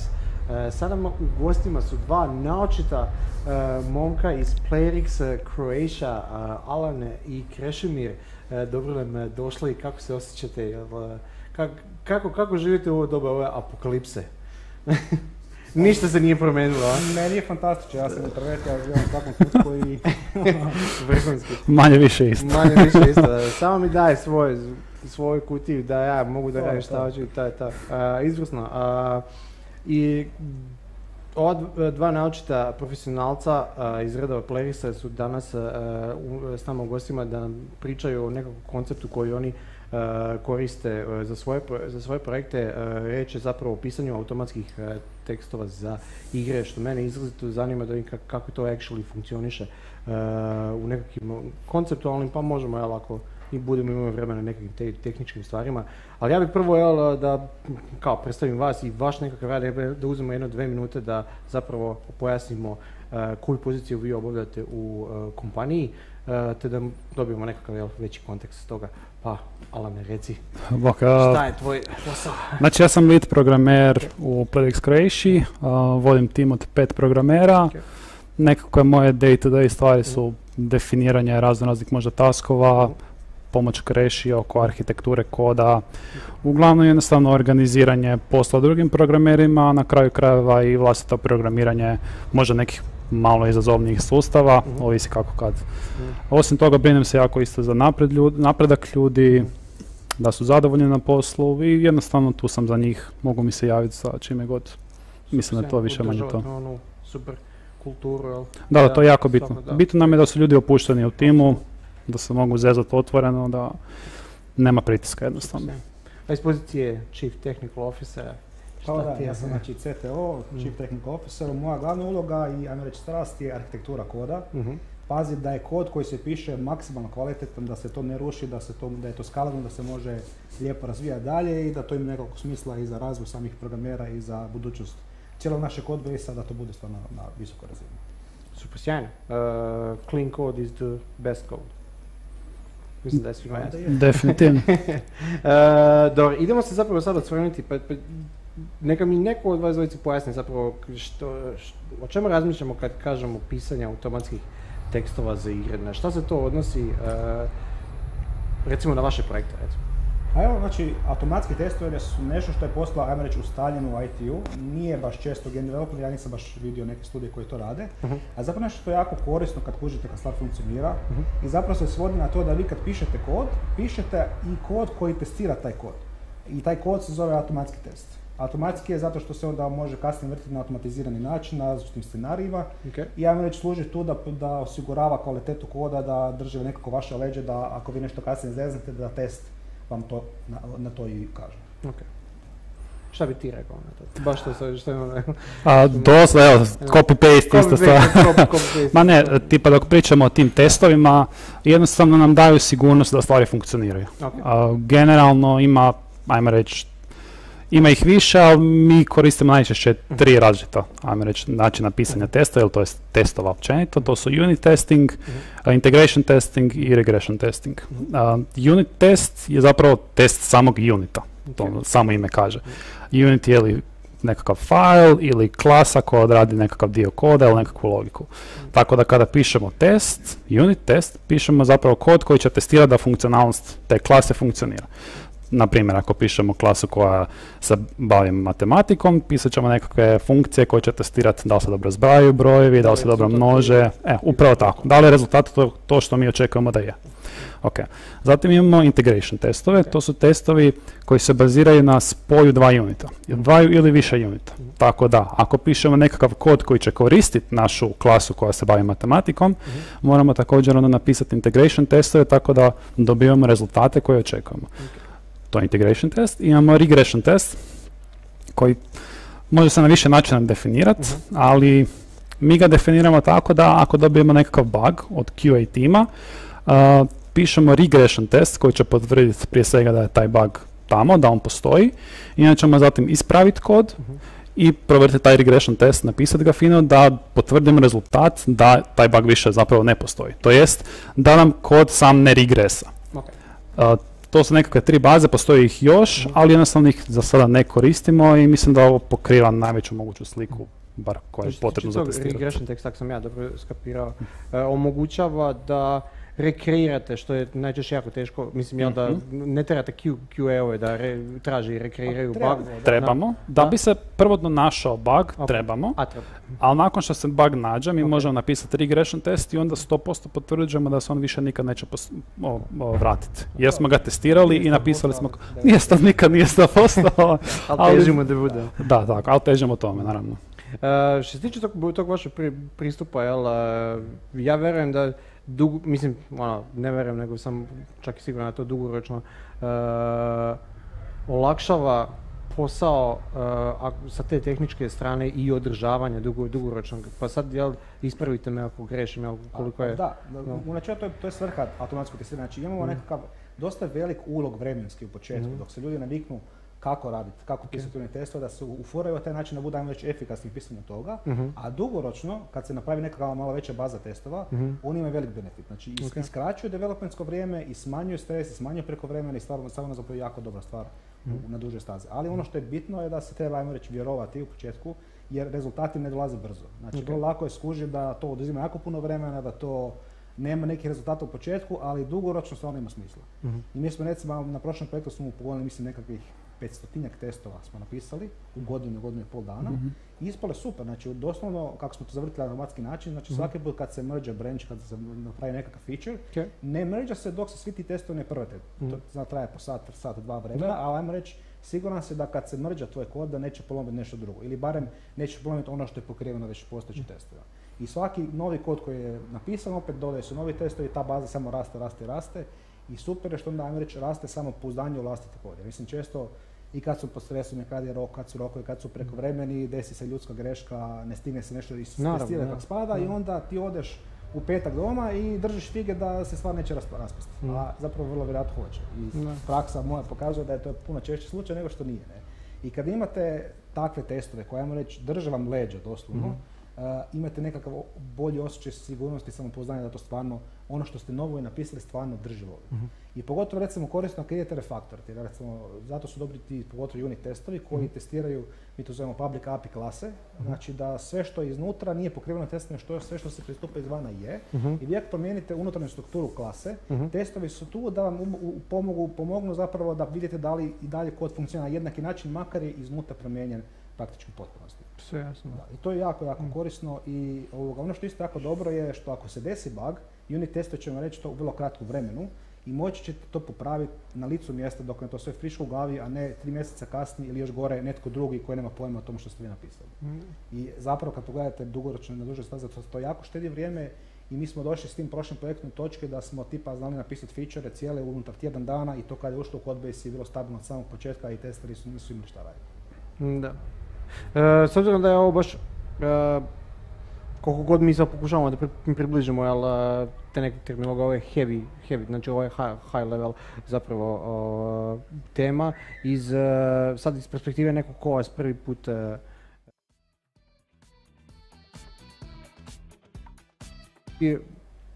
kako bi jedna osoba jel, došla do te pozicije da, mo, da ume da e, razume, da napiše jel, kvalit- kvalitetan e, review testa, jel, Pa mislim... Kak, e, kako si ti došao do te pozicije? Da te, da, jel, Uh, koje, koje znanje recimo po- potrebno da bi, da bi jel, osoba do, došla do te pozicije da ona ume bez problema da, da i e, razume i da napiše jedan e, unit test jel, i sve ostale testove? Ok, mislim da je potrebno definitivno nekako znanje programiranja. To je. Prije Da, svega, jer mora se znati nekakva logika koja se slijedi i slično. Ali samo pisanje testova nije toliko kompleksno kao možda pisanje nekog kompliciranijeg koda, Mhm. jer je to zapravo samo hrpetina provjera. Da li ono što ja pozovem vraća željene rezultate. Naravno, a, testovi mogu rasti do enormnih a, razina, mogu testirati razno razne stvari i nekad je potrebno doslovno je i optimizirati stvari unutar testa, jer ćemo time ono, skratiti trajanje tog testa i slično. Ali što se tiče same možda nekakvih a, tehničkih stvari, rekao bi da, da nije to toliko teško na prvu. Kasnije, kada nekakve kompleksne stvari testiramo, da, definitivno je, jer nekad moramo doslovno gameplay stvari testirati. Znači, igra se mora vrtiti u pozadini, moramo micati karaktera preko testa, moramo, ne znam, otvoriti neku škrinju i škrinja mora izaći za nekakvi coinovi i weaponi i mi to moramo moći sve testirati. Znači, kako će koji je možda radijus stvari koje će ispasti iz škrinje. To sve moramo potvrditi. Tako da može biti kompleksno. Ako se ja dobro ska, skapirao, znači više bi bilo potrebno za pojedinca da s, uh, jako dobro zna strukturu, konkretne gameplay mehanike, jel, uh, da bi uh, više to ne, ne, nego uh, da zna, nego uh, eventualno da, da se tek uh, postepeno uh, upušta da ovaj, A, napiše. Da, Da. to je isto istina, ali također ovisi o um, testing, to jest način na koji testiramo stvari. Postoje nekakvi gotovi softveri, pogotovo za Unity, Mhm. koji omogućavaju dosta brzo testiranje i više onak nekak component based. Nema možda čak toliko pisanja koda. Opet sa druge strane, također mi isto razmišljamo unutar našeg studija o tome da implementiramo nekakav sustav koji će našim ono, uh, testerima ili koji, bilo kome ili programerima, dizajnerima omogućiti uh, možda nekakav uh, rekordanje akcija, znači Mhm. rekordanje klikova, tapova i slično. Tako da, samo onda testiranje se svodi na to da pokrenemo snimanje, da se na nekakvi tap, tepovi naprave Jasno. i da mi onda potvrdimo u pozadini ok što se desilo. I onda se to mora desiti svaki put. I onda to je vrlo jednostavno automatizirati jer samo po jednu te istu zapravo stvar pokrećemo. Tako da raste ta baza, raste po, ono, samouvjerenost u naš kod, to Jasno. je to. E, da li mislite, jel smatrate da, da je možda potrebno imati jedan departman koji bi se bavio samo tim ili je do, imate dovoljan, mislim, ili je svaka firma u stanju da ima dovoljan manpower da unutar svog developerskog tima ima par ljudi koji bi ovaj, e, radili unit testove. rekao- Verovatno čitav tim ne radi, jel sve unit Pa testove ne, mislim, radimo i- da je to specifično za potrebe svake kompanije. Ima sit- ima situaciju u IT-u gdje imaju, gdje postoje posebni odjeli koji se bave isključivo tome, Mhm. test inženjeri. Yes. Ali po mom iskustvu najbolje je da čovjek koji piše e, sam kod za funkcionalnost, piše i test, barem one inicijalne testove. Recimo koriste za nekakav onboarding novih programera da ljudi doslovno pišu testove na postojećim ka- k- sustavima kako bi se Mhm. bolje upoznali, a iza toga ostaje recimo nekakav konkretan rezultat. E, ono što bih volio naglasiti kod cijele te priče je razlog svega toga. Znači, osim naravno samo samopouzdanje i svega toga, to je jako dobra stvar, ali za proizvod isto jako bitno. Znači, ako vi imate Fire and Forget igre koje radite recimo po, po pokretnoj traci, znači ono klasične igre koje traju par sati ono, i napravite ih u par mjeseci, nećete mi nekakav benefit veliki od unit testiranja, ali ako radite proizvod koji je recimo multiplayer igra, free to play igra poput onog što mi radimo, nešto što se dugo, dugo održava i e, čija monetizacija jako ovisi o stabilnosti zapravo Mhm. samog proizvoda, Mhm. unit testovi i cijeli jedan koncept, koncept automatskog testiranja postaje jako, jako bitan. Mhm. Jer vi recimo ako imate milijune korisnika i zarađujete igre od mikrotransakcija kao što je slučaj Plerixa, Mhm. ovoga, bilo kakva greška da se igra skrši, da ovo, da ono, da se zgubi progres seva, što je recimo katastrofalno. Statistika propada, je. To su Da. milijuni dolara gubitaka praktički, Da. koje ste mogli spriječiti sa samo malim ulaganjem e, vremena i novaca u ovakvu kulturu pisanja testova. Mhm. I naravno, ništa nije savršeno. Ne, neće nikad testovi 100% eliminirati bilo kakve bugove, ali ajmo reći glupe bugove, nešto što se moglo stvarno lagano spriječiti, će testovi eliminirati. I vi recimo često imate potrebu, uh, kad su release cycle, recimo u free-to-play igrama, to je jedan put mjesečno, Mhm. da imate ono vojsku testera koji angažirate zadnjih tjedan dana i to onda Mhm. frka panika, ljudi rade prekovremeno, kad se tako radi dešavaju, dešavaju se ljudske greške, programeri onda kasno na večer moraju fiksati što su ovoga testeri našli, naravno moraš izbaciti update na vrijeme i tako dalje. I to kad se sve akumulira, dogodi se stvarno velike problemi. I bili smo u toj situacijama i vidio sam ljude, i vidio sam timove i, i projekte koji su propali zbog loše kvalitete, zbog Mhm. žurenja. I tu, ajmo reći, apeliram project managerima i ljudima koji, koji vode studije, koji vode projekt, da, da, da ovoga, da prouče malo o tome, da razmisle, da inkorporiraju to, jer nema benefita na, kratki, na kratkom roku. Znači, nećete vi, nije to magic wand gdje ćete u roku 2-3 mjeseca dobiti neke ogromne rezultate. To je Mhm. kultura koju morate njegovat godinama da bi imali velik, velik benefit na kraju, Mhm. ali za to morate vjerovati i morate to vjerovanje prenesti na vaš tim. Znači, oni Mhm. moraju vjerovati da to ima smisla, inače cijela stvar ne drži vodu. Odgovornost, jel, preuzimaju tak nek uvijek je na nekoj, jel, vi, vi, više, višim, da. poziciji, tako da, verujem da je... Ja mislim se stvarno na svojem primjeru i na primjeru drugih uvjerio da to stvarno drži vodu i da to stvarno ima smisla Mhm. do te točke da smo spremni zapošljavati više ljudi koji bi samo e, uloži- da bi mogli raditi takve stvari jer Da. je benefit za free to play igru ogroman. Mhm. I mislim da se to stvarno isplati praktički preporučuje bilo kome ko radi dugo, dugotrajne igre koje nisu Forget. Čuli ste? Čuli. Nudimo zrnce mudrosti našim gledalcima. E, pa bi se ja vam opet osvrnio na te vaše karijere. Kak, jel, koji su bili vaši početci i šta bi bilo dobro duše, jel, iz pozicije CTO-a treba stvarno jako dugo, jel, vjerojatno se penjati, climb that ladder uh, da bi došao do pozicije Chief Technology Officer. Međutim, jel, kakvi su bili vaši početci što se tiče samog uh, tog programerskog starta i kako ste se uopće našli u industriji da možda jel, nekog ohrabrimo na kraju krajeva kao nikle, nije to, jel, nije taj kod sveto pismo i nisu hieroglifi, sve to razumljivo i sve se to može veoma lagano ovaj, samo sa određenom dozom truda. Pa, kako si se ti našao u? Vjerojatno fakultet neki.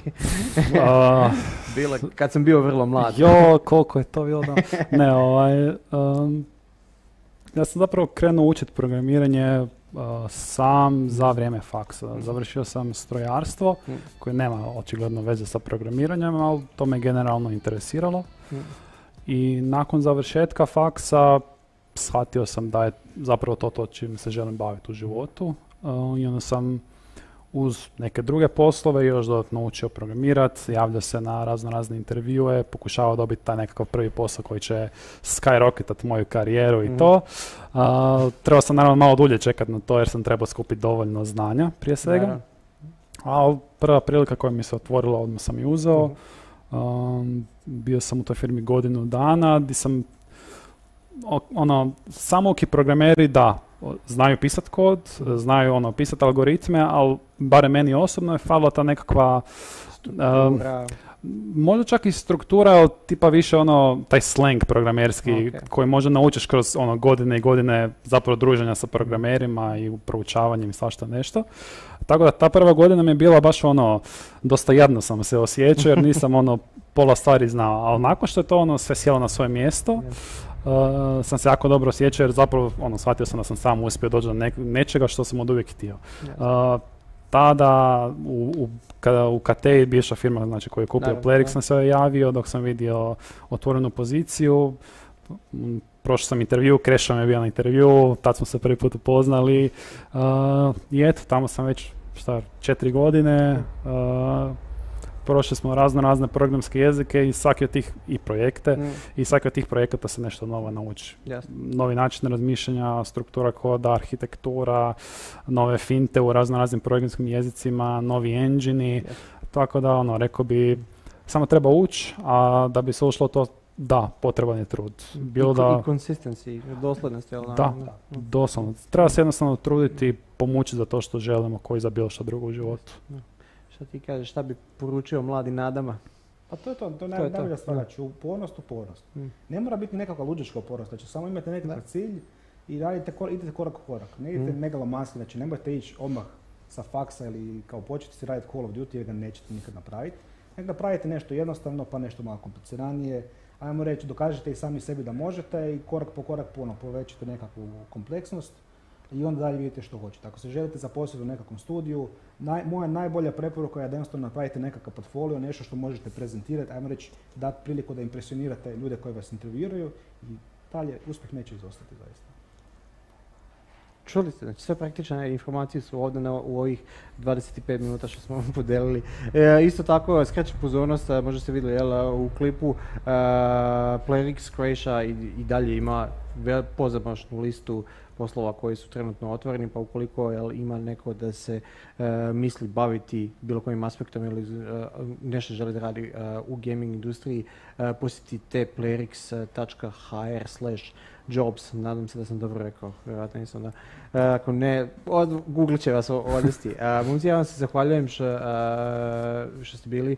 Veoma praktične informacije, on point, e, sve jasno, bez obzira što je heavy tema i ovakvim temama se mora pričati, jel se o, mora postaviti jel, perspektiva da je i to jako bitno. Nadam se da vam je bilo ugodno, nadam se da se uskoro Definitivno. Definitivno.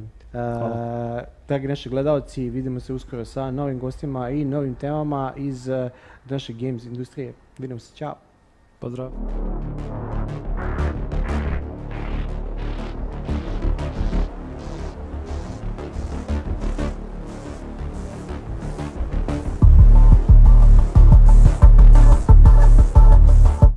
Igraj uz mrežu svih gamera koja te podržava od prvog levela sve do finala regionalnog e-sport spektakla A1 Adria Lige. Uz vrhunsku brzinu i kvalitetu interneta za superiorno iskustvo gaminga na svim uređajima. ti povezuješ A1. It's official. You're a moron. I said left, you go right. And now, because of your idiocy, I have to fix this bloody tire. Boss. Well, what? I told you to watch the goddamn road. Last thing I need is someone to ambush us because of your shortcut. I swear to God, why I partnered up with such a limited person is beyond me. Came from the mud. There's dirt on my hands. Strong like a tree. There's roots where I stand. Oh, I've been running from the law. Hope they won't shoot me down soon.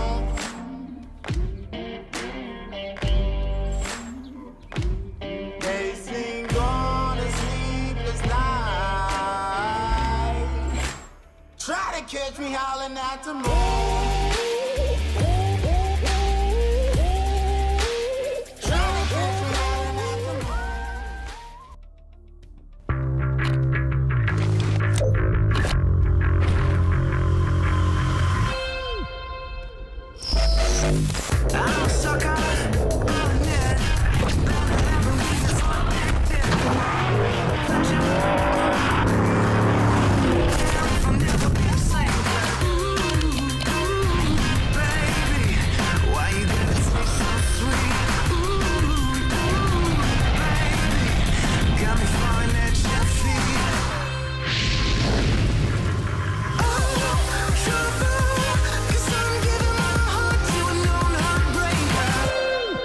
LG OLED Evo.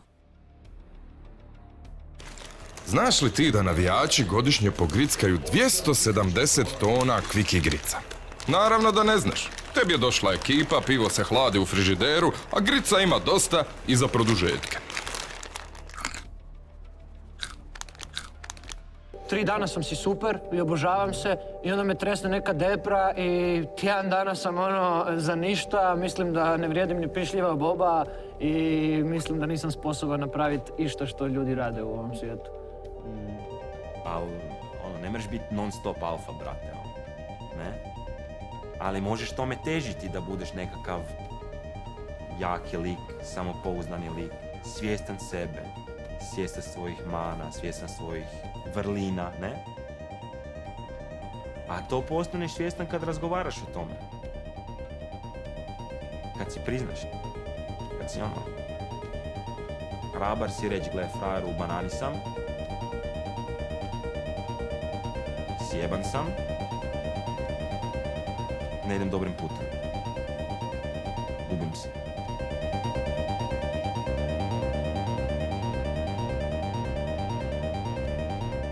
Ti moraš biti bolesno jak da si to priznaš. Bolesno jak.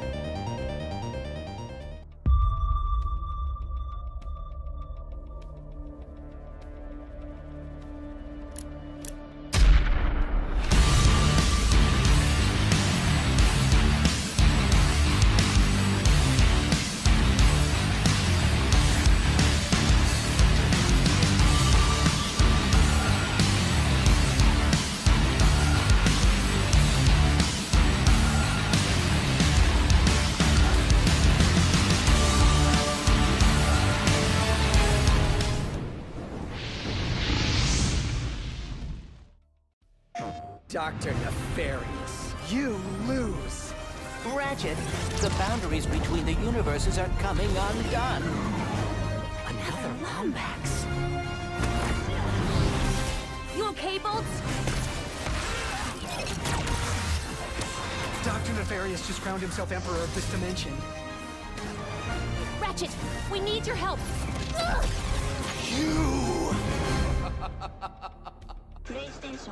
We can level up only if we're willing to change, only if we're willing to evolve. Welcome to the White Shark Evolution. New logo, new visuals, new website. Let's keep evolving. We can do it together. White Shark Family.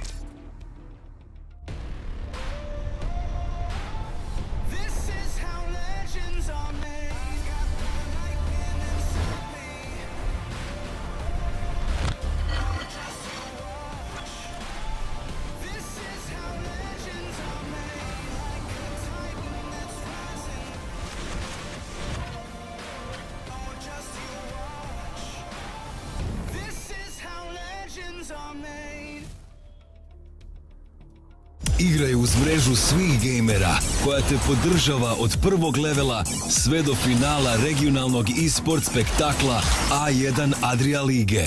Uz vrhunsku brzinu i kvalitetu interneta za superiorno iskustvo gaminga na svim uređajima. Ti povezuješ A1. It's official. You're a moron. I said left, you go right. And now, because of your idiocy, I have to fix this bloody tire.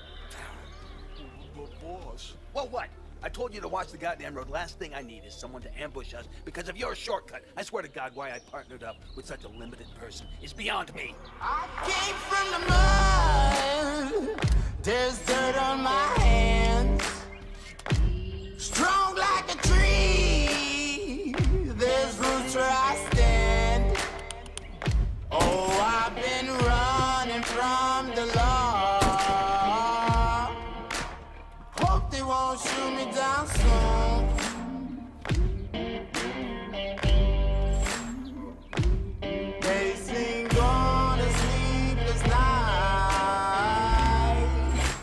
Try to catch me howling at the moon.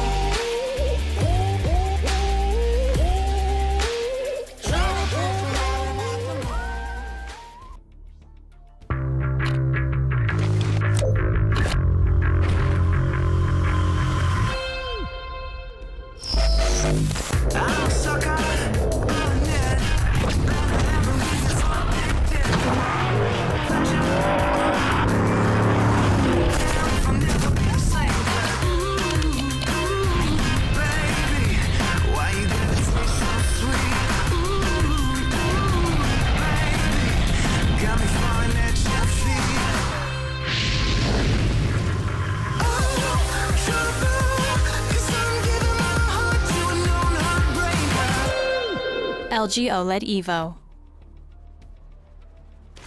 Znaš li ti da navijači godišnje pogrickaju 270 tona kvik igrica? Naravno da ne znaš. Tebi je došla ekipa, pivo se hladi u frižideru, a grica ima dosta i za produžetke. Tri dana sam si super i obožavam se i onda me tresne neka depra i tjedan dana sam ono za ništa, mislim da ne vrijedim ni pišljiva boba i mislim da nisam sposoban napraviti išta što ljudi rade u ovom svijetu. Ali, ono, ne možeš biti non stop alfa, brate, ne? Ali možeš tome težiti da budeš nekakav jaki lik, samopouzdani lik, svjestan sebe, svjestan svojih mana, svjestan svojih vrlina, ne? A to postaneš svjestan kad razgovaraš o tome. Kad si priznaš. Kad si ono... Hrabar si reći, gle, frajeru, banani sam. Sjeban sam. Ne idem dobrim putem. Gubim se.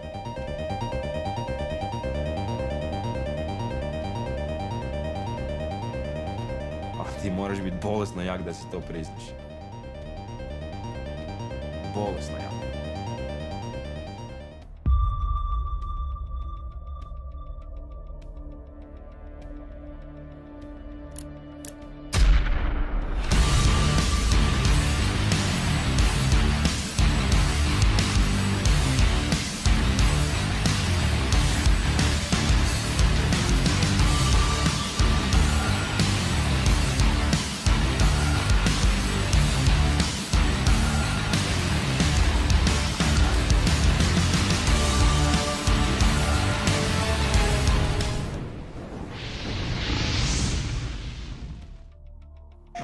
Dr. Nefarious, you lose.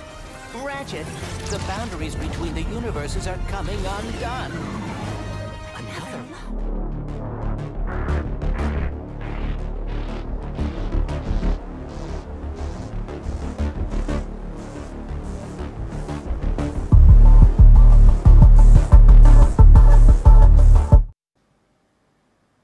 Ćao svima, dobrodošli nazad u Reboot Online Games Week powered by A1. Uh, nastavljamo sa našim uh, gorućim temama iz uh, industrije igara. Aha, evo, izražujem mi kaže, evo tu gledaj Leo, tu. E, gledam sad. E, I e, ugošavamo malo profesionalce iz, iz ove naše regionalne industrije da pričamo o e, njihovim perspektivama, šta rade, e, zbog čega to rade, kakve su im aspiracije i kako to sve izgleda e, sa te profesionalne strane. Danas e, u gostima je e, moj već dugogodišnji e, drug e, Zoran Đurović iz GD Entertainmenta. Pozdrav Zoki, kako se osjećaš? Šta pozdrav, evo, pozdrav gledalci. Da. Evo, kako se sjećam, malo je topal dan. Evo, malo smo ovdje Malo, nakuvali. smo- malo je znojno, ali u redu. Evo ga, evo, malo ćemo, malo ćemo to ohladiti sa ovim pričama iz game Normalno, industrije. normalno. E, razlog zašto sam ja zapravo Zo- Zorana pozvao da nam gostuje a, zbog njegove interesantne po- pozicije, odnosno jel, a, situacije koje se desila sad nedavno, jel? Pa ajmo reći sad, to je već nekih četiri mjeseca negdje. Da, mjeseca. za, za industriju videogara to je relativno ne- nedavno. Da, to jako E, nedavno. će- ako ćemo realno, a to je zapravo, on je promijenio a, vlastitu karijeru iz a, bivšeg community menadžera koji je obavljao i dalje u JD Entertainmentu, međutim sad je na poziciji game dizajnera i toga se drži kao pijan plota i ne Yep. pušta, ne daj mi više, jel? Ne idemo, ne idemo, ne. neće se ići na marketing. Nećemo, Ono, ne, Fora je, bilo je zanimljivo. Fora je bila... Idemo se pomaknuti malo, idemo razvijati nešto. Idemo razvijati nešto. Ok, e, de ti meni reci e, prvo kako se desilo to da si zapravo hteo da je to bila neka tvoja dugo- dugogodišnja že- želja da budeš game dizajner ili je to jednostavno Ajmo- ajmo- ajmo pojavila se prilika? Hm, ajmo reći da aspiracija već postavlja neko vrijeme. To ono kako ja sebe zezam u nekoj povijesti je bilo to da neko još davno, ne mogu se točno reći da je to Mm. 18 godina unazad. Sam- Minimalno. Da, doslovno. Sam čak i počeo nekom pisati nekom GDD-u sa još dvoje ljudi koji doslovno danas od tih dvoje ljudi imaju svoje eh, game developer firme u Hrvatskoj. I to je bilo onak uh, faksusi, kao želiš baviti game developmentom, u to vrijeme postoji onak jedna firma u Hrvatskoj, mi ćemo biti druga, nismo uspjeli naravno nikad to nije bilo odrađeno pravilno, Doć- ali je uvijek je bilo ta, ta aspiracija prema tijelu nekom pisanju, razvijanju uh, priče, likova, mehanika, nekih sličnih stvari. I onda za vrijeme dok sam rekao community u Entertainmentu u našoj firmi, je svako malo dok naravno ljudima, s artistima, developerima i slično, popratiš neke stvari, uključuju neke stvari van normalno svog core biznisa, core posla koji radiš. I vidiš da možda bi mogao pomoći, uletiti malo s neke strane, pomoć game dizajnerima u to vrijeme, uh, pomoć artistima nekim konceptima, nekim sličnim stvarima. I malo po malo se to razvijalo da je došlo do toga da je došla ponuda od strane uh, direktora, da li bi možda prešao na mjesto game dizajnera, Mhm. očito imam tu neku caku i to mi se sviđa i zanima me to. I bilo je ponovno, ajmo probati. Probali smo, evo već četiri mjeseca je prošlo probni dio normalno, sad se baš bavim do kraja s time, no, ono, ima nas još, nisam jedin game design u Mhm. firmi, ali ja mi reći ja pokrenem neki svoj segment. Tako. Uh, pošto radite na, na tom projektu, neću pričati o projektu, jer uh, još je sveže, uh, spomenut ćemo ga kasnije, jel? Uh, gdje mi reci, uh, kako to, mislim, koliko je tebi zapravo uh, pomogla ta sfera jel, community managementa da ti po- postaneš, mislim, jel, to što si pipkao, Pa, ajmo reći kao community manager ipak imaš onaj uvid s druge strane koji većina developera nema, a to je onaj uvid kako razmišlja tržište. Ne?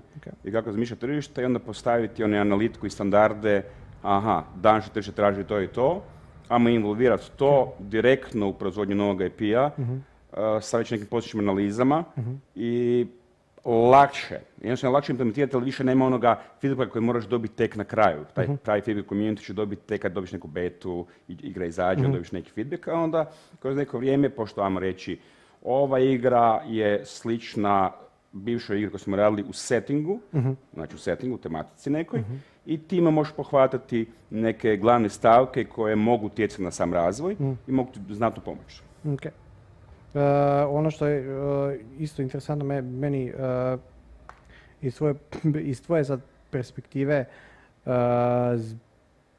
kako ti sad opisuješ svoj nekakav day to day? Jel, šta ti radiš kao, kao jedan uh, game? Zato što, jel, znaš i sam, Da, da, da, da, da, ajmo reći, ajmo Da. da, da, uh, ajmo reći da ljudima van industrije je ne shvatiti šta zapravo taj, ta osoba šta radi. je, šta on radi, šta šta on tam, on je, on dizajner, on crta nešto, Da. grafički dizajner. Kaže ne, game designer, ne, what? ne. What? Game dizajner zapravo osmišljava sve glavne stavke koje utječu na razvoj igre. Ajmo Ok. reći, od priče, može, možeš biti game dizajner za lore, takve stvari, naraciju, slične stvari. Možeš biti eh, za game mehanike, znači Ok. mehanike koje utječu na sam playability, Ok. slične stvari. Evo, ja sam najviše orijentiran na environment. Znači, Na environment. environment, najviše radim s kolegama artistima, od 2D konceptualaca do kasnije 3D ekipe Mhm. i slično, VFX, uh, ekipa koja se bavi drugim sustavima, ne znam, Houdini i slične stvari. Uh, I pa, to je onako stvarno šarolika, šaroliki vrsta poslova Mhm. i moj posao je zapravo postaviti sve, postaviti neki uh, dizajn za to što, kako to treba izgledati i popratiti to sve od početka do kraja. Mhm. Znači, ajmo reći, segmentalno da uzmemo, uh, postavi se koncept koji mora konceptualni artist napraviti, on to napravi, prema toga popratiti sve to dalje da ide do 3D uh, artista koji ti ide modelar koji će Mhm. napraviti nešto takvo, taj asset koji će ići kasnije na taj level i nešto, koji se mora popratiti sad naravno i sa developerima i programerima, jer naravno tu ima neke mehanike, Mhm. environment u svemu tome. Ajmo reći, puno veći proces i tvoj posao je handled da se to postavi pravilno, a i s druge strane da se pravilno odradi. Ok. Znači, uh, management jednim dijelom i kreativno pisanje i izražavanje drugim dijelom. Ok. I ono, apsolutno vještine elaboracije da svaki O, da, segment... da, da, je. Jel, mislim, svi znamo, pogotovo ljudi industriji, da svaki segment drugačije funkcionira radi, svaki ima drugačiji način komunikacije. Malo smo svi Uh, svi znamo- introvertni. Svi znamo da uvijek imamo one, one probleme, programeri programeri, artisti artisti, i Da. ta, uvijek ta borba, ali stvarno sve to dobro tje- teče s te strane i da se sve riješiti, ali naravno mora se uspostaviti neki core pipeline po kojem se radi i toga se držimo. Ok, cool. E, rekao da ima vaš, e, znači na tom projektu vas više a, dizajnera radi. Kako bi opisao svoju kolaboraciju sa drugim artist, e, pardon, dizajnerima? Pa ajmo, ajmo reći da, je Sine- da ne kažem da, ima, ima, ima sinergija je, sinergija je. Ajmo reći da sad još dvoje kolega, troje kolega, ovisno ko, ko šta radi trenutačno, ajmo reći kolega koji je zadužen za cijelu lore, cijelu priču, Ok. uh, sve segmente vezano uz neku naraciju, slične stvari. Ja svoj segment koji je vezan uz environment, znači ljudima koji ne razumiju što je environment, znači level design, Okruženje, da. okruženje, Mhm. sve živo koje je vezano sa to. Ok. Um, moram naravno, on mora napisati core, preko samo moram prilagoditi, sve stvoriti oko toga, van stvara oko toga, kao što drugi kolega znam, radi character ability i takve mehanike, mora biti vezan uz to. Znači, svi su međusobno vezani, jer ako, ne znam, kolega koji radi ability, character, slične stvari, ode u totalno drugom smjeru Da. od onog što je zadano Mhm. od početka sa GDD-om koji je raspisan, a ja odem u drugom smjeru, Mhm. to se neće poklapati nikako u Da. igri i to će biti kaos, izgledat će kao da je su rađene dvije različite igre u istoj nekoj tematici, segmentu i kolaps je. Da. I stvarno ta kolaboracija mora biti stvarno na viskoj razini i to se mora doslovno, ima hrpe promjena, da riješimo. Niko si misli, a to se postavi, to se napravi, tu su uvijek tvikaju stvari, mijenjaju se malo da bi se prilagodili jednim drugima, da bi to bilo ono najčiće što može biti. Savršenstvo ne postoji, svi znamo, ali idemo prema tome da bude. Pa da mi primjer, kako bi to opisao, ali kada dva artista imaju različite stilove pa se onda nađu U, da, in the da, middle, Da, da, da. Znači, evo, ne uzmemo bez veze uh, kolege koji su neke konceptualaš, neki radi ilustracije, slične stvari, ovaj koristi svoje brašove, više gleda umjetnički, slično, kako bi ja rekao jednom kolegi koji možda čak sad gleda ti tvoje tempere uh, i slične stvari, ne, dok uh, drugi artist radi baš ono clean line i sve i to Da. gleda stvarno odlično, izgleda oba dvoje, ali s druge strane nekom je o- prosjek oka koji se razumije umjetnost će biti, hm, Mhm. šta ovaj re- želi reći, a ovaj razumije što želi reći. Da. Ista stvar je tako i u game designu gdje se to šta želi neko reći, Da. za, znači najviše za ostale kolege koji će to kasnije iznijeti kao produkt, Da. mora biti stvarno na razini uh, isto i nivelirano. Tako da. E, pošto jel, u situacija Hrvatske je takva da mi nemamo sad drito školu osim nekakvih jel, manjih institucija koje obavljaju tečajeve za striktno za game dizajnere. Šta bi ti, na koji način bi ti jel, nekom rekao, slušaj vidi ov- ovim putem bi trebao ići, učiti ovo, to, to i to, da bi ti se jel, osposobio a, u poziciji game dizajnera, čak jel, Pa ajmo reći ovako. čak i ako gradi karijeru unutar firme kao što Ajmo, ti, ajmo, ajmo reći za početak ono najbitnije koji svi će umre na umjetno smijeha, da svi govore istu priču. Da, i na budi gamer na početku A, prije gamer, svega. aha, budi ok. gamer, budi gamer prije svega. A, voli gaming, nema razmišljati u smislu ja znam najbolje igrati ovu igru, to nije poanta. Poanta je da si onaj, ona osoba koja vidi nešto više iza, iza te igre, Mhm. da ipak vidiš neke ono, mehanike unutar tih igara. Da si ona Ne. osoba koja kaže, a ta igra je fora, radi tog i tog, što drugi ne primijete. Mm. Uh, veliki ono, feedback sa strane tog da si gamer koji ima više iskustva, prošao Mhm. više žanrova je veliki plus. I ako ti misliš da raditi, ne znam, bez veze, voliš strategije, ti raditi strategije, tog si ti majstor, ne, Mhm. ne znači, jer nema to veze tako kako ljudi misle. Pisanje, jako bitna stvar. Znači, ako ima želje, volje i, i znanja oko pisanja, to je ono najbitnija stvar, to je veliki plus. Uh, na analitički mozak, analize te stvari i ono, sad da si čisti matematičar, ne bi rekao, ali moraš znat uh, biti kreativan, na isto vrijeme i razmi- razmišljati logički. To ono, lijeva polutka, desna polutka, koristiti oba dvije, zvu- zvuči malo jako čudno, da, Da. je, je stvarno čudno. Uh, a preporuke, ono, a- ako je neka osoba, mislim, siguran sam, ono, ne znam, ali sigurno da ima sigurno i programera koji su u jednom trenutku odlučili da ću biti game designer. E, želim ih upoznati, ako postoji neki u Hrvatskoj im se javi. E, želim ga upoznati, znam da do sad nisam upoznao nijednoga. Okay. E, ali najviše bih rekao da stoji kor svega je kvaliteta pisanja, znanje u vezi toga, da riješimo stvar, niko nije game designer sve zna o svemu, hrpe toga je res- research. Research, research, research, research, research, research e, sličnih igara, research šta nešto da, research da li to uopće šta radimo je dobro za tržište Da. uopće, jel možemo se razvijati super igru, ali ako ne razvijemo za ipak neko tržište, čemu, ne? Da, postoji razlika između projekta da. koji radiš za sebe, koji radiš da, za da. A ovo kad tržište. se radi za, za ipak za firmu neku, ipak se treba napraviti analiza svega, Mm. ali dosta to onak, nema jedna stavka u Mm. game designera, ono, rekao bih, anal- analitičnost, kreativnost, kreativnost u pisanju i pisanju pogotovo, uh, neko produkcijsko razmišljanje, ono, volio si filmove, volio si igre i razmišljati produkcijski. Kritička analiza neke- procesa toga. Da, da. Da. Stvarno, ono, e, više stavki iz različitih područja. Ono, game design su najčešće ljudi koji e, su jako širok znanja u svim područjima, ali nisu stručno specificirani jednom. Da. To je ono, ne. Ja često volim reći, mislim ovo nije naravno niti pravilo, niti je ne- nešto što bi trebali uzeti u obzir. Kad bi recimo ja uzimao jel, game designera za nekakav svoj RPG, CRPG, šta god da je RPG, eh, nekad mi se čini kao da bi prije uzeo eh, nekog eh, koji eh, se deset godina bavi, bavio dungeon, ono, bio Je, dungeon, je, dun- dungeon master, eh, nego nekog ko, je- ko mi je došao sa dip- diplomom i nekim certifikatima o game designu. Evo, kod, kod naših game Da. designera uvijek ta svađa kao ko je dulje bio uh, GM? GM kao Dungeon Master, Da, DM, pa, DM, da. Dungeon Master koji je bio dulje vremena i onda se ono raspa, joj, nisam igrao kod player, nisam igrao to, ne znam, prije 14 godina zadnji put. Da. Je, doslovno svi kod nas stvarno jesu, Da. uh, pogotovo u našoj firmi, od nas troje četvero, svi su D&D frikovi i slične stvari, većinu niko od nas, mislim da nismo igrali kod playeri za njih Mhm. ne znam koliko stotina godina, doslovno svi zajedno kad skupimo. Mhm. E, I da je, to se slažem. Ako ne ima neki entuzijazam prema tome Mhm. i razumije kako je razraditi priču, je ok, to što si rekao. DM je na neki način dizajner cijele igre i cijelog settinga koji će se igrati kroz neko vrijeme.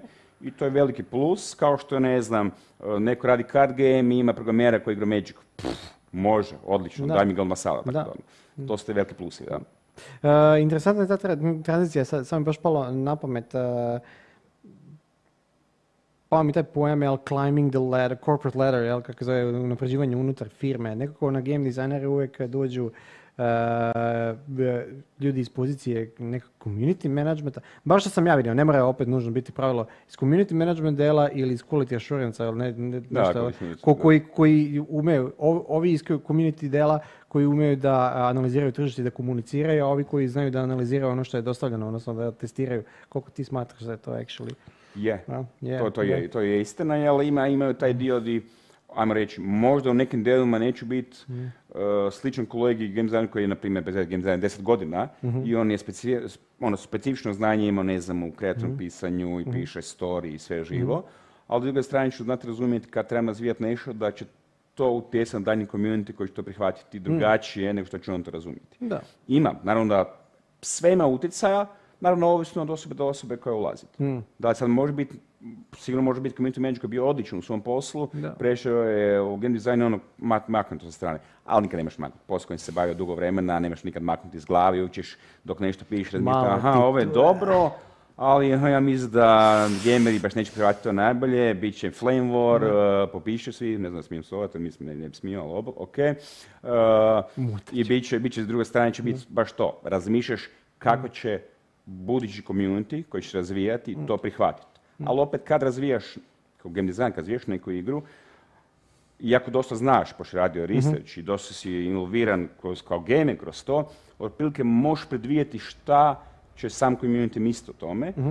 i tu je veliki plus. Mhm. Može znati ono kao, a ljudi vole te fore, uvijek u tim igrama su ta fora, uvijek vole ovakav Mm. uh, hidden uh, trap, uvijek Da. vole ovo. I to, baš to što si čuo od tih ljudi u neko vrijeme, koje si prije si formi, pa zato su drugi menadžeri to radili, Mhm. Možeš prenijeti dalje. Daj nam malo spill the beans. A, šta, čim se bavimo? Aha, Ne, novi ne, IP. ne, da, kako zove, taj novi IP koji je, A, pa novi još IP je novi IP je uh, action Kol- RPG. Kol- koliko smiješ podijeliti? Smijem podijeliti sitnice. Znači, Može. action RPG, Može. uh, hack and slash, ne? Ok. Uh, full action driven, Mm. uh, dynamic as fuck. Mm. Uh, a sad, da, kaj smijem možda, pf, da li ću, a ne, to nećemo. Uh, ajmo reći da je inspiriran sa mitovima legenda svojih prostora. Ok. To je najbitnije. Uh, Mislim da znam čem se radi, da je, da je to jako dugo već kako zove vama u vašem portfoliju e, se prikazivalo još od novi, još od prije tri, ali neću ni ja sad ništa. Ne, ne, ima, Da. ima, imamo Da. portfolio već prije, GD Da. postoji još neko vrijeme, čak Da. postoji i razvijen cijeli pen and paper eh, setting za to, znači postoji cijeli pen and paper iza toga svega, tako da nije samo, a, ajmo, ajmo raditi neki RPG, svi rade RPG, oni zapravo niko ne radi RPG, RPG su u zadnje vrijeme kvalitetnih- nema, malo, da. jako malo, Da. ima hrpe JRPG-ova, klasičnih western RPG-ova, Mm. mm. action bazi nema. Pokušamo onak, ajmo reći da pokušavamo uh, zmiksati par nekih stilova, uh, ajmo reći gameplaya, ali uh, art style će biti specifičan. Art style je specifičan koji i rijetko je korišten do sada, Mhm. to smijem reći da je takav, neću reći kakav je. Mhm. Specifičan je i to pokušavamo progurati. Uh, nadam da ćemo uspjeti, sigurno ćemo uspjeti. I poanta je da, daj, ne smijem reći više o tome. Ok, ne, malo po malo to- kad to budu to. dolazili neki informacije, svi će sad u svoje vrijeme. Tamo je dovoljno da nam zali- za- zagolica maštu. Ajmo iskoristiti par minuta da podeliš zrnce mudrosti ljudima koji žele da se upuste u, a, ne nužno karijeru game dizajnera, nego jednostavno žele da videš kako, šta to, fun- koga da kontaktiram, gdje da se javim da bi bilo šta krenuo da radim, ko, šta ja moram u sebi imati da bi jel, krenio da se bavim nekim poslovima u industriji videogara. Pored toga što svi mi smo jel, fanovi igara, jel, pored toga, šta, šta je Da, potrebno, da ću ono, ka- kakav entuzijazam uvijek, je? uvijek je isto pitanje, Uvijek uvijek, na svim tokovima i na svim, Da. uvijek je isto pitanje, Da. svi se uvijek pitaju isto pitanje. Da. Uh, da, normalno. Šta je? Gamerci to je, Da. to razumijemo sve, ali rečemo jednu stvar, ako si gamer, ne znači da ćeš ti biti sad super game developer. Da. I one priče, gamer koji kažu, u, ja bi to napravio bolje, nije samo tako. I mi smo mnogi klinci rekli, u, ja bi to napravio bolje, on su počeli razvijati nešto, i shvatili, o, bože, nikog toga ima. Uh, Interesantno što smo ja bi to napravio bolje, sad ćemo to spomenuti. da, toga, toga uvijek. To znači, Da. ja bi to bolje, e, međusobno znamo se zabavati u krugovima game industrije. Kako ste to napravili, dečki, pa mi bi to bolje napravili. Da. Naravno, to kao, kao, kao kad si na fakultetu, u srednjoj školi odgovaraš i kolega odgovara ispred tebe Mm. i ja ti gleda bila, ovaj, ništa ne zna, kad ja dođem, ću sve ovo znati. I on ti dođe pred ploče i Da. ništa. E, najbitnije od svega da se ljudi odluče šta bi htjeli raditi. Ok. To je najbitnija stavka. Većina svih misli ja bih htio razvijati igre. Ali dobro, koji se meni ti šta bi htio raditi? Da li želiš biti artist? Da. Da li želiš biti, znači, oko artist je spektar da se usereš. Da li želiš Mm. biti programer, pa isto ono, back and front, da li želiš baviti uh, ovim i onim. Znači, Mm. tu je razvoj ogroman. Prva najbitnija stavka, pokušaj vidjeti kao osoba šta ti želiš uh, razvijati od sebe da bi to mogao ponuditi na nekom uh, tržištu rada u gaming industriji. Mhm. Jel, poželjno biti e, specifičan u svom znanju, ali opet znati nešto strane. Primjer, bez veze kažem, ti si, želi biti ono, 2D osobe naši ili konceptualni artisti ili ilustratori. E, naravno, postoje drugi segment koji ljudi zapostavljaju skroz, to je UI, UX design, koji je onak, e, to je neki, to je tečan." ne, ljudi nije. Znači, ako slučajno osoba koja je znaš UI raditi, a usput si, si dobra ko- koncepata tih stvari, to ti je veliki plus, Mm. jer će uvijek biti, aha, može napraviti ovo i ovo, ali da riješimo stvari, UI osoba neće tri godine raditi UI, može raditi i nešto strane, druge stvari, Da. tako da ono, to je veliki plus. A ako si u 3D-u, Uh, tu isto segment 3D je, da li će raditi, ne znam, uh, čisti sculpting uh, Mm. karaktera, creatura koja na to mjesečne stvari, da će raditi sada environment, će raditi neke čestove, drveća i takve stvari. Moraš odlučiti sam šta bi htio, trud iznad svega, evo, pošto ja Leo znamo sa Infogamera već koliko, 8-9 godina, već netko koliko već prošla, i pandemija je prošla i dulje. Uh, Dve pandemije. Da, gdje smo imali volontera svakih, gdje ja sad znam od tih volontera već dvadesetak koji su u, gaming industriji, koji su u to vrijeme bili ljudi, ja bi se htio baviti time i time, uvijek su pitali savjet, šta da radim, joj naš, ja sam, uvijek me zanimalo art, ovo, ono, Evo, znamo ljude koji su, evo, nedavno imamo ljude koji su zaposlili u gaming industriji kod 3D ljudi, imamo Mhm. ljudi koji su zaposlili kod 2D, ja imam kolegu kod mene u firmi koji je moj bivši volonter prije, Bok Andrej, a, prije, ne znam koliko ima, šest godina i slične Mm. stvari, su ljudi koji su u to vri- vrijeme već imali neku svoju struku. Znači on je, na primjer, osoba koja je bio programer, htio baviti je bavio se drugim stvarima, ne gamingom, ali ga uvijek zanimalo to i kad tad se pružila prilika, ali se naravno on kroz to vrijeme specijalizirao više i više u nekom području. Sve. E, najbitnije od svega to, pokušaj kao osoba odlučiti s čim se želiš baviti. E, naravno da se možeš baviti drugim stvarima, evo ja sam community manager, ja sam game designer, Da. e, možeš baviti nekim stvarima, ali ćeš se baviti time nakon što upoznaš način rada.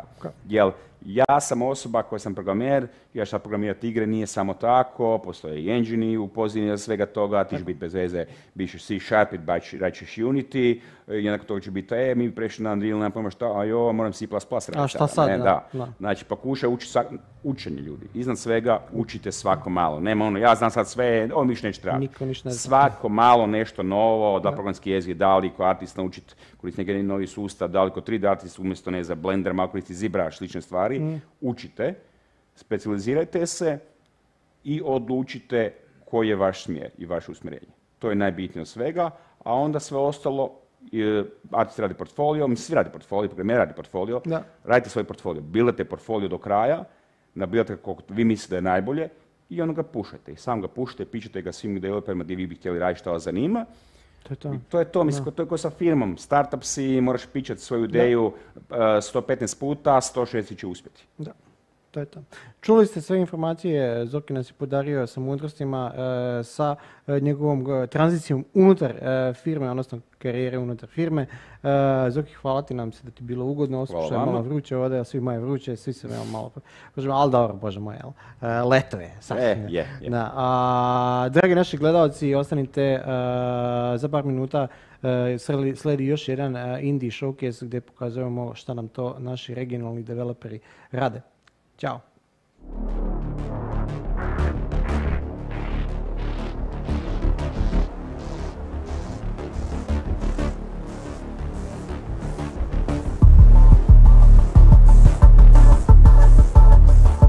Igraj uz mrežu svih gejmera koja te podržava od prvog levela sve do finala regionalnog e-sport spektakla A1 Adria Lige. Uz vrhunsku brzinu i kvalitetu interneta za superiorno iskustvo gaminga na svim uređajima. Ti povezuješ A1. It's official. You're a moron. I said left, you go right. And now, because of your idiocy, I have to fix this bloody tire. Boss. Well, what? I told you to watch the goddamn road. Last thing I need is someone to ambush us because of your shortcut. I swear to God, why I partnered up with such a limited person is beyond me. Came from the mud. There's dirt on my hands. Strong like a tree. There's roots where I stand. Oh, I've been running from the law. Won't shoot me down soon.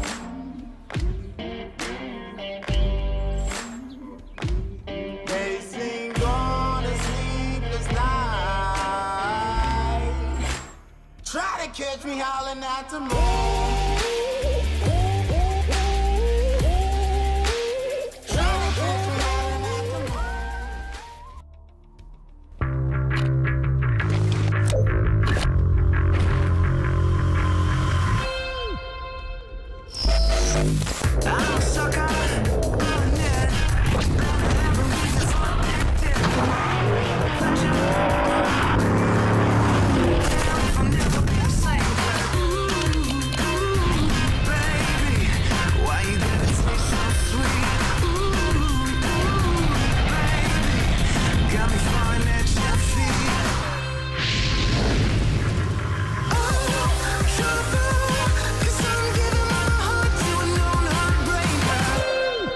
LG OLED Evo. Znaš li ti da navijači godišnje pogrickaju 270 tona kvik igrica? Naravno da ne znaš. Tebi je došla ekipa, pivo se hladi u frižideru, a grica ima dosta i za produžetke.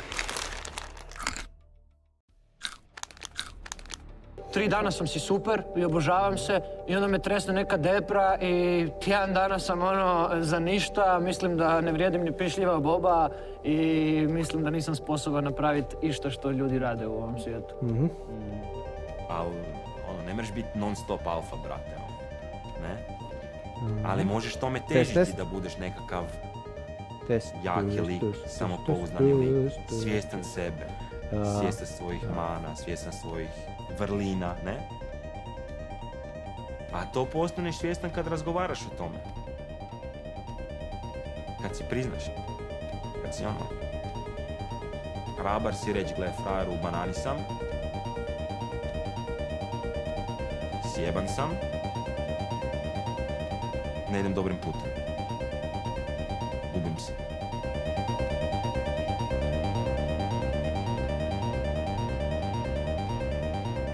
Ti moraš biti bolesno jak da si to priznaš. Bolesno jak.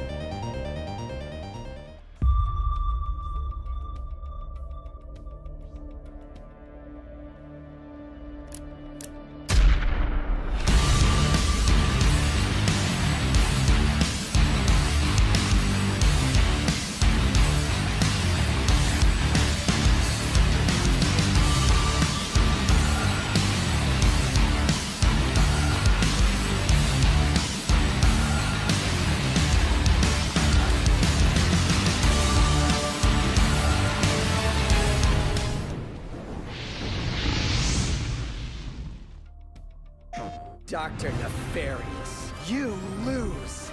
Ratchet, the boundaries between the universes are coming undone. Another Lombax. You okay, Bolts?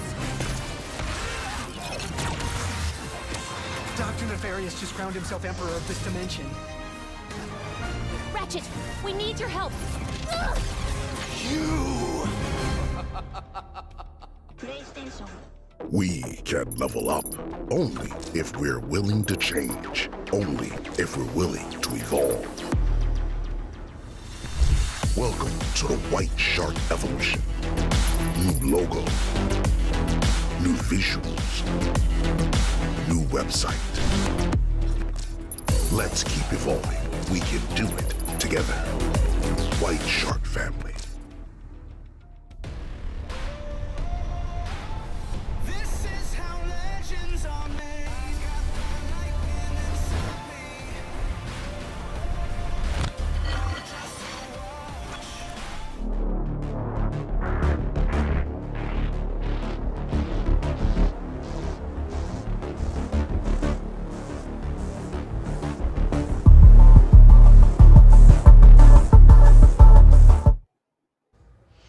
Ćao svima, dobrodošli nazad na Reboot Online Games Week powered by A1. Na redu je dnevni indie showcase gdje pokazujemo uh, projekte iz uh, regiona, da vidimo šta nam zapravo naši ovi uh, regionalni developeri rade. Isto tako intervjušemo pojedince iz konkretnih studija da vidimo zapravo njihov thought process iza tih projekata koji rade. A sa nama na vezi putem e, internetske mađije e, je Dejan, e, radiš iz Stygian softvera iz Beograda, je li tako? Jesam dobro rekao? Tako je, tako je. Da. Okay, Ćao Dejane, dobro nam došao u Reboot Online Games Week. Ćao, bolje vas našao. Da. A, ok, ono što smo naglasili, znači, a, pričat ćemo danas zapravo o tom projektu koji, a, mislim, me- meni je interesantna jedna anegdota, pre nego što ćemo da, ja sam poslao kontakte, jel, ja sam poslao zapravo, jel, da, e, e, preko Kristine sam, jel, do- dobio vaš, ko- e, vaš kontakt i pošalje mi, nekako mi je u glavi ostao Underrail e, i analiziramo ja i drug, ne, sedimo, jel, i kaže on meni, a, ima neka igra koja je sad nedavno, jel, to eks, na ekspanziju je za Unreal, i ima neka igra koja je sad ne- nedavno ide malo, jel, vuče mi na onaj stari Fallout, jel, i ovaj, e, super je, ali tu su naši, jel, a, lokalni su, regionalni su, pa mi je mnogo interesantno bilo. I sad meni kola po glavi šta se dešava, jel, ja jel, u svoj strci ovo je, nisam znao e, gdje mi je glava. I nakon što se sve smirilo, pa da, kao, ti ljudi će mi doći u goste, ono kako zove.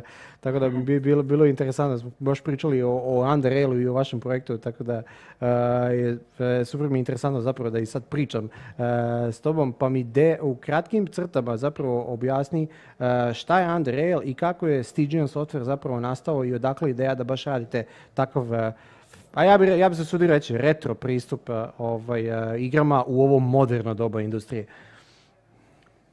Da, pa Unreal je praktično uh, uh, klasičan RPG, znači u tradiciji tih klasičnih RPG-eva, kao što Mhm. kažete, liči dosta na Fallout. Mhm. Uh, neke starije naslove, o, imamo dosta uticaja od neke možda fantasy igara kao što su Mhm. Baldur's Gate, Icewind Dale, Neverwinter Nights i nekih drugih igara koje su to više bočne tu RPG žanr kao System Shock 2, mislim da je on bio veliki uticaj na, na igru isto, ali što se tiče perspektive, što se tiče one es- estetike igre, tu je najviše do izražaja dolazi uh, Fallout, ali sa strane gameplay mehanika tu smo uzeli dosta um, stvari iz uh, modernih um, roguelike igara.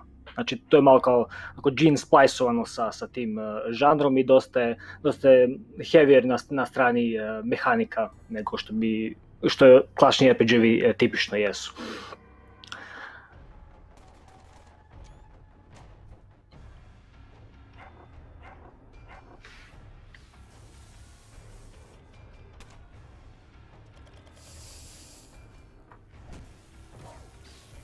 Se čujemo?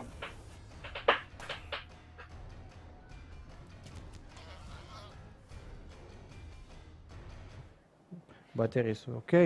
A, aha, jel se čujemo? Jesi? Nešto nismo čuli na, na trenutak, da. Da, ne, nešto, nešto smo priklinili. Ba dobro, to je jel, klasika, klasika ove naše internetske tehnologije, jel, u pol razgovora prekide Ja pa sam se... pomislio da nije nešto do mene možda, da, Da. mi nije nestao Mm, internet. Ne, drugo, vjerojatno, jel, ma, ma, ne znam, valjda prvi dan će proći tako u problemima, onda sve ostale ćemo, kako se zove, da isplivamo. A, što, nam- što se tiče, znači, Da. kako, kako smo došli na, na ideju, to je bilo drugo pitanje. Da.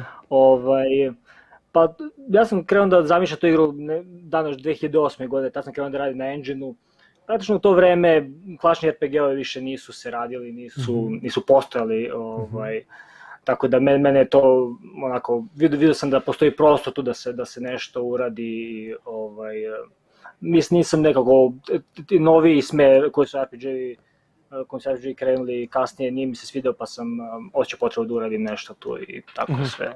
Ok. Kako sam počeo. E, pa kažem, interesantan mi je pristup zato što sad sve vr, vrvi i šljašti, jel, svi tih. Mislim, jel, svakako, jel, uvijek, igra uvijek pronađe nekako svoje tržište, ako ima iole do, dobar, i, e, stvori dobar visibility, ima dobar e, kvalitet na kraju krajeva, jel.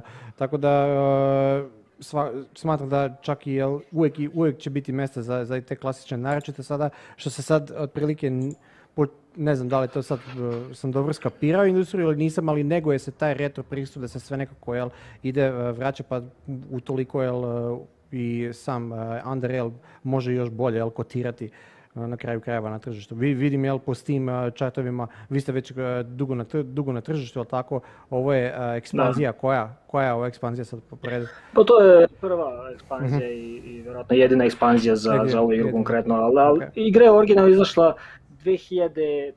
na Steamu, Mhm. pre toga je bila na jednoj drugoj platformi koja je sada zatvorena. Ovaj, ono je bilo early accessu, tada je dosta bilo popularno to se radilo. To je bilo ono vreme Greenlighta kada dosta igara se probilo. Praktično u tom posljednjem trenutku pre nego što su ono kapije skroz otvorene i sada Mhm. a, su svi Pre- na Steamu. Tada kad smo mi izašli na Steam, to je značilo nešto, tako da Aha. financijski je to bio dobar uh, postreh igre. Danas kad izađeš na Steamu, ne znači ti ništa. Znači Da. time koji YouTube sad može dokači svoju Da. stvar sada. Koliko košta? Ovaj, 100, 100 ali eura, eto, od- 100 eura developerski account i onda staviš Da, da, igru. da. da. Da, eto, a 2015. je izašla u full igra. Mhm, Tako ok. da eto, toliko, toliko. Uh, kažem, uh, pri, pristup mi je interesantan iz razloga zato što ti, ti si rekao da si pisao svoj engine, da nisi koristio ove konvencionalne, jel to je public available engine, čak, čak i tada ka- kada, kada si počeo, jel, mada su i tada djelomično bili dostupni. Da mi priča sad za, za- zapravo, jel, zbog čega si se odlučio na to, jel, u odnosu na nešto drugo, jel? Pa ne znam, ja ne, ne verujem u tu priču sa, sa da kažem, generalističkim engine-ima. Kad sam ja Mhm. krenuo da radim nije, mislim, imao sam želju da napišem svoj engine, čisto kao, da kažem, profesionalno interesovanje, ali Da. ovaj, sem toga ne postoje engine koji su specifično za RPG-ove, izometrijske, Mhm. Znači ima, postoje nešto kao uh, RPG Maker, Game Maker, ali to su veoma ograničeni engine, to su više kao tool setovi za, za hobi, razvoj. Mhm. Ovaj, a da kažem, taj generalistički engine, taj pristup, ja da kažem, ni- nisam, nisam ovaj, Ljubitelj, ne, ne znam. u to da, da je Mhm. dobar pristup. Da, Tako da, znači, ako imate neki engine, engine mora da, da funkcioniše za žanr igre koji pravite, a, okej. ostalo je sve, ne, ne, vidi, se, vidi se razlika kada imate engine koji je specifičan za tu igru koju ste radili. Znači, Mhm. engine je deo igre, bitan deo igre, znači taj, Mhm. a, pošto ja te, pravi igara je delom inženjerstvo, delom kreativan proces, umetnost, šta već, i taj inženjerski deo oko pravljenja engine ovaj, je jako bitan, tako da to je, to je da kažem glavni razlog za to. Znači to plus ne, nije, nije postoji, i dalje ne postoji engine koji je, koji je dobar za razvoj izometrijskih. RPG-a. Da. Da, mislim, svi bolji, da kažem, uh, igre- izometrijske igre koje su izašle u zadnje vreme, uh, ovaj, koje tehnički izgledaju ovaj, Mhm. dobro, sve koriste svoj custom engine, znači Aha. ne, ne koriste taj, ni, ni ovaj Unity, ni ništa drugo. Ni, ništa nije public available, sve mora, znači i dalje postoji, smatraš i da i dalje postoji ta potreba da se engine uh, rade, mada jel, uh, su svi globalno sad jel, prihvaćeni i uh, malte ne besplatni za korištenje. Pa da, ali ako, mislim, ako radite igru koja je kao 2D igra, Mhm. izometrijska, ne dobijete mnogo korišćenjem Unity-a. Okay. Ovaj, nije, nije teško napisati izometrijski engine Mhm. uh, u toj osnovi. Ono što je komplikovano posle dolaze na uh, jel, game sad? pravila Da. i sve to, što svejedno morate pišete koji god engine da uzmete, tako da... ovaj, Svakako. Uh, idemo se malo vratiti na Unreal. v- ja i drug, jel, da se na, nadovežem na ono anegdotu što smo e, sa početka. E, drugi ja smo pustili nekakav video gdje je e, jedan od youtubera, zaboravio sam mu ime, e, zapravo reviewao i iz konteksta se sad po- povukla, a, to je šta sam ja shvatio vjerojatno, to je bila i poanta videa da n- e, Unreal nije nešto uh, narativno jel, driven, nego je, to jest da je više usmjeren na te nekakve mehanike gdje uh, protagonista uh, ima, može da reši stvari iz različite perspektiva, odnosno na različite načine, da se samim tim jel, podiže ta veća dinamika igre unutar Unreala, a ne nužno da se fokusira na narativ. Jel, pa, jel možeš, da li sam ja to dobro skapirao, pa jel možeš pojasniti možda? Pa taj, taj glas je ostao da, da prati Andre, Mm. pošto rano u developmentu u Early Accessu nisu imali toliko, toliko dijaloga, toliko Mhm. ovaj, interakcija sa NPC-oma i čisto iz razloga zato što sam ja jedini radio na igri i nisam mogu da postignem sve, da kažem, u istoj, u istoj meri, pa to je nešto je ono, bilo u pozadini, da kažem, sekundarnu ovaj, vrednost, ali kas, kasnije tog developmenta kad se više ljudi priključilo, sad imamo dosta više zašto, ovaj, dijaloga i svega toga, ali što je zanimljivo za priču jeste da nije toliko u fokusu e, e, u prvom delu igre. Tako da, kogod krene da igra igru, pomisli da, da, da igra nema neku bitnu glavnu priču, ovaj, što je možda propust sa naše strane, ali to, tako- to je tako ostalo kao, kao istorijska činjenica developmenta. Ali ja lično ne smatram da, da, da igra manjka na, na, da kažem, na narativnoj Aha, okej. strani, ali se očekuje od igrača malo da, da pohvata neke stvari ovaj, sam i kroz, kroz ono što se demonstrira samo world dizajnom i lorom koji je rasprostranjen u svetu. Znači ne, ne idemo tim principom da kažem, koji su RPG-ovi kasnije otišli na taj cinematic feeling gde se kroz, kroz režirane špice se ovaj, a, a, servira većina ovaj, naracije igrača. Tako da s te strane je drugačije, ali da, opet na kraju krajeva jeste mehanički, igra dosta fokusira mehanički, ovaj, pošto to je, to je, moj, to je moj glavni ovaj, interes što se tiče RPG-eva, ovaj, tako da mislim da, Da, se jeste. vidi. E, Da, nekako, nekako mi uvijek padne na pamet anegdota ko- ko- kolege iz industrije što, kaže, uvijek postoji ta razlika jel, šta priča priča, a šta igra priča, tako da ovaj, lako je fokus usmjeren jel, na to šta igra priča, uvijek se može iz konteksta e, saznati o čemu se zapravo radi u igri, tako da ja smatram da Unreal je definitivno way to go. A, ono što mene zapravo zanima sada, jel, pošto e, ne znam u kojoj ste fazi de, e, developmenta, da li planirate neke druge projekte koje nisu Unreal, da li će se to oslanjati na taj pristup koji već imate ili je nešto novo, nešto divlje u planu ili možda ne, jel? Pa, mo- možda nešto između, Mhm. ovaj, pošto pravimo, pravimo praktično nastavak na Mhm. Unreal, trenutno je pod eh, radnim nazivom Unreal Infusion Mhm. i trenutno u fazi gde eh, ćemo da engine, dosta, dosta stvari vezano za engine ćemo da upgradeujemo, prećemo na, a, na delimično 3D, baš što se tiče likova i tako Mhm. neke, neka tehnička ograničenja ove igre otklanjamo koje će nam pomoći da, da, a, da bolje o, implementiramo sve ostale stvari. Znači, nije sada ćemo napraviti nešto, da kažem, vizualno, radikalno drugačije, ali Da. ovaj, neke nedostatke ćemo da, da otklonimo tu i praktično to će biti nova Unreal igra koja će biti prepoznatljiva sa, sa aspekta mehanika i, i, e, i sveta, ali će biti odvojena igra, znači neće biti ekspanzija. Jasno. Ne znam, još rano u razvoju tu, znači uglavnom se radi e, na, na engine-u. Ove godine planiramo da, nadam se do kraja godine, da završimo još e, sve te e, update koje hoćemo za originalnu igru, neke stvari koje nismo stigli u, u toku normalnog developmenta da završimo i Mhm. onda nakon toga ćemo se fokusirati na, na novi projekat. Jasno. Ćemo- ali, E, znači, da. promenit neke sad, neke nove filozofije, dizajn, koncepte koje smo u međuvremenu koje smo razvijali, ali nismo premenimo na postojeće igri, pošto je zasnovana više kao klasični RPG, a nova igra će ne, neke nove, nove stvari da Mm. primimo. Tako da bi- neće biti još ono skroz istog, ne, bit će tu zanimljivih stvari. Jasno. E, da li bih htio da ponudiš našim gledalcima zrnce mudrosti iz svoje perspektive, šta je potrebno jel, za ulazak u industriju, jel, na koji način treba razmišljati, čak i iz perspektive nekoga ko razvija svoj engine da bi razvio svoju igru. Jel imaš nešto da podeliš sa nama? Pa ne, ne znam kako, kako da suđi industriju, pošto ja nisam u industriji, ja sam Aha, praktično, ovaj, e, ja sam na periferiji industrije, ovo što ja radim, m, koliko ja vidim, niko ne radi drugi, bar ne u Srbiji, ja znam, kada kaže game development u Srbiji, to se misli se na m, casual mobile igre ili šta je, tako Mhm. da, Mhm. ne, ne znam kako, kako bi, šta bi tu mogu da, da ponudim e, o, neko ko počinje sada. Definitivno sada situacija je na neki način mnogo teža, zato Mhm. što u mojoj, kad, sam, kad, sam, kad je Unreal izlazio, ako uspeš da se probiješ na Steam, onda si odradio dobar deo posla, imaš Da. neki zagarantovan uspeh, Mhm. znači imao si neku, ne, ne, neku prepreku koju ako preskočiš, onda si, tu si negde.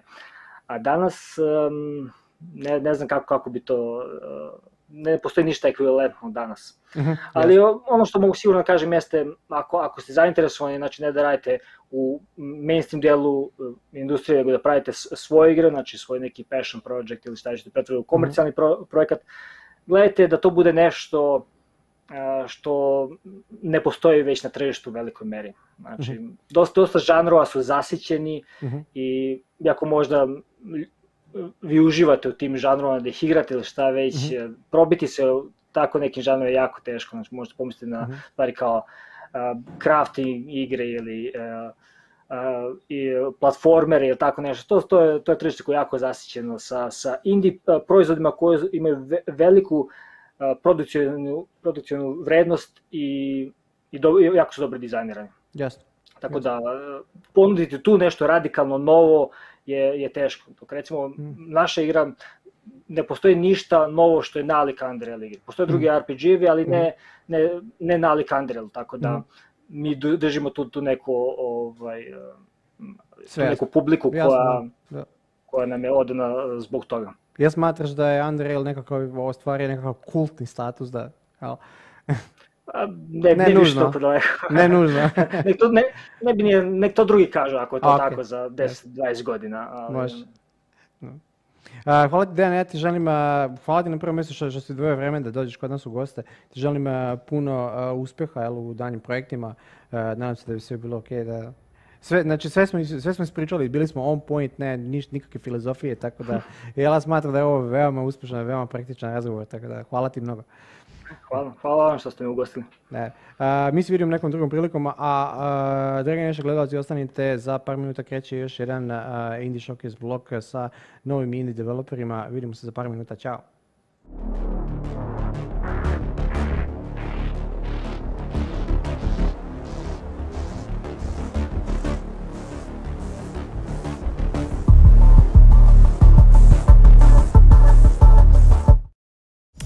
Uz mrežu svih gejmera koja te podržava od prvog levela sve do finala regionalnog e-sport spektakla A1 Adria Lige. Uz vrhunsku brzinu i kvalitetu interneta za superiorno iskustvo gaminga na svim uređajima. Ti povezuješ A1. It's official. You're a moron. I said left, you go right. And now, because of your idiocy, I have to fix this bloody tire. Boss. Well, what?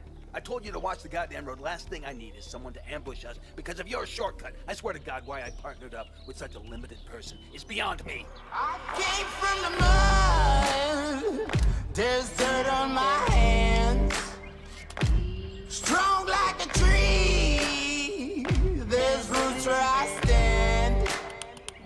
Oh, I've been running from the law. Don't shoot me down soon.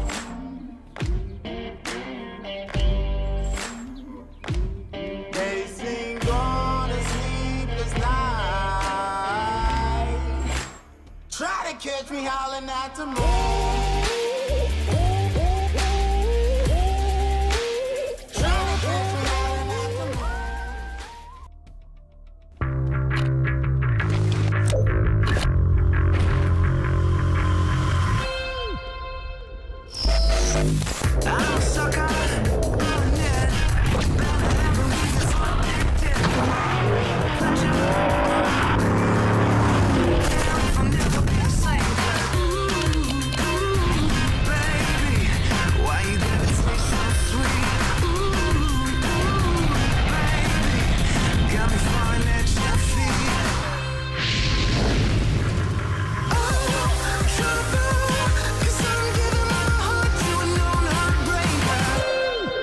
LG OLED Evo.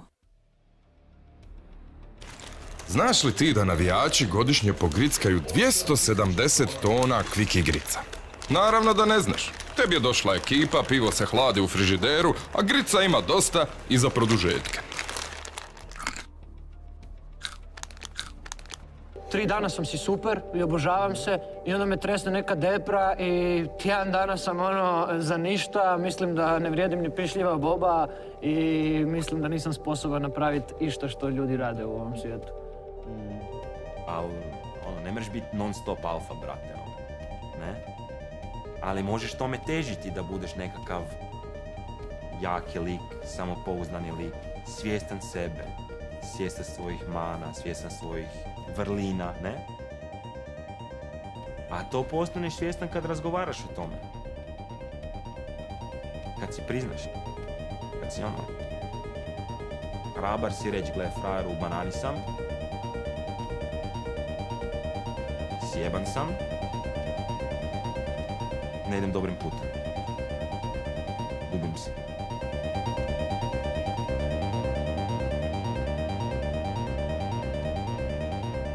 Ti moraš biti bolesno jak da si to priznaš. Bolesno jak.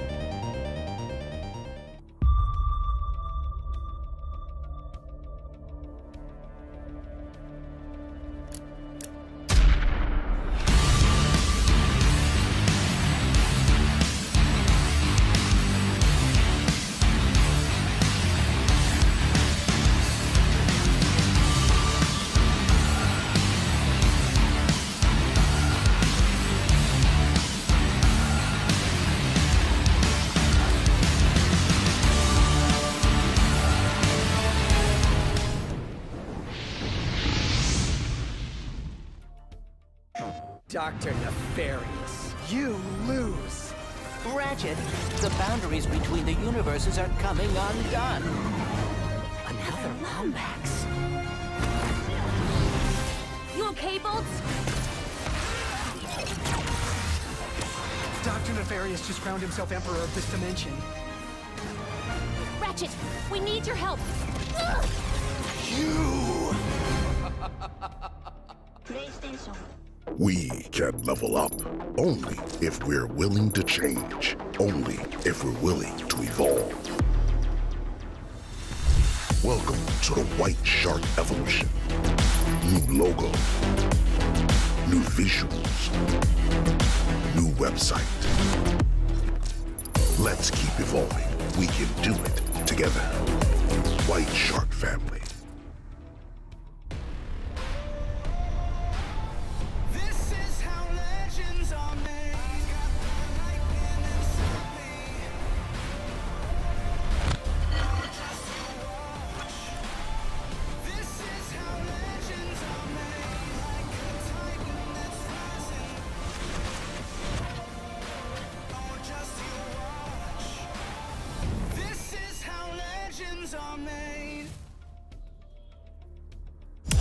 Uz mrežu svih gamera koja te podržava od prvog levela sve do finala regionalnog e-sport spektakla A1 Adria Lige.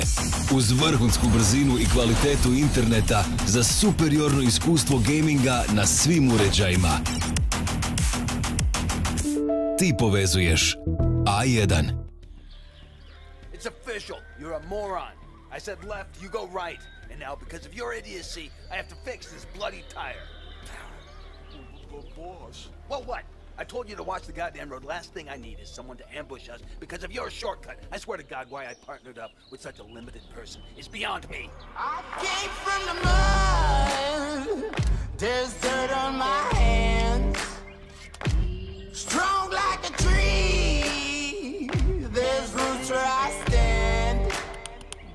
Oh, I've been running from the law. gon' shoot me down soon.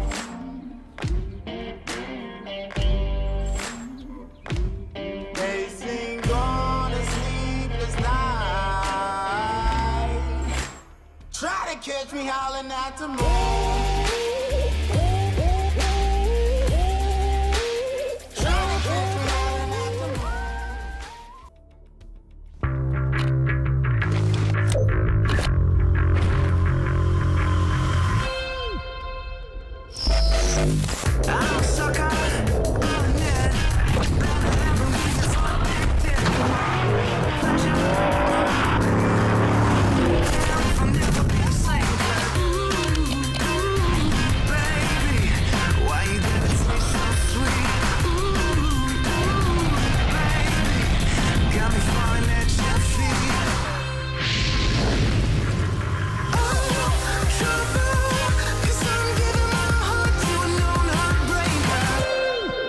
LG OLED Evo.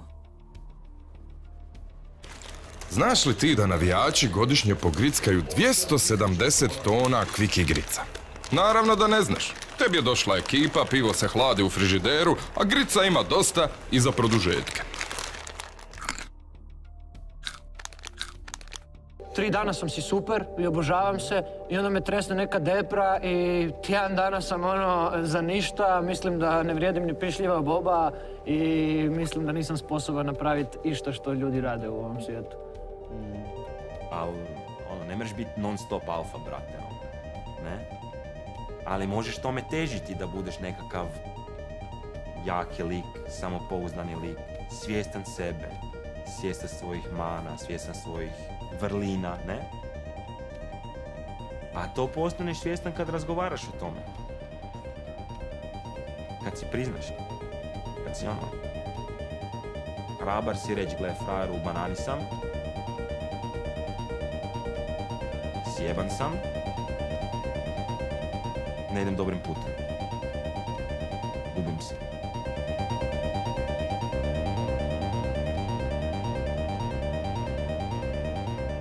Ti moraš biti bolesno jak da si to priznaš. Bolesno jak.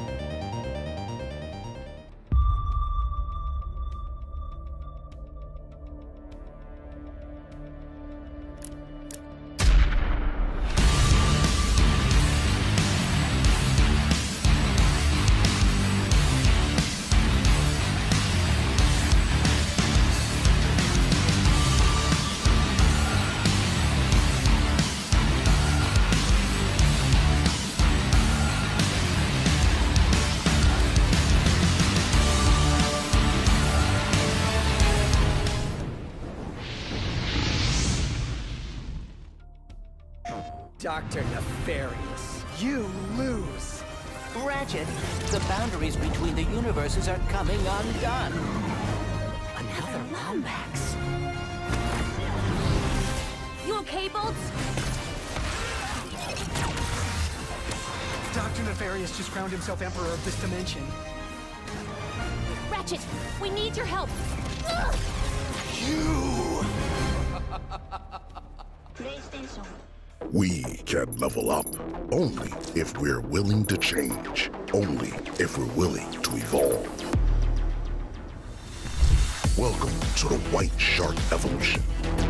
New logo, new visuals, new website.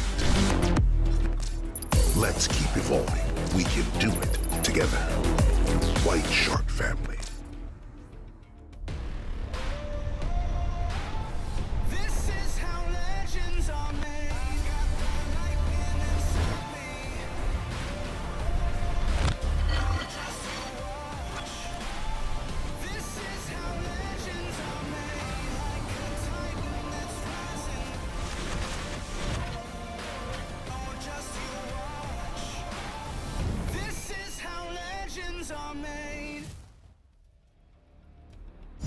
Uz mrežu svih gejmera koja te podržava od prvog levela sve do finala regionalnog e-sport spektakla A1 Adria Lige.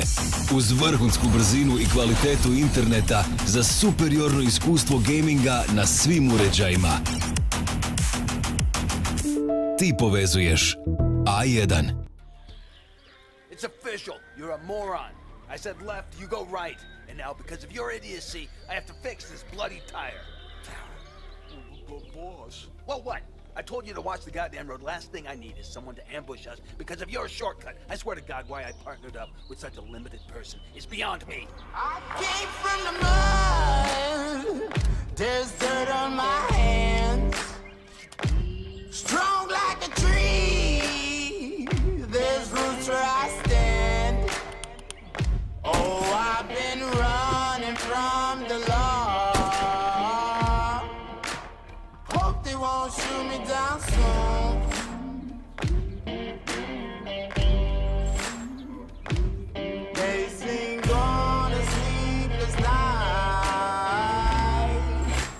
Try to catch me howling at the moon.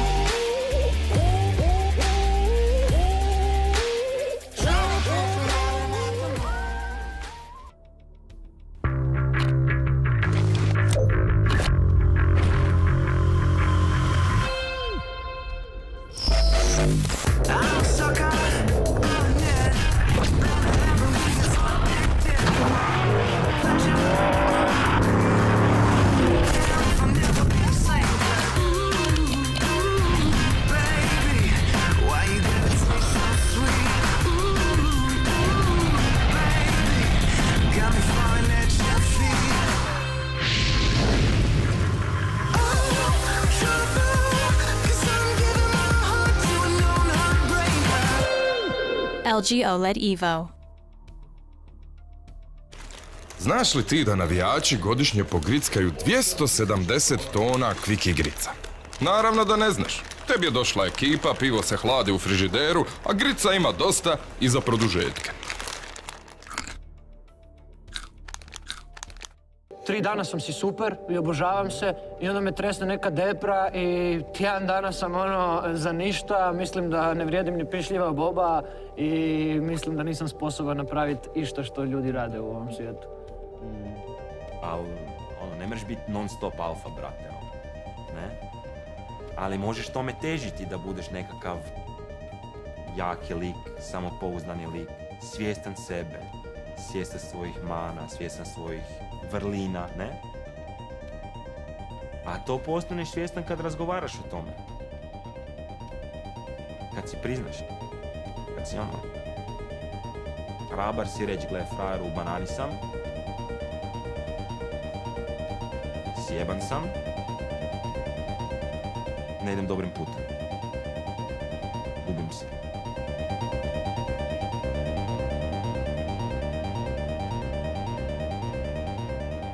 Moraš biti bolesno jak da si to priznaš. Bolesno jak.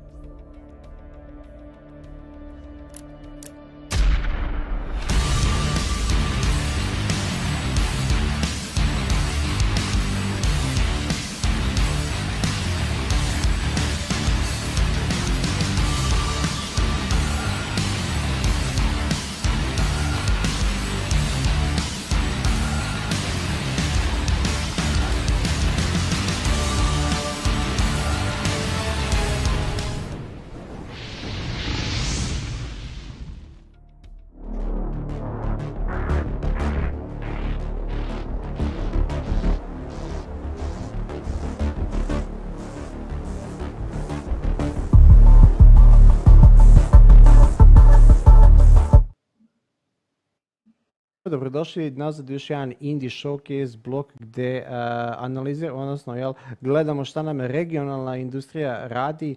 Uh, sa nama na vezi, da li se čujemo, verujem da se čujemo i vidimo, uh, je Saša iz Acta Logic DOO. Da li sam dobro to rekao? Nije Saša, nego Sergej. Zdravo. Da se vidimo, se čujemo? Nešta, Da nešto ne radi dobro. Aha, evo ga, Da, da. e, čuj- čujemo se, evo ga. Da, Da, evo. pardon, e, tu kad, kad brzam sa svojom glavom, onda se desi da prekrstim ljude, jel? Sergej, ja se izvinjavam, jel, e, iz Da, da, Akta da. Logika. E, dobro nam došao, hvala vam što si odvojio vrijeme da prikažemo zapravo šta ti radiš. Da, da, nema problema. E, e, u fokusu nam je zapravo, jel, svi ovi projekti koji smo a, danas prikazali su bili u sklopu Reboot Adria Games inicijative. Možda sam to trebao da naglasim u startu. Tako isto se našao i sad da opet ja ne pogrešim ime, ja ću ovaj, pročitati Wayfarers Call of Osiris. Da li sam dobro rekao? Evo, baš tako. E, ok. E, se isto našao na toj listi, što znači da je jedan od e, kvalitetnih projekata sa naše regije i kojeg razvija Sergej iz Akta Logika. Pa Sergej, ako ti nije problem da nam objasniš zapravo o kakvom je projektu reč, jel, o čemu se zapravo radi, nekakvu pozadinsku priču, da upoznamo jel, naše gledaoce malo bolje. Izvoli.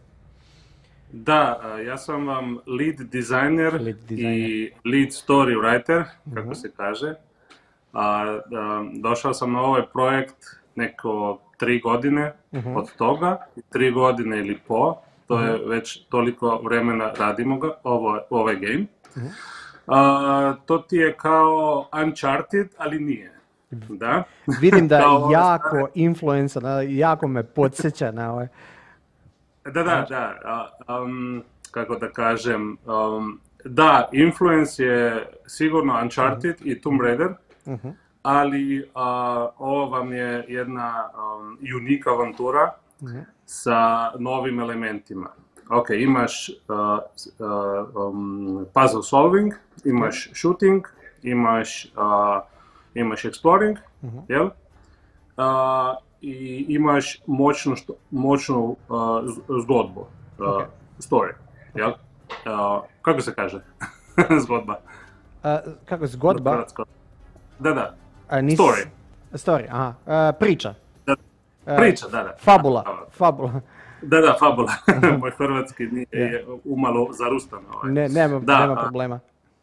Da, da, i sve ovo ti daje jedan Uncharted feeling, Mhm. ali kao prvo, um, protagonisti su jedan eh, udan par, udati par, Ok. koji dođe u, E- u Egipt jer je on, a, ovaj Jack Dawes i Leila Dawes, im je ime, i dođe u Egipt na, a, da, se, da se malo um, relaksiraju, a onda a, upadaju u jednu a, veliku priču a, nekih borbi među, između ancient deities a, iz Egipta. Mhm. ok? I što znači da, da preklapaju sa ovog odmora, da preklapaju u battle mode. Da? Mhm. I onda imaš dvije, dvije um, ravni koji moraš da, da, da eksploraš. Imaš, imaš uh, uh, uh, piramide i, i, i njihov uh, okoliš, šta je oko njih, i onda ideš uh, unutra u Magical Underworlds. Ok? Um, imaš tri tribes, tri uh, plemena uh, od uh, uh, uh, uh, suražnika. Ok. Damn, moj, moj hrvatski nije Ne, zaista nije ne, nema nikakvih problema. Ako jel, zapneš, slobodno reci na engleskom, ja verujem da će svi da razumeju, tako da Da, da, da. problema nema. Da. Da, ne- govorim hrvatski baš. E, eh, Da, možda sam ja na početku trebao u kontekstu reći da je e, serija zapravo iz Slovenije ili slovenskog studija iz Ljubljane, ako se ne varam. jel? Tako da, jel, Da, da, da. da zapravo razvijemo tu misteriju zbog čega jel, e, je kao ta jezična barijera, ali da, e, svakako se jako dobro snalaziš i sve, te, sve smo se do sad razumeli, ako zapne slobodno si iskoristi engleskim i to je to. Ok, a, onda moraš da eksploraš tu ta underworld, Mhm. uh, rešuješ uganke, puzzles, Mhm. jel? Da. Uh, solving puzzles, uh, šta imaš platforming, imaš shooting enemies i to, i imaš moćnu, moćnu priču. Mhm. Ok. Um, s- sad, unique selling points Da. ovde su ti to da um, još, ne vjerujem da je još, da još postoji game koji bi uh, ovako um, verno prikazao uh, ove ru- ruševine u Egiptu. ok? Ok. Piramide razne, templeve i tako. to je što ti je un- overworld. A onda kad ideš underworld, Mhm. to su ti, to je druga reč. Ne, ne postoje, ali naši, e, naš par, naš Mhm. avanturistični par ih e, otkrije. Koliko vas je u studiju u Actalogicu? Koliko vas trenutno radi na ovom projektu? Ok, trenutno se radi još nekih 20, Ok. ali ukupno, ukupni broj koji smo suradili je, mislim da skoro 60. Pitam, da, pitam iz razloga zato što prema ovome što vidim je veoma ambiciozan projekt, što znači da bi Mhm. Utoliko trebalo više ljudi jel, e, u svojem timu da bi se ovako nešto razradilo i zbog samog pristupa e, prikazivanja jel, e, komple, kompletno Da. tih ruševina i zbog pričanja priče i dubine kompletne igre, Da. tako da verujem da je Da. ambiciozno i veoma složeno zbog toga jel, sam, sam pitao da samo da dam jel, perspektivu ljudima da ovakav projekt sigurno nećemo jel, raditi nas dvoje, troje, tako da sigurno će biti Ne. ne. Ne, ne, ne, to je previše as aseta i tako da bi to uopšte bilo moguće. I, I previše je detalja uloženo da bi jel, Da, e, da. da. Da, da, da. E, super sjajno. E, možeš li nam reći malo o pozadini a, akta Logica, kad, kako, kako ste počeli i koji vam je ovo projekt po redu? Uf, ovaj projekt za Actologic je, mislim da 15. već. Actologic prije je, je radio razne agrar simulatore i industry manager igre za njemački trg. A, a onda to je nekako presahnulo ili založni, založnici nisu bili resni. A, stoga smo išli na, na upravo na, na jednu indie RTS Tower Defense Hybrid Hypernova Ok. a, koji smo izdali 2000 2016. Mhm. Onda je došlo vrijeme da, da uradimo nešto vrlo... uh, Malo, malo jače. da, vrlo jače. Vrlo jače. I, da, da, sa tim smo počeli. Mhm. a, pri, pripreme su počele tamo oko vremena kada je izašla Hypernova, Mhm. a, a u, u, For Serious, jeli, Mhm. je počelo negdje 2018. Ok. E, Ok. m, Da se vratimo malo na Osiris. e, Dakle, trenutno, ako sam ja dobro upratio, e, je da li je Early Access trenutno pristupačan na Steam Store? Ja mislim da sam dobro upratio, ako se ne varam. I može se, naravno, e, poželjno je wish listati, jel, e, ovaj e, projekt, tako da od wish listova, jel, Nije, da, da. reci slobodno. Da, da, nije, nije early access, ali je wishlist. Ali wish I list, onda planiramo i neki Kickstarter nabirku Mhm. Da, da završimo game, jer ova korona kriza nam je i, je, je i nama... Preko glave pre- svima. prekrstila- Prekrstila račune, da, da. Aha, jasno.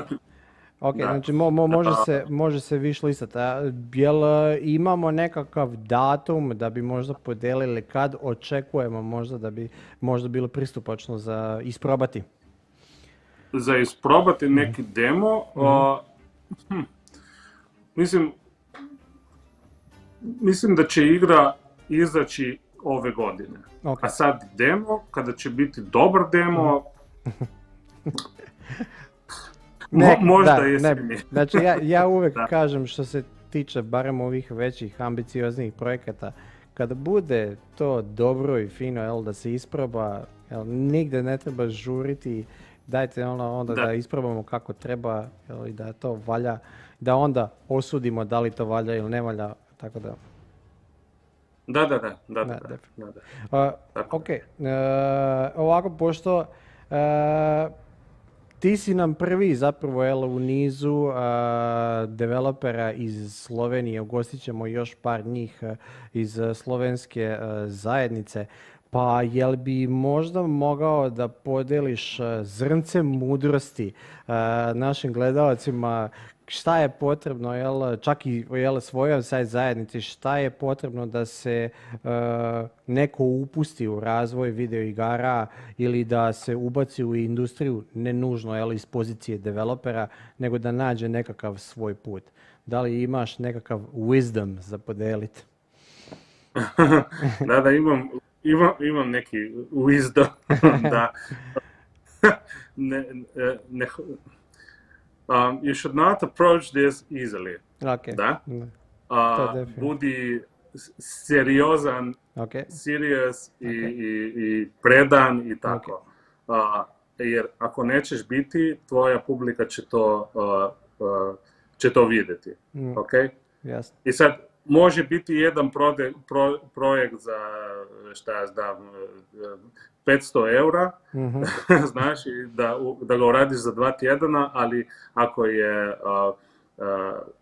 urađen srcem, Mhm. onda će, će, će publika to a, primijetiti. Vidjeti i primijetiti.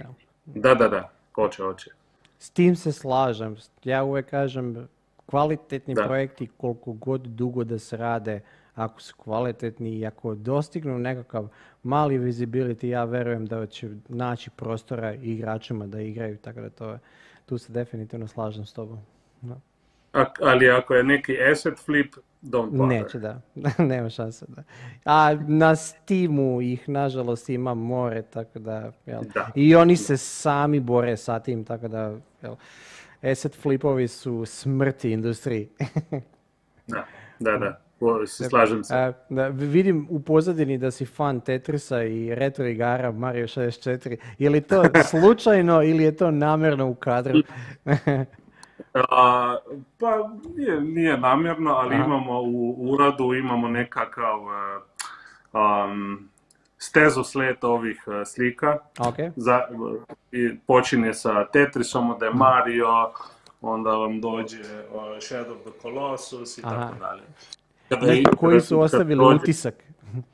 Da, da, kada, da, da, to su oni- gameovi koji su, su zaista odlični Mhm. i na svakoga sam napisao nekakvu um, a message, znaš, Mhm. poruku. Da. Jel? A, moramo, uh, we strive to be like that. Da. Ok? Apsolutno jasno i Da. apsolutno se Da. slažem. Da. To ja mislim da je to najveći wisdom koji možeš da podeliš. Da. da, to ti, to ti je ovaj wisdom koji sam E, koji, koji sam hteo da, da podijelim. Je, super. E, Sergej, a, hvala ti. E, mi ćemo vrtiti jel, u ovom trailer mashupu e, Wayfarers, e, Call of Osiris, dalje ako ste zainteresirani, e, dragi naši gledalci, možete da i viš listate na Steamu.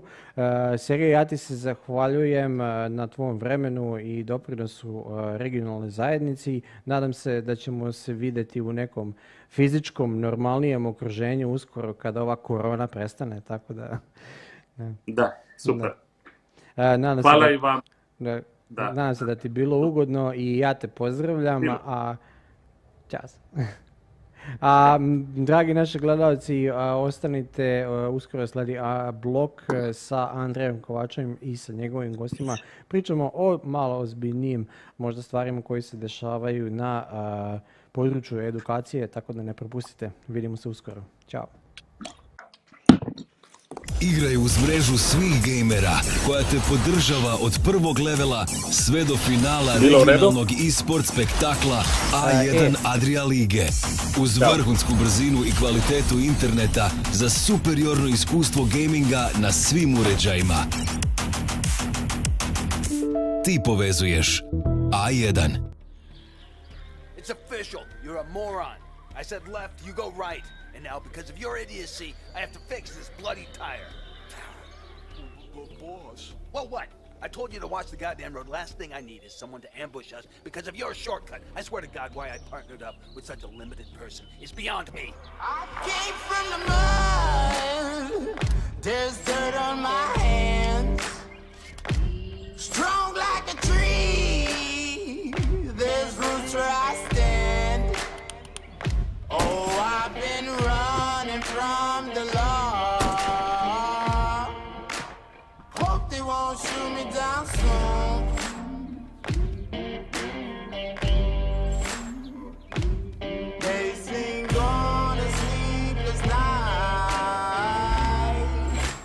Try to catch me howling at the moon.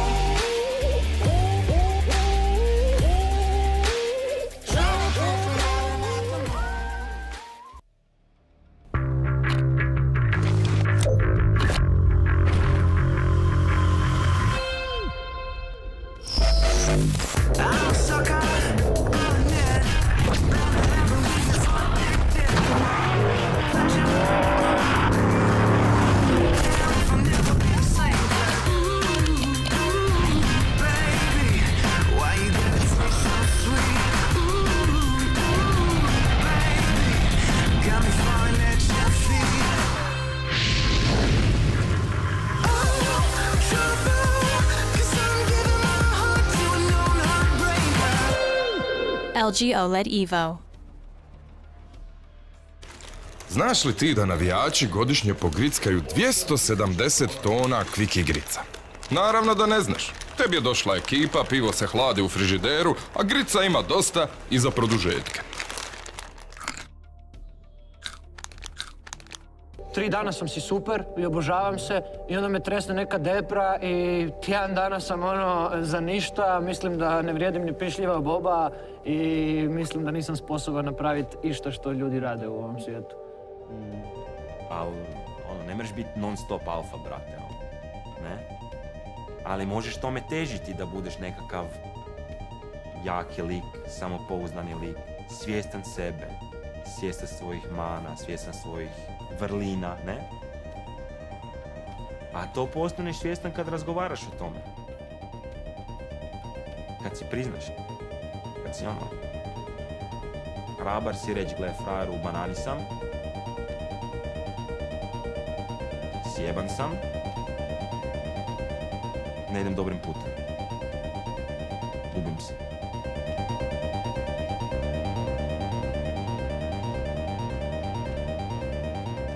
Ti moraš biti bolesno jak da si to priznaš. Bolesno jak.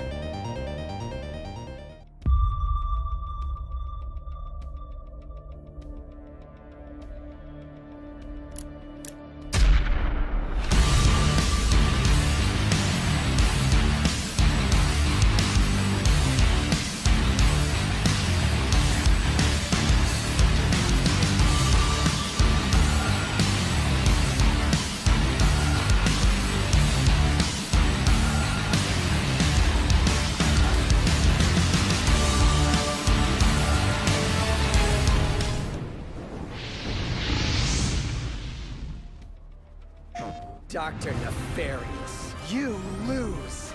Ratchet, the boundaries between the universes are coming undone. Another Lombax. You okay, Bolts? Dr. Nefarious just crowned himself Emperor of this dimension. Ratchet, we need your help.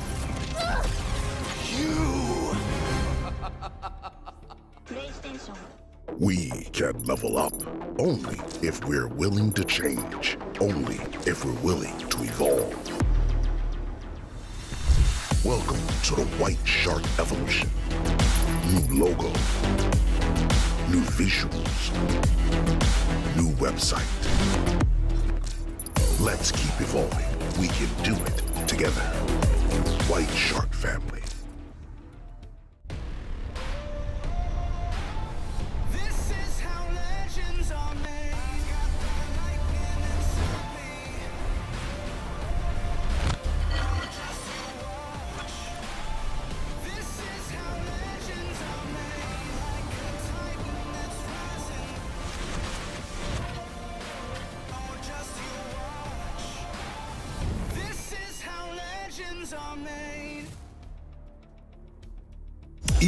Mrežu svih gejmera koja te podržava od prvog levela sve do finala regionalnog e-sport spektakla A1 Adria Lige. Uz vrhunsku brzinu i kvalitetu interneta za superiorno iskustvo gaminga na svim uređajima. Ti povezuješ A1. It's official. You're a moron. I said left, you go right. And now, because of your idiocy, I have to fix this bloody tire. Boss. Well, what? I told you to watch the goddamn road. Last thing I need is someone to ambush us because of your shortcut. I swear to God, why I partnered up with such a limited person is beyond me. I came from the mud. There's dirt on my hands. Strong like a tree. There's roots where I stand. Oh, I've been running from the law. They won't shoot me down soon.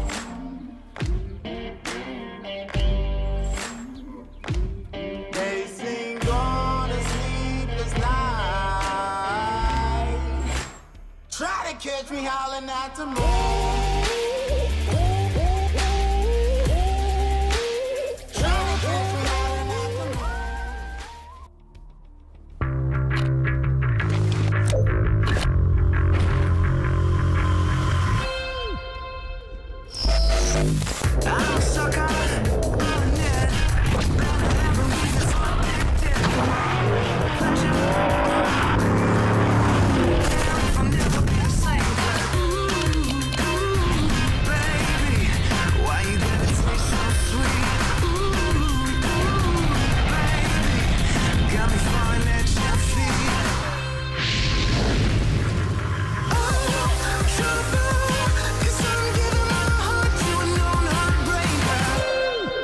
LG OLED Evo. Znaš li ti da navijači godišnje pogrickaju 270 tona kvik igrica? Naravno da ne znaš. Tebi je došla ekipa, pivo se hladi u frižideru, a grica ima dosta i za produžetke. Tri dana sam si super i obožavam se i onda me tresne neka depra i tjedan dana sam ono za ništa, mislim da ne vrijedim ni pišljiva boba i mislim da nisam sposoban napraviti išta što ljudi rade u ovom svijetu. Ali, ono, ne možeš biti non stop alfa, brate, ono, ne? Ali možeš tome težiti da budeš nekakav jaki lik, samopouzdani lik, svjestan sebe, svjestan svojih mana, svjestan svojih vrlina, ne?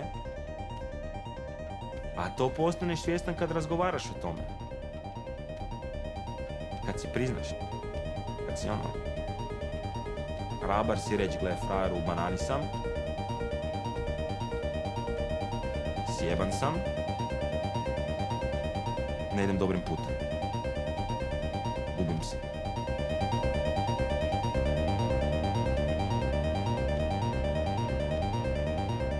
Ti moraš biti bolesno jak da si to priznaš.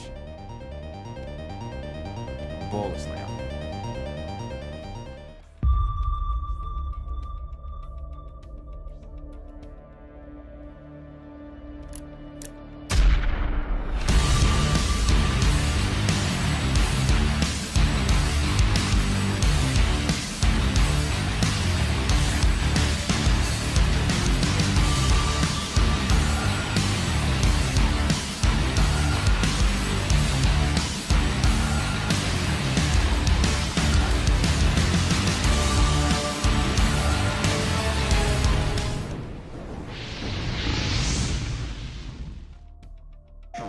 Dr. Nefarious, you lose.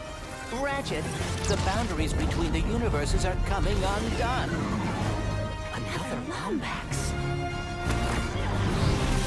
You okay, Bolts? Dr. Nefarious just crowned himself Emperor of this dimension. Ratchet, we need your help. You! We can level up only if we're willing to change, only if we're willing to evolve. Welcome to the White Shark Evolution. New logo, new visuals, new website. Let's keep evolving. We can do it together. White Shark Family.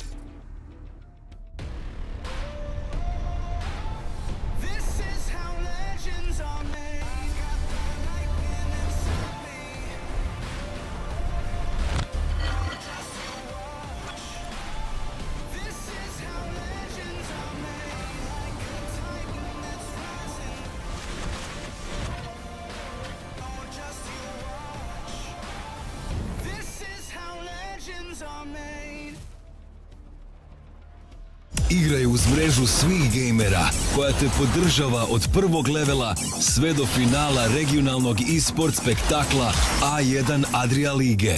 Uz vrhunsku brzinu i kvalitetu interneta za superiorno iskustvo gaminga na svim uređajima. Ti povezuješ A1. It's official. You're a moron. I said left, you go right. And now, because of your idiocy, I have to fix this bloody tire. Boss. Well, what?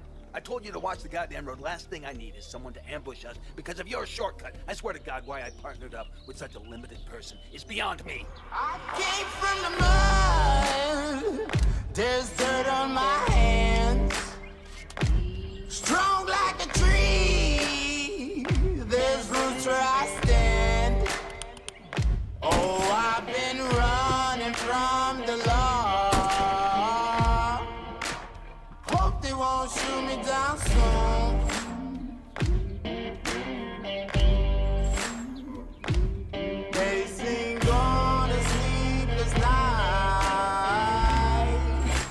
Try to catch me howling at the moon.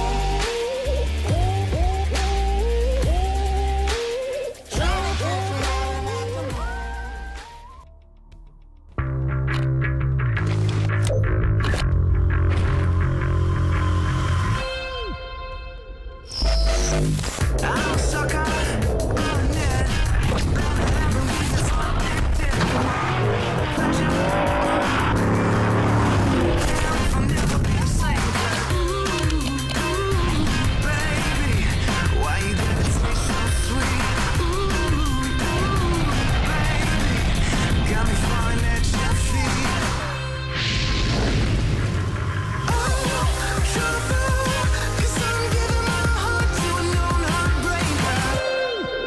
LG OLED Evo. Znaš li ti da navijači godišnje pogrickaju 270 tona kvik igrica? Naravno da ne znaš. Tebi je došla ekipa, pivo se hladi u frižideru, a grica ima dosta i za produžetke. Tri dana sam si super i obožavam se i onda me tresne neka depra i tjedan dana sam ono za ništa, mislim da ne vrijedim ni pišljiva boba i mislim da nisam sposoban napraviti išta što ljudi rade u ovom svijetu. Al, ono, ne možeš biti non stop alfa, brate, ono. Ne? Ali možeš tome težiti da budeš nekakav jaki lik, samopouzdani lik, svjestan sebe, svjestan svojih mana, svjestan svojih vrlina, ne? A to postaneš svjestan kad razgovaraš o tome. Kad si priznaš. Kad si ono... Hrabar si reći, gle, frajeru, u banani sam. Sjeban sam. Ne idem dobrim putem. Gubim se.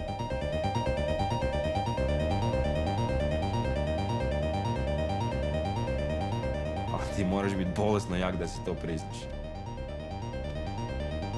Bolesno jak.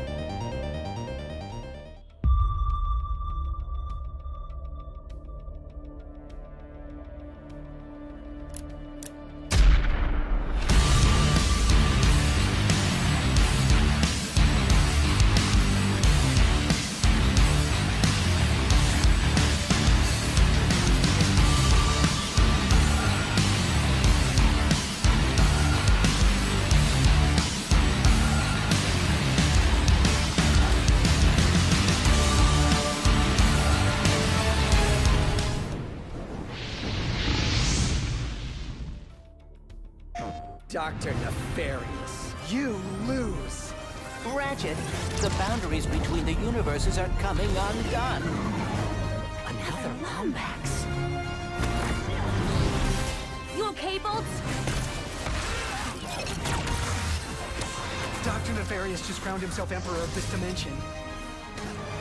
Ratchet, we need your help. You!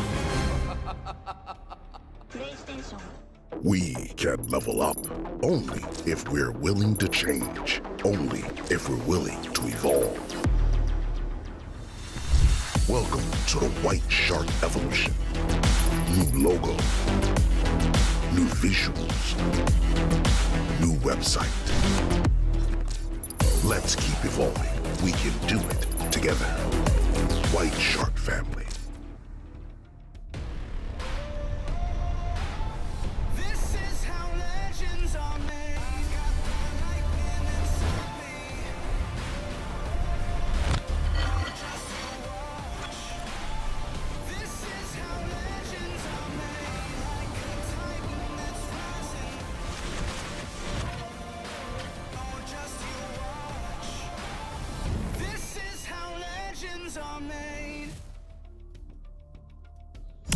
Uz mrežu svih gejmera koja te podržava od prvog levela sve do finala regionalnog e-sport spektakla A1 Adria Lige. Uz vrhunsku brzinu i kvalitetu interneta za superiorno iskustvo gaminga na svim uređajima. Ti povezuješ A1. It's official. You're a moron. I said left, you go right. And now, because of your idiocy, I have to fix this bloody tire. Boss. Well, what? I told you to watch the goddamn road. Last thing I need is someone to ambush us because of your shortcut. I swear to God, why I partnered up with such a limited person is beyond me. Came from the mud. There's dirt on my hands. Strong like a tree. There's roots where I stand. Oh, I've been running from the law. They won't shoot me down soon.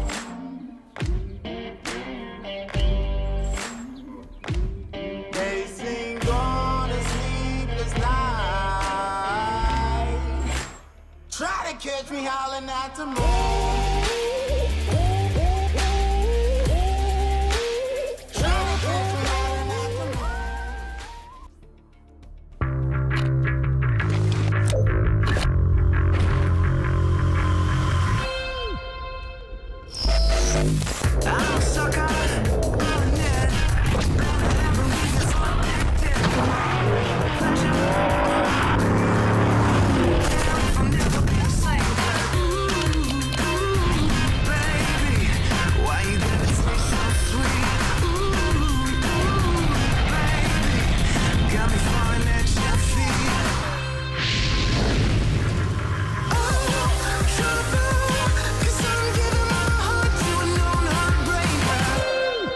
LG OLED Evo.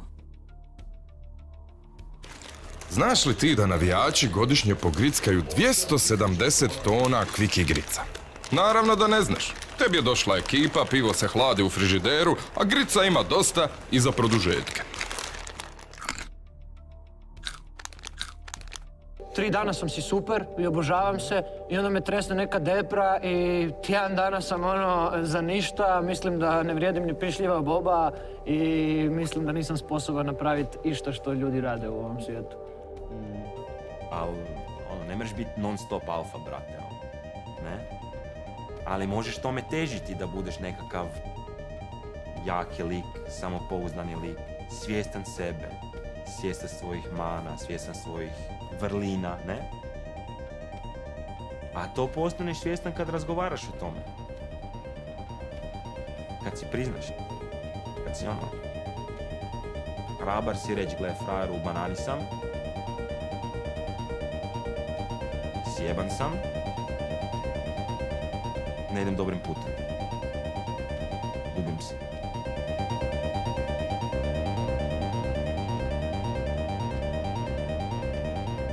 Ti moraš biti bolesno jak da si to priznaš. Bolesno jak.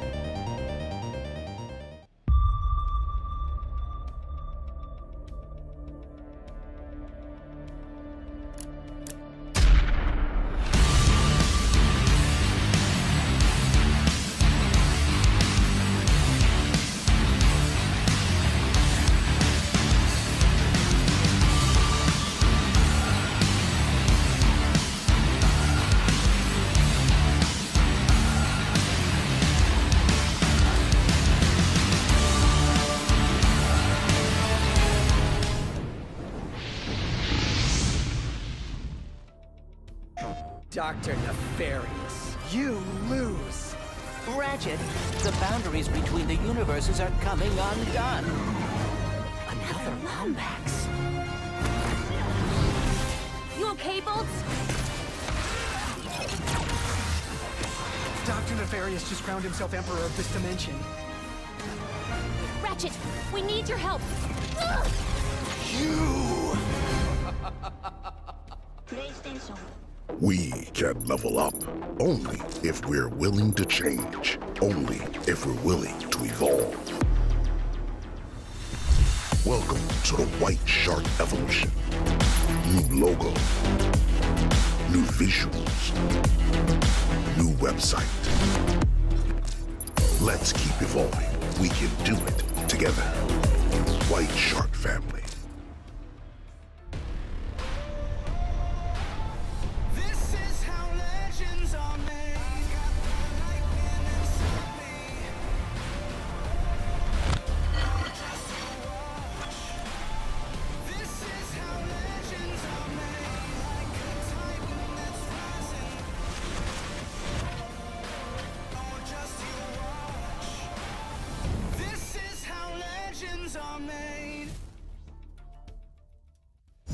Uz mrežu svih gejmera koja te podržava od prvog levela sve do finala regionalnog e-sport spektakla A1 Adria Lige. Uz vrhunsku brzinu i kvalitetu interneta za superiorno iskustvo gaminga na svim uređajima. Ti povezuješ A1. It's official. You're a moron. I said left, you go right. And now, because of your idiocy, I have to fix this bloody tire. Boss. Well, what? I told you to watch the goddamn road. Last thing I need is someone to ambush us because of your shortcut. I swear to God, why I partnered up with such a limited person is beyond me. Came from the mud. There's dirt on my hands. Strong like a tree. There's roots where I stand. Oh, I've been running from the law. Won't shoot me down soon.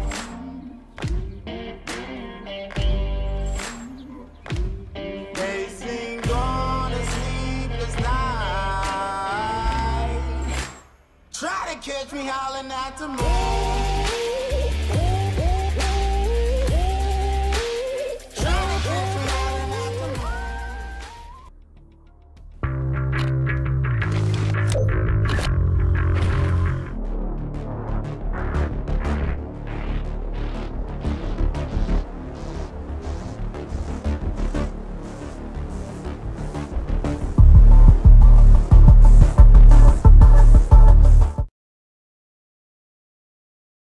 Još, jednu, još jedan novi blok koji imamo u ovom izdanju Reboota. E, Evo nas tu na Games Industry Powered by Gamepires i svaki dan ćemo se družiti od 18.30 do 19.30 u nečemu što su razgovori o ekosustavu. Znači ekosustavu od obrazovanja, mogućnosti financiranja, nekako svim, svim silama koje se spajaju na domaćoj sceni vezano za game industriju. Moje ime je Andrej Kovačević, a moj gost večeras je Davor Švajić koji nam dolazi sa ADU-a. Tamo službena funkcija je prodekan za međuinstitucijsku i međunarodnu suradnju, Dobro, ali koliko znam to nije jedina stvar kojom se baviš. A večeras prvenstveno si s nama zato da razgovaramo o Edu for Gamesu, šta je Edu for Games i ovoga, na koji način je sve to krenulo. Pa ajmo nekako polako, u smislu ono od početka, šta je Edu for Games? Pa dobro večer svima i od mene i ovaj, hvala na pozivu, stvarno mi je drago da sam ovdje i da imamo priliku razgovarati o tome. Um, Edu for Games je projekt kroz koji razvijamo na sveučilištu u Zagrebu nove studijske programe kojima bi područje bavljenja trebao biti game development, odnosno razvoj i dizajn video igara. To je zapravo prvenstveni cilj projekta. Ciljeva je još nekolicina, to možemo nešto malo kasnije ovaj, proći, ali e, ideja nam je nekako odgovoriti na, recimo to tako, potrebe tržišta rada, Mhm.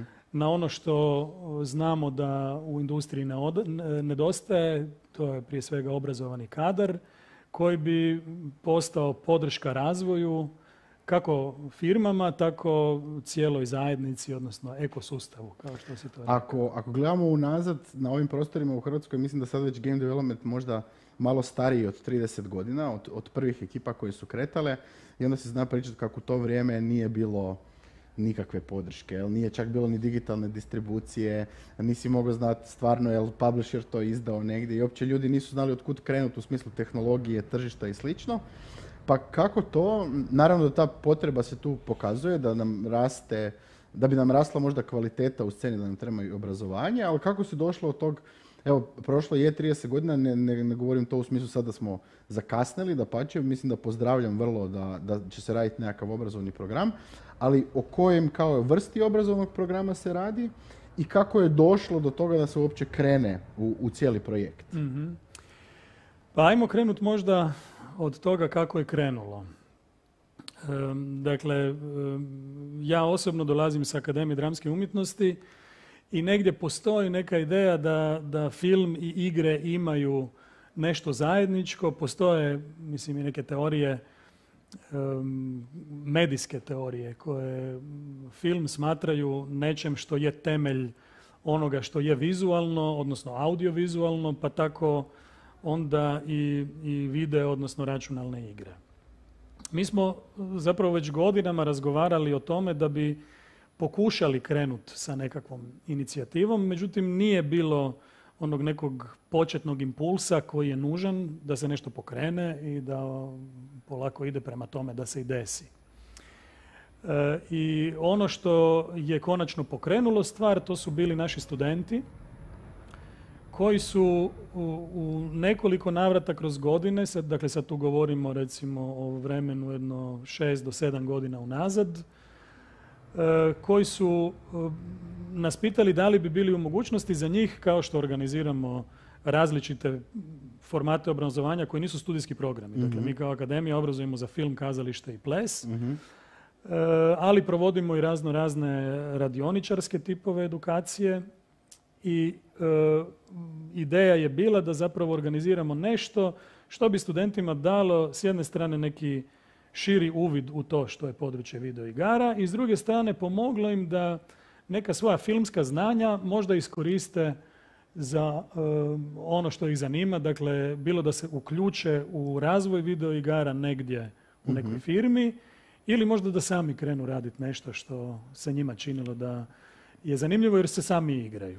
Tu si se sad dotaknuo dvije teme koje, koje su interesantne. Jedno je što nekako to oslanjene na vizualno ili audiovizualno, pa tu postoji već dugo jedna debata, e sad da li je to među gamerima ili među onima koji proizvode igre, da li je to, da li su igre umjetnost ili su nešto drugo i to je iznenađujuće da inicijativa dolazi možda sa Akademije dramske umjetnosti u Zagrebu, a druga stvar je ovo što si spomenuo, kao inicijativa je krenula od studenata. Pa s jedne strane bi te pitao kako to da, da je to smješteno prvenstveno na Mm. ADU i kako to sad da je to u AV polju gdje možda ako gledaš ovako na nekoj laičkoj sceni je tu dosta prijepora oko toga gdje bi to trebalo svrstat, a s druge strane, ili ajmo prvo na to pitanje, pa ćemo onda na ovaj drugi dio. Ba, da, jasno. Ovaj, to, je, to je negdje bio idući korak. Ja govorim iz naše neke pozicije, iz pozicije akademije e, i nekako e, polako dolazim do, do onoga što je onda dovelo do razvoja projekta Edu for Games i umrežavanja e, različitih fakulteta Mhm. Zagrebačkog sveučilišta. E, jer kako smo ušli u područje, zapravo smo shvatili da više toga ne znamo ne- nego što znamo. Em, u tome smo onda shvatili da, da to ne možemo raditi sami. Prvo smo se povezali sa vama, ovaj, tu si negdje i ti bio, valjda u tim razgovorima. Ja od tih starih, e, iskusnih, mudrih ljudi e, uvijek i vrlo rado e, spominjem i, i Antu, dakle Antu Vrdelju, s kojim smo krenuli zapravo u razgovore da uopće dobijemo nekakav uvid u to što područje igara, video igara jest. I s druge strane kako bi onda mogli e, osmisliti nešto što bi našim studentima dalo taj neki osnovni temeljni uvid. Ne? Kad smo shvatili da to ne možemo raditi sami, prvi prirodni korak je bio da vidimo jer smo sastavnica sveučilišta u Zagrebu, da vidimo što još na sveučilištu u Zagrebu već postoji. I tu smo onda došli u kontakt e, i otkrili neke sjajne kolegice i kolege na fakultetu elektrotehnike, dakle elektrotehnike i računarstva, FERU, na Likovnoj akademiji, e, na studiju dizajna i e, shvatili smo da u Zagrebačkom sveučilištu, znali smo to naravno i od prije, da postoji fakultet koji je u Varaždinu, fakultet organizacije i informatike i da tamo postoje neki elementi koji se već provode e, i kojima je recimo to tako nekakvo šire područje bavljenja, između ostalog i video igre. Ehm, tu smo onda počeli umrežavati ekipu, s jedne strane ekipu sa sveučilišta, s druge strane vas iz industrije i počeli smo, ja bih rekao da je to negdje sad pet godina unazad, možda griješim, ovaj, možda sam koju godinu fulo, ali ne puno. E, Kad smo na akademiji krenuli sa radionicama, dakle to je bio Ali oprostite, da te samo kratko prekinem prije nego što odemo u taj, ajmo reći i detalje i koje je sve na projektu i kako se sve radilo, još bi samo da kratko ostanemo na ovoj višoj razini, zato sam te namjerno pitao vezano za kao AV djelatnost.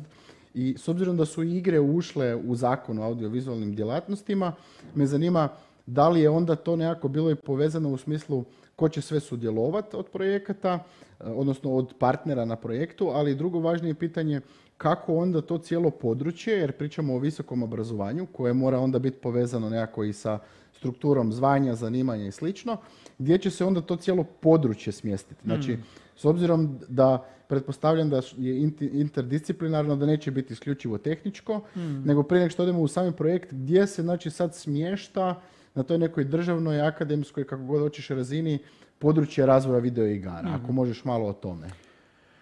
Pa ok, dakle od tih pet godina puno, u, tih pet godina puno toga se zapravo desilo. Jako Mhm, puno toga mhm. smo napravili.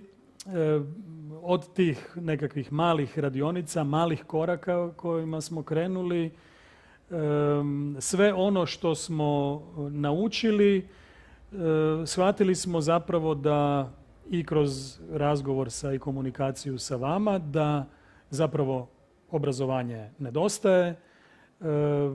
Bili smo dovoljno u to vrijeme još uvijek mladi i naivni da smo se odlučili onda krenuti tim putem da pokušamo postaviti nekakve programe na noge koji neće samo biti taj neki mali format e, radionice. E, I 2019. godine smo krenuli sa projektom Edu for Games. U tom trenutku nije nam uopće bilo zapravo, ne bih rekao da nam nije bilo bitno, nije nam bilo bitno. E, nismo razmišljali o tome Aha, još u koje područje bi to ušlo. Mhm. Ovaj, To se e, pokazalo kroz onda razgovore i... pa kroz, kroz, kroz razvoj projekta, uz razvoj projekta su se Mhm. zapravo događali neki drugi procesi koji se i dan danas i dalje događaju i traju. Dakle, ovo što si rekao, e, igre su negdje na, na državnoj razini, odnosno na razini legislative državne, nekako potpale pod e, ingerenciju Ministarstva kulture prvo, Mhm. pa su onda ušle u e, zakon o AV-u.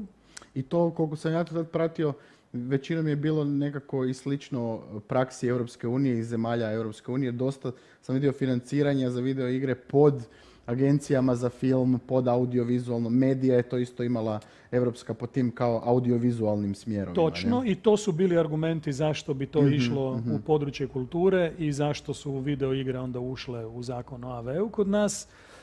E, Međutim, neke europske prakse velikih zemalja, kao recimo Njemačke, Mhm. e, imaju potpuno drugu paradigmu. Dakle, u Njemačkoj su video igre pod ministarstvom prometa, recimo. Ne? E, Što je s druge Zanimljivo, strane sjajno jer je tamo budžet bitno veći i mislim i danas e, javna, javna sredstva koja se ulažu u industriju jesu u rangu ne kulture nego prometa, što je ipak, ipak puno bolja situacija. Ne?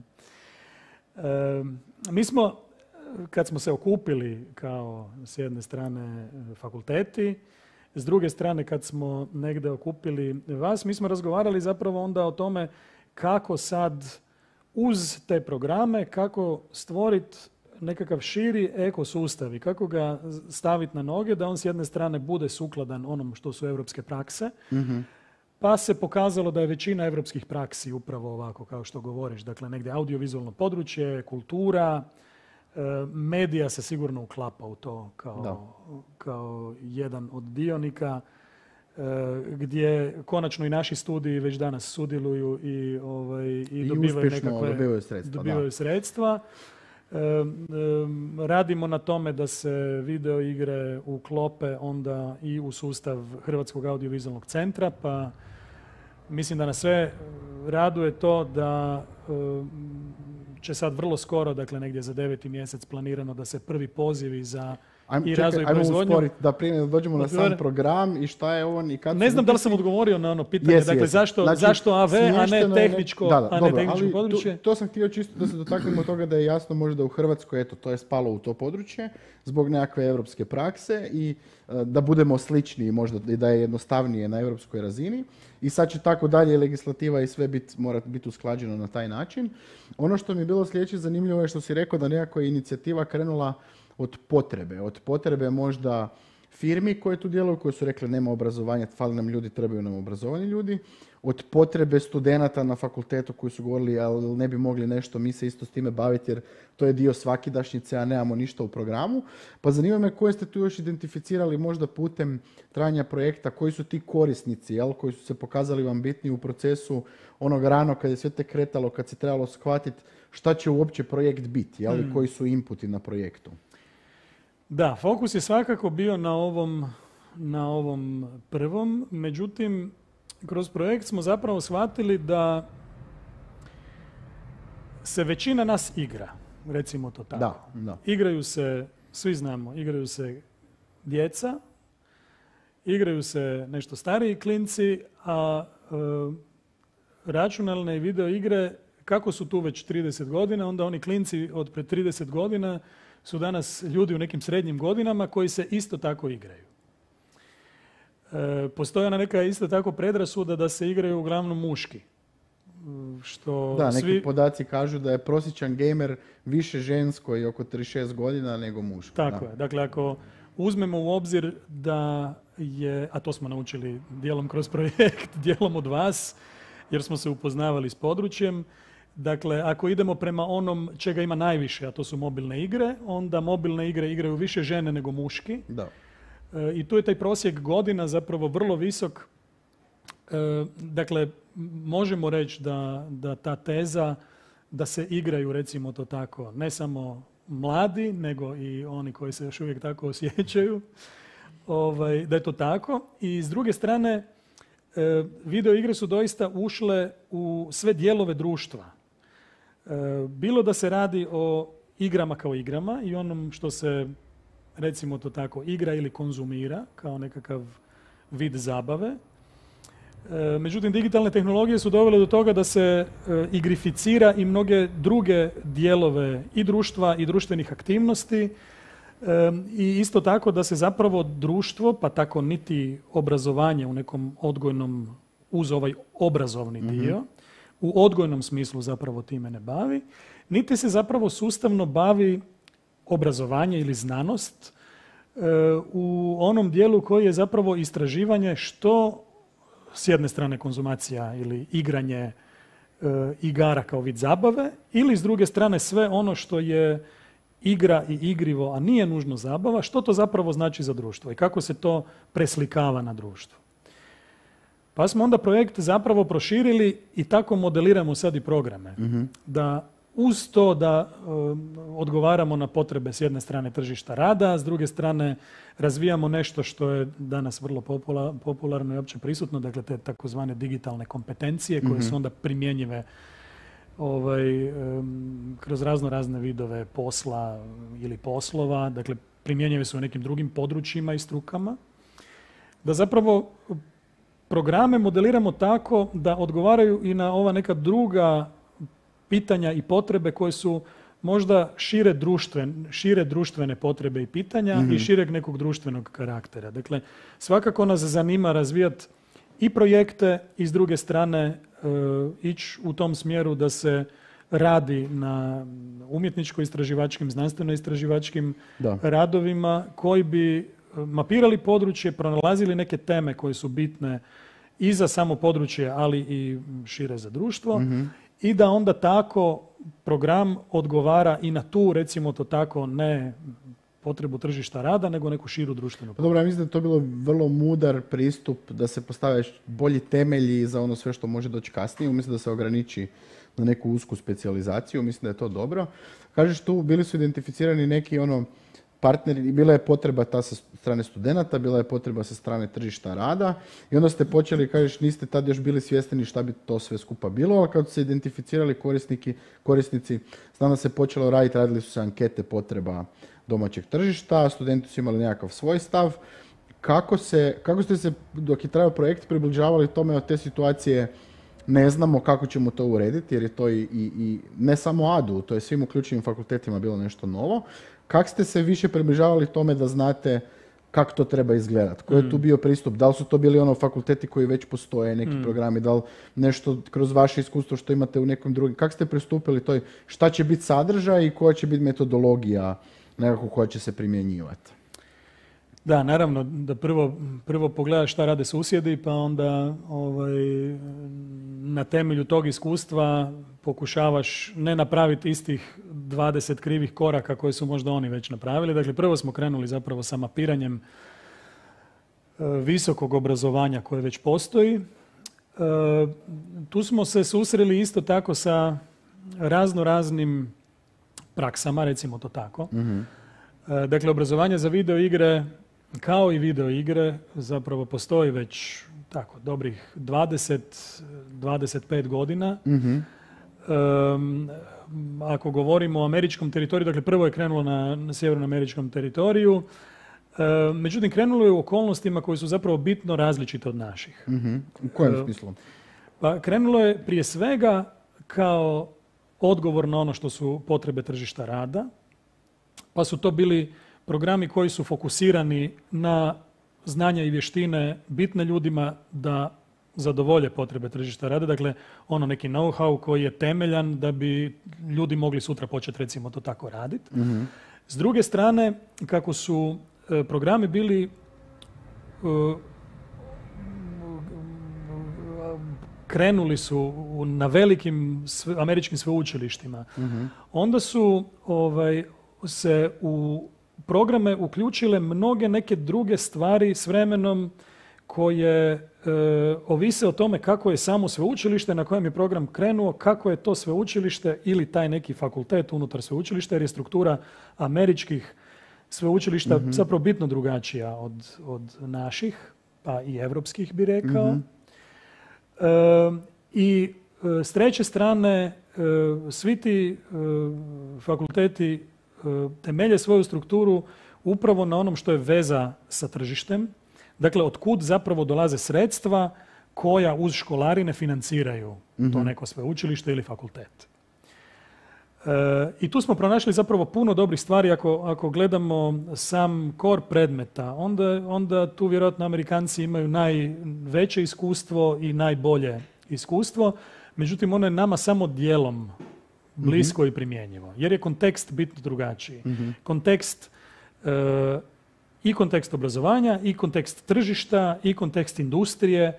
Na sjevernoameričkom tržištu je to nešto sasvim drugo. Mhm. E, naravno da postoje fakulteti kao što je recimo NYU, dakle isto, istočna obala ima neku ideju uopće o sebi, pa tako i o svom obrazovanju, koja je ipak drugačija od zapadne obale. Zapadna obala je orijentirana prema ovom što sam ovaj, rekao. Dakle, uskoj i bliskoj vezi sa onim što je tržište, sa, Mhm. veze sa industrijom i tako dalje.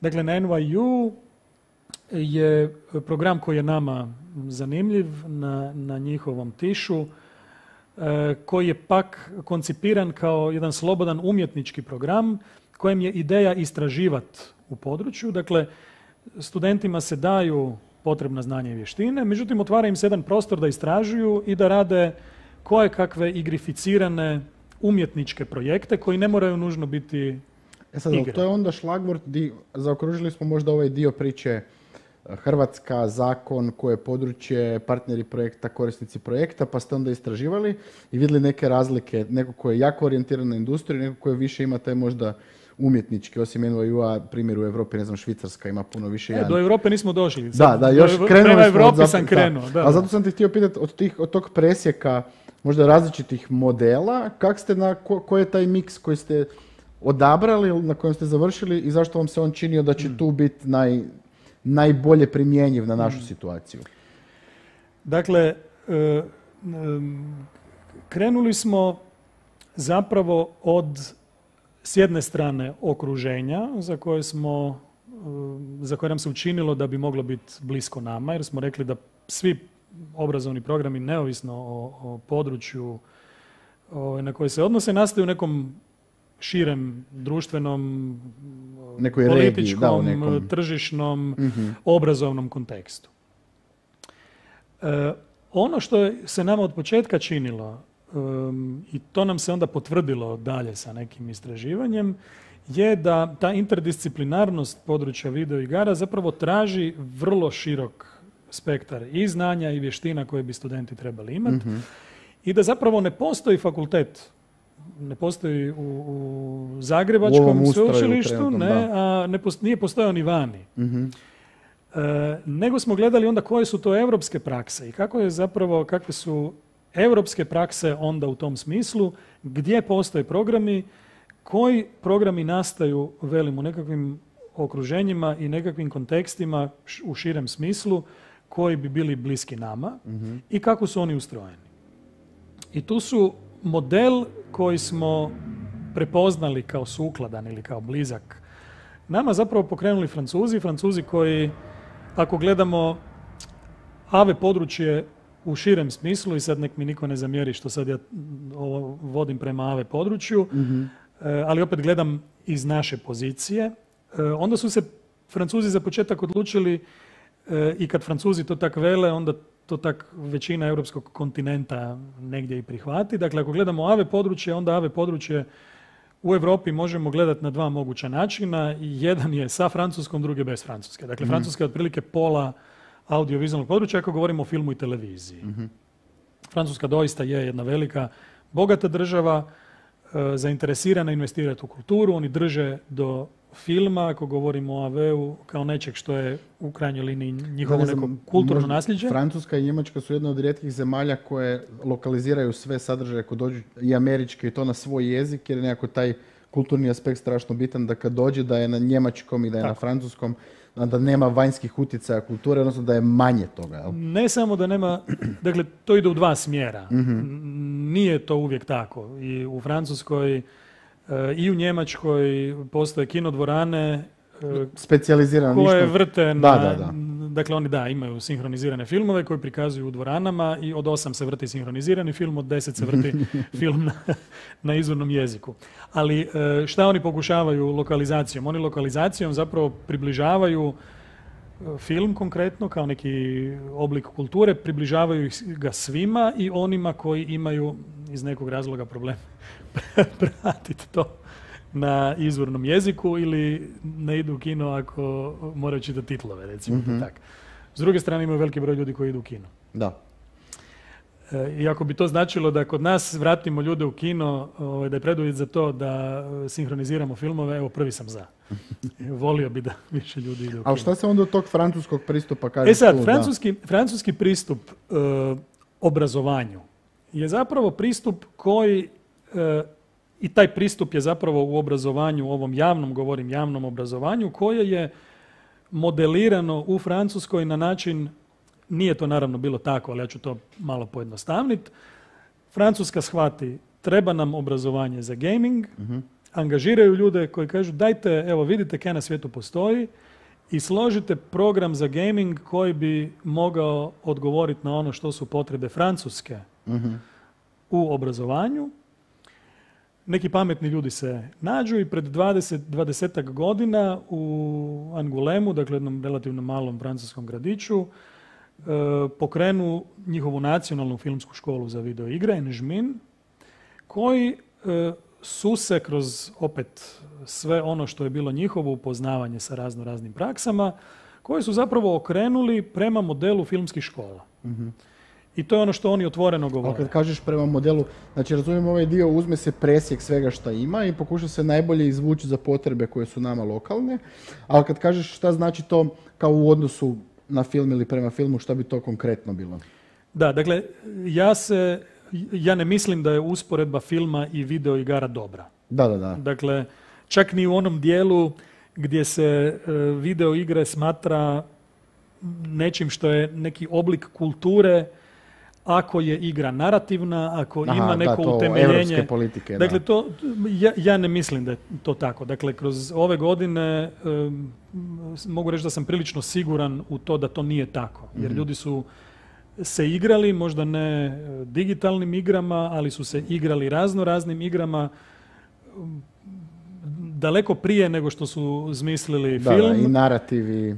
i, da. priče i tako dalje. U isto vrijeme, da, oni su slikali po nekim pećinama, gledali su neke sjene koje su projecirali e, jer su u tim spiljama gorile neke vatre, ali to su zapravo dve odvojene stvari. U jednom dijelu spilje su se igrali, a u Mhm. drugom dijelu spilje su neke mazali ovaj, po zidovima. Nekad je to imalo neke veze, ali zapravo češće vjerojatno nije. E, ali ono što je model filmske škole je model e, obrazovanja za film koji film promatra kao igre na način da je to umjetnost govori se vrlo često o filmu kao sedmoj umjetnosti koja Mhm. u sebe integrira sve one druge. Dakle, u jednom interdisciplinarnom području za koje su bitna različita znanja, recimo to tako, različite profesije, različite vještine da bi se film mogao napraviti. I onda imate nekoliko modela kako i filmske škole funkcioniraju. Neke Mhm. škole odgajaju takozvani opći filmmaking pristup, to je recimo pristup koji je vrlo prisutan na sjevernoameričkom području, dok s druge strane u Europi imate od početaka praksu da imate umjetničke škole koje su koncipirane kao konzervatoriji, dakle kao i umjetničke akademije za starije umjetnosti, muzička akademija, likovnu akademiju i tako dalje, gdje se kroz programe obrazuju slikari kao jedno, jedna disciplina, kipari kao neka druga disciplina, em, restauratori kao neka treća disciplina kod nas na akademiji.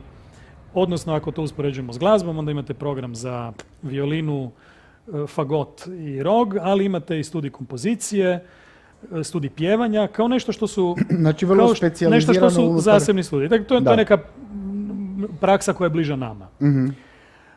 Tako onda i filmske škole i programi filmskih škola u nekoj europskoj tradiciji zapravo idu prema tome da vi imate, tako i na našoj akademiji, da e, postoje programi kroz koje se obrazuje neko ko je redatelj, neko ko je snimatelj, neko ko je montažer, neko ko je producent, neko ko su glumci, a kroz ono što je umjetnička praksa, dakle ono što je rad na zajedničkim projektima, oni sve ono što su naučili na svojim programima, na neki način e, dovode u vezu i zajednički rade projekte koji konačno jesu onda filmovi i kroz Mhm. koje onda E, primjenjuju je- ta znanja i vještine. To nam je onda možda šlagvord da pređemo na taj dio, da ne ostanemo u cijelom ovom bloku ti i ja u teoretskoj ovoj fazi, gdje u principu znači se i onda se i, i studij i cjeloživotni program, možemo i jedan i drugi spomenuti. Nismo još otkrili kako program izgleda. Da, ali u nit, nit vodilja šlagvord na ovo što si rekao je interdisciplinarno, znači tu imamo različite fakultete koji dolaze skupa, radi se specijalizacija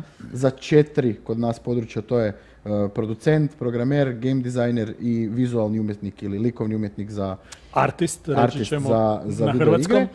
Znači, specijalizacija interdisciplinarna, ali na ovo što kažeš na zajedničko, znači jako je bitan taj aspekt praktičnog rada, gdje će oni kroz program skupa već odmah raditi na određenim dijelima, audiovizualnim dijelima koje su u ovom slučaju video igre, da bi na ishodu programa, odnosno sa završetkom programa već imali to timsko iskustvo, imali i neki mali proizvod, dijelo, igru gotovu koju mogu negdje pokazati za, bilo za zaposlenje ili za nešto drugo. I onda je to ta struktura. Znači sad smo nekako prošli cijelu tu priču, genezu i legalnu i otkud je došla ideja i potreba i ko je pristup bio, ali sad pošto imamo još 10 minuta, ko je onda se programi planiraju, znači Mhm. dva su različita programa, kad se očekuje početak jednog, početak drugog i neke osnovne informacije možda o tome da ljudi koje zanima da znaju kako, kad očekivati koji program, kako se na njega prijaviti i, i što će on činiti. Da.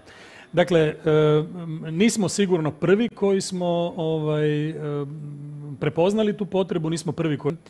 E, Ima sjajnih primjera kod nas, Makina to već jako dugo radi i radi to jako dobro. Neke privatne škole imaju programe za game development i to vjerujem da rade isto tako dobro. Međutim, nigdje zapravo ne postoji cjelovito obrazovanje za područje koje je ustrojeno na ovaj način koji se pokazao kao dobar i koji je dao rezultate u Europi. Dakle, na način da je koncipiran tako da se obrazuje za temeljna zanimanja, Mhm. pa su ova zanimanja koja si rekao, dakle game designer, neki artist, odnosno vizualni umjetnik, kako to u ovom trenutku zovemo, programer i producent. To su temeljna zanimanja nekog tima koji proizvodi video igru. Pa su to onda i usmjerenja našeg programa. I koncepcija studijskog programa, odnosno bolje rečeno studijskih programa koje Mhm. razvijamo, a razvijamo dvije vrste studijskih programa. Razvijamo program cjeloživotnog obrazovanja, kao neku vrstu intenziva koji bi u malo bržem formatu, dakle kraćem formatu, bolje rečeno ne bržem, u kraćem formatu brže rješavao e, s jedne strane ovo što je potreba tržišta rada i s druge strane što je interes ljudi koji se žele u to područje e, nekako uključiti. Koliko traje taj program? Koji su potencijalni kandidati koji se tu mogu javljati i kad počinje, oprosti, htio si ga najaviti tijekom početka našeg druženja, pa ste ja sprečio da malo ovaj uvod napravimo. Znači neke osnovne detalje o tom cjeloživotnom. Kada to kreće, koje formati, ko su korisnici toga? Da, dakle mi smo sad, ako govorimo o Edu for Gamesu, kroz koji razvijamo projekte u, recimo to tak, zadnjoj četvrtini. Mi smo okvire programa postavili, cjeloživotno obrazovanje bi trebalo funkcionirati u formatu koji ljudi poznaju kao po prilici jedan semestar, dakle to je Mhm. 15 tjedana. Mhm. E, sa akreditacijom još nismo krenuli jer e, kao dio projekta imamo priliku oprobati to što smo pripremili mhm.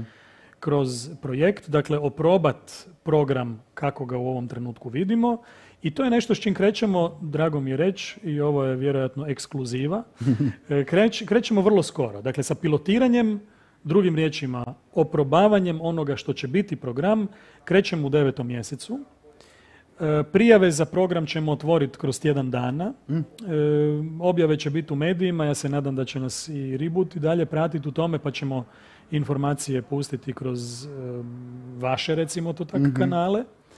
Dakle, prijave će krenuti kroz e, tjedan dana, bit će otvorene negdje do početka sedmog mjeseca i sredinom sedmog mjeseca ćemo provesti prijemne ispite jer očekujemo da će nam se javiti zapravo dosta velik broj To je kandidata. iskustvo s radionica, da je uvijek Da. bilo više interesa nego mjesta. Tako da. je, tako je. Dakle, tu ćemo neku selekciju ovaj, napraviti i početi sa provedbom programa cjeloživotnog obrazovanja u devetom mjesecu.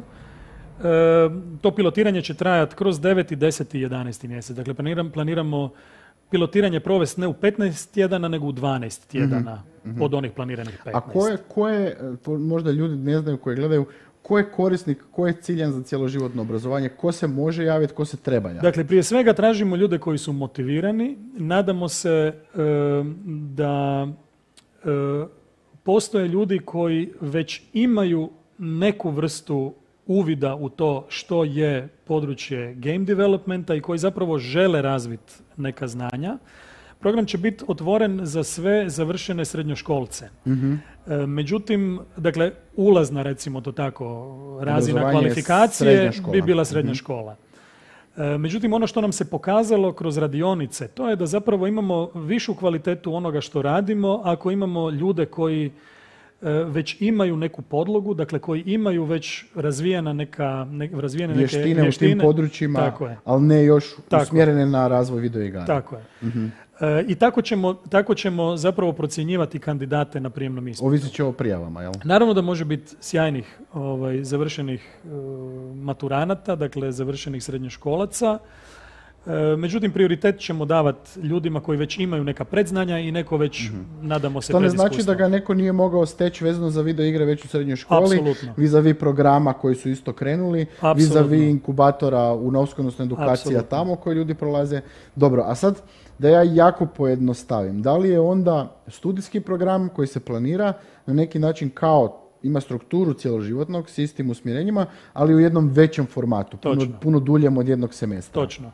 Dakle, kroz e, program cjeloživotnog obrazovanja ljudi će imati priliku s jedne strane razvit e, nešto što će biti igre koje su igre na stolu, dakle neki board game ili neki, neku, neki vid društvene igre i onda jedan digitalni projekt. Mhm.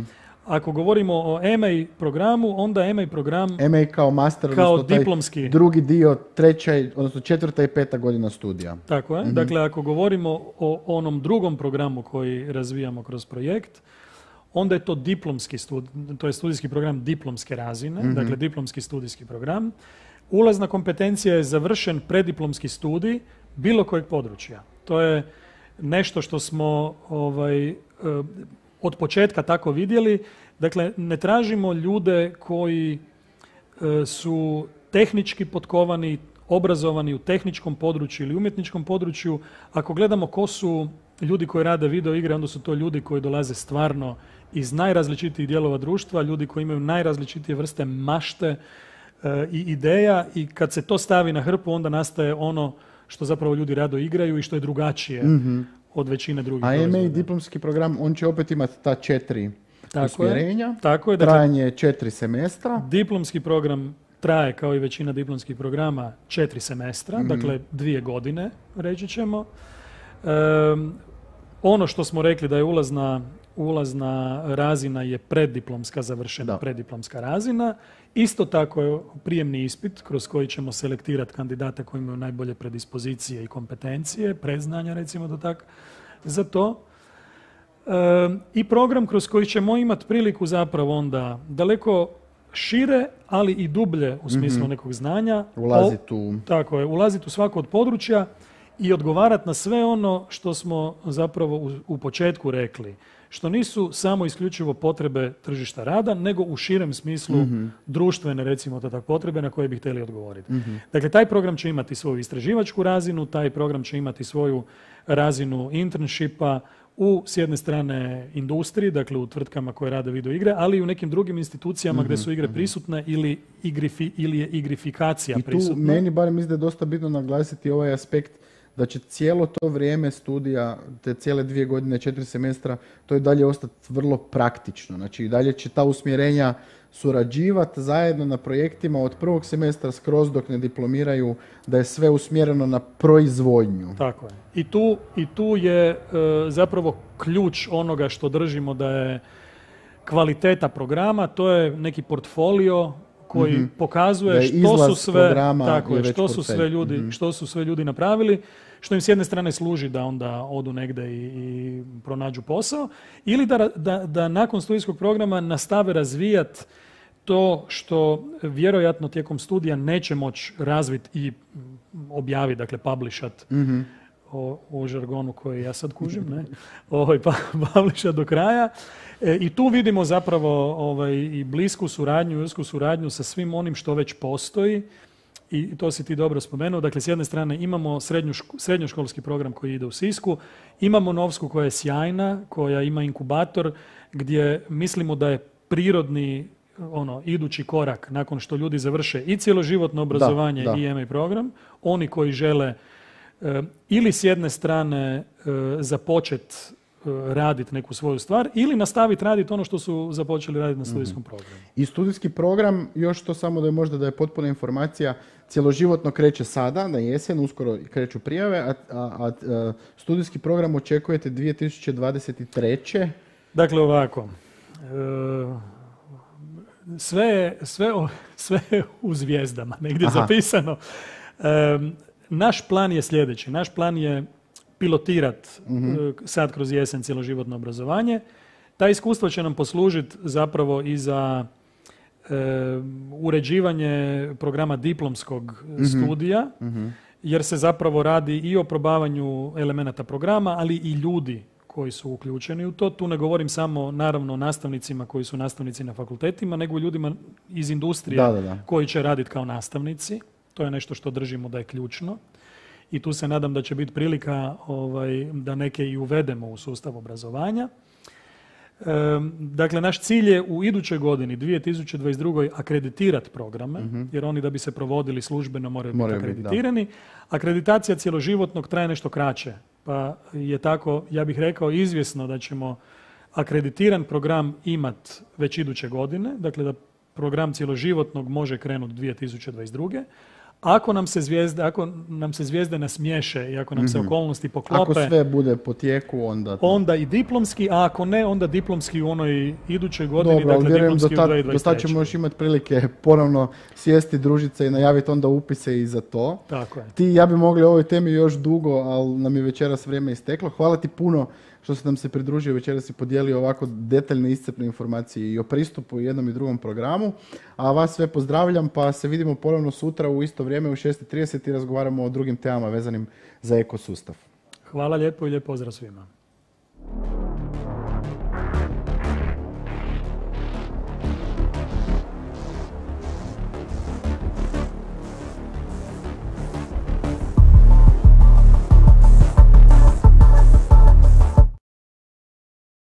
Igraj uz mrežu svih gejmera koja te podržava od prvog levela sve do finala regionalnog e-sport spektakla A1 Adria Lige. Uz vrhunsku brzinu i kvalitetu interneta za superiorno iskustvo gaminga na svim uređajima. Ti povezuješ A1. It's official. You're a moron. I said left, you go right. And now, because of your idiocy, I have to fix this bloody tire. Boss. Well, what? I told you to watch the goddamn road. Last thing I need is someone to ambush us because of your shortcut. I swear to God, why I partnered up with such a limited person is beyond me. I came from the mud. There's dirt on my hands. Strong like a tree. There's roots where I stand. Oh, I've been running from the law. Hope they won't shoot me down soon.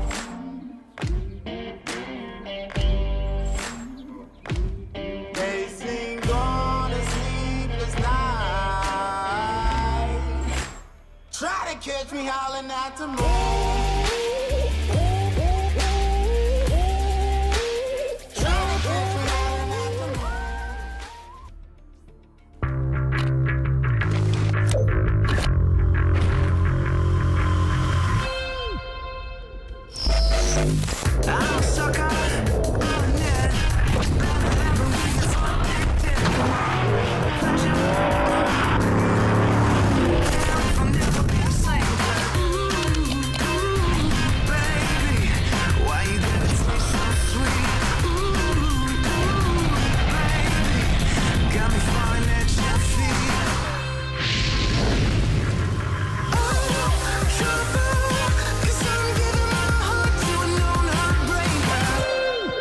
LG OLED Evo. Znaš li ti da navijači godišnje pogrickaju 270 tona kvik igrica? Naravno da ne znaš. Tebi je došla ekipa, pivo se hladi u frižideru, a grica ima dosta i za produžetke. Tri dana sam si super i obožavam se i onda me tresne neka depra i tjedan dana sam ono za ništa, mislim da ne vrijedim ni pišljiva boba i mislim da nisam sposoban napraviti išta što ljudi rade u ovom svijetu. Ali, ono, ne možeš biti non stop alfa, brate, ne? Ali možeš tome težiti da budeš nekakav jaki lik, samopouzdani lik, svjestan sebe, svjestan svojih mana, svjestan svojih vrlina, ne? A to postaneš svjestan kad razgovaraš o tome. Kad si priznaš. Kad si ono... Hrabar si reći, gle, frajeru, u banani sam. Sjeban sam. Ne idem dobrim putem. Gubim se.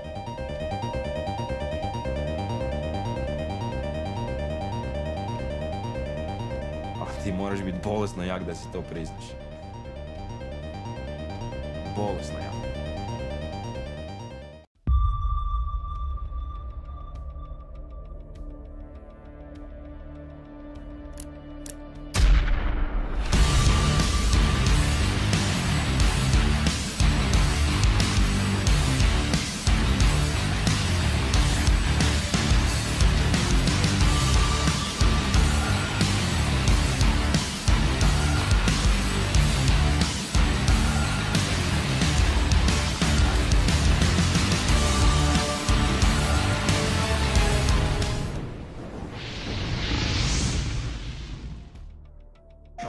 Dr. Nefarious, you lose.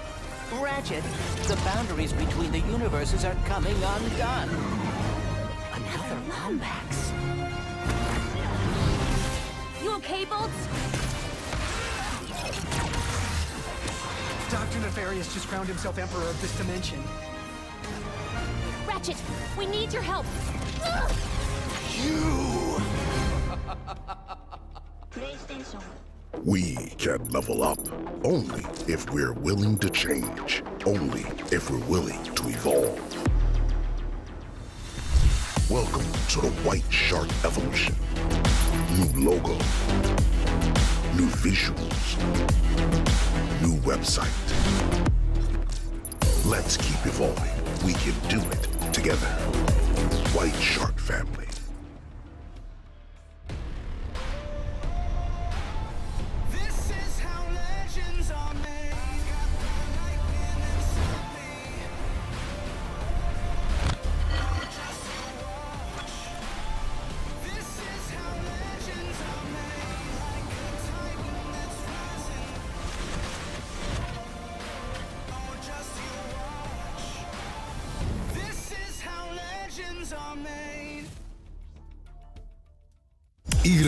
Mrežu svih gejmera koja te podržava od prvog levela sve do finala regionalnog e-sport spektakla A1 Adria Lige. Uz vrhunsku brzinu i kvalitetu interneta za superiorno iskustvo gaminga na svim uređajima. Ti povezuješ A1. It's official. You're a moron. I said left, you go right. And now, because of your idiocy, I have to fix this bloody tire. Boss. Well, what? I told you to watch the goddamn road. Last thing I need is someone to ambush us because of your shortcut. I swear to God, why I partnered up with such a limited person is beyond me. Came from the mud.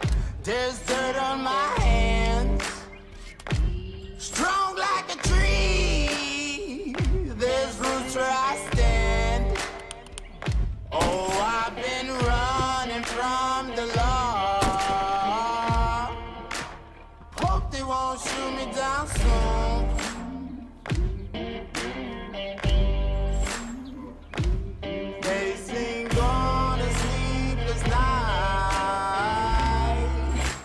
Try to catch me howling at the moon.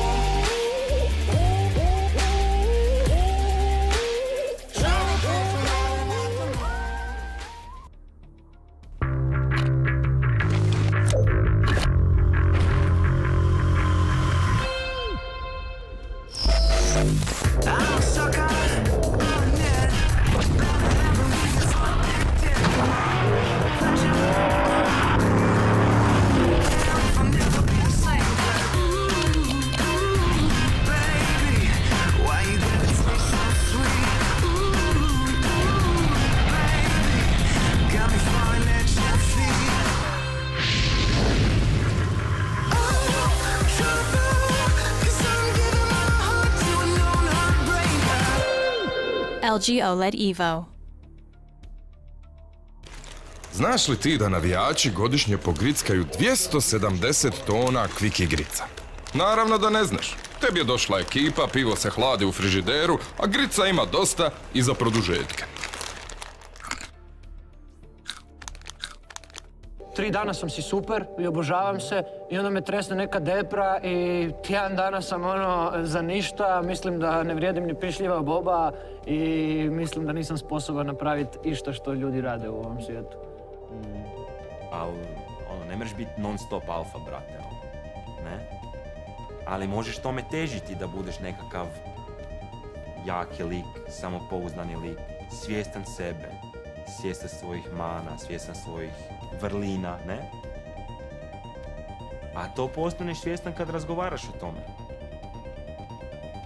Kad si priznaš. Kad si ono... Hrabar si reći, gle, frajeru, u banani sam. Sjeban sam. Ne idem dobrim putem. Gubim se.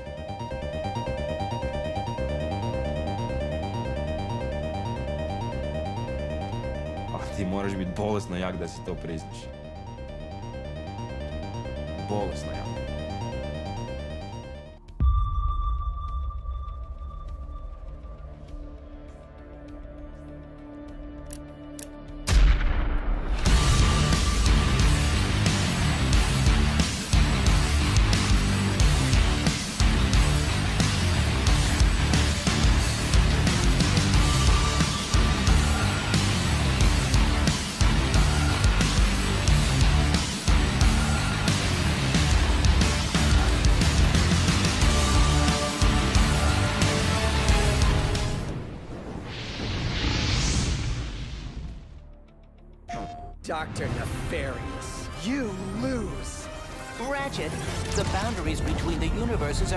Undone.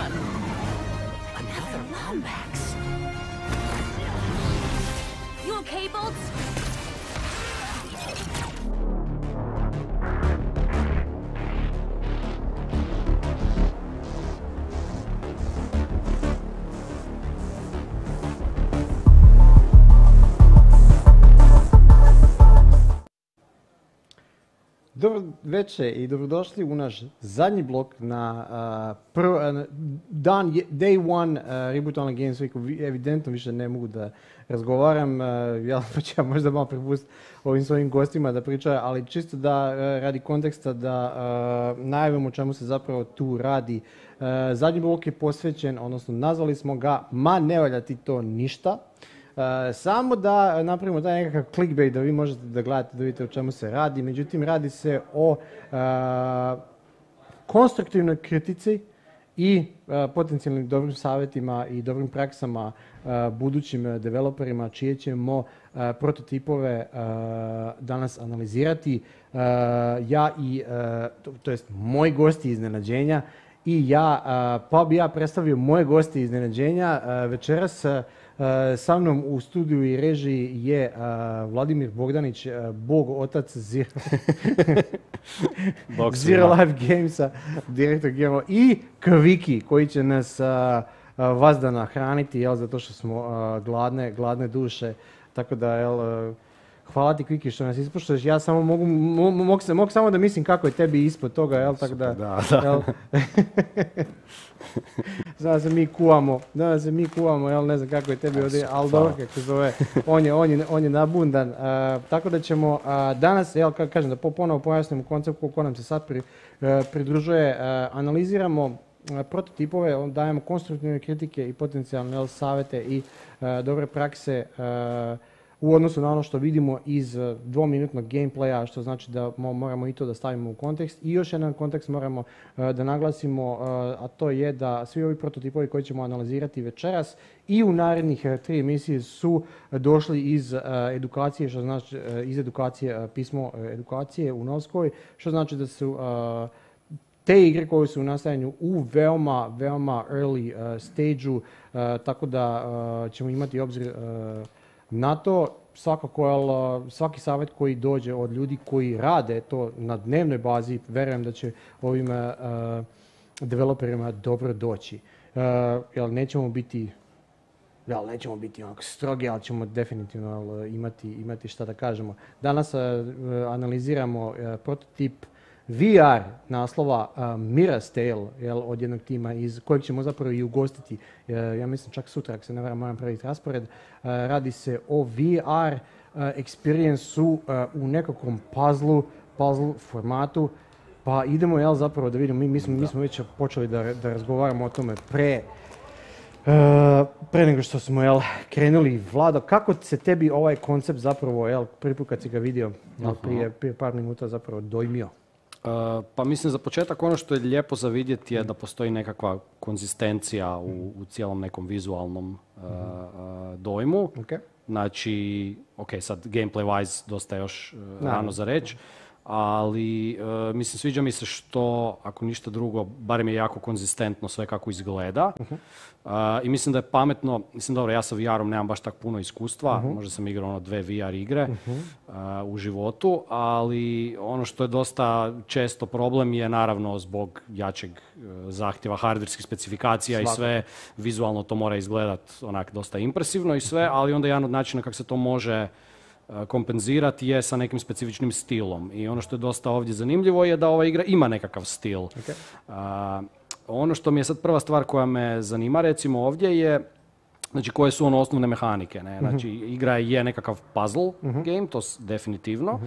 I onda se ono prvo pitanje koje si ja postavljam je kakvi su sve me- puzzle mehanike u ovom dostupne i znači, ok, sad smo tu vidjeli nekakav ono, igrač je povukao neki lever i tu se nešto možda otvara ili Sigurno je slično. nekakva klasična Da. interakcija u pitanju, E, da. e, I ono što je recimo tu dosta ono prvo pitanje koje bi si postavio je koliko takvih interakcija ima, Mhm. e, koliko takvih interakcija će biti u recimo nekakvom finalnom proizvodu i da li su one zanimljive. Znači da li je sad igraču zanimljivo iz minu, kako izgleda gameplay iz minute u minutu, ne? Da li da li on povuče, ne znam, deset tih levera, da li mora nositi stvari od jedne točke do druge, znači kako izgleda nekakav najosnovniji loop uh, te igre i to je ono što je dosta teško i dočarati u videu.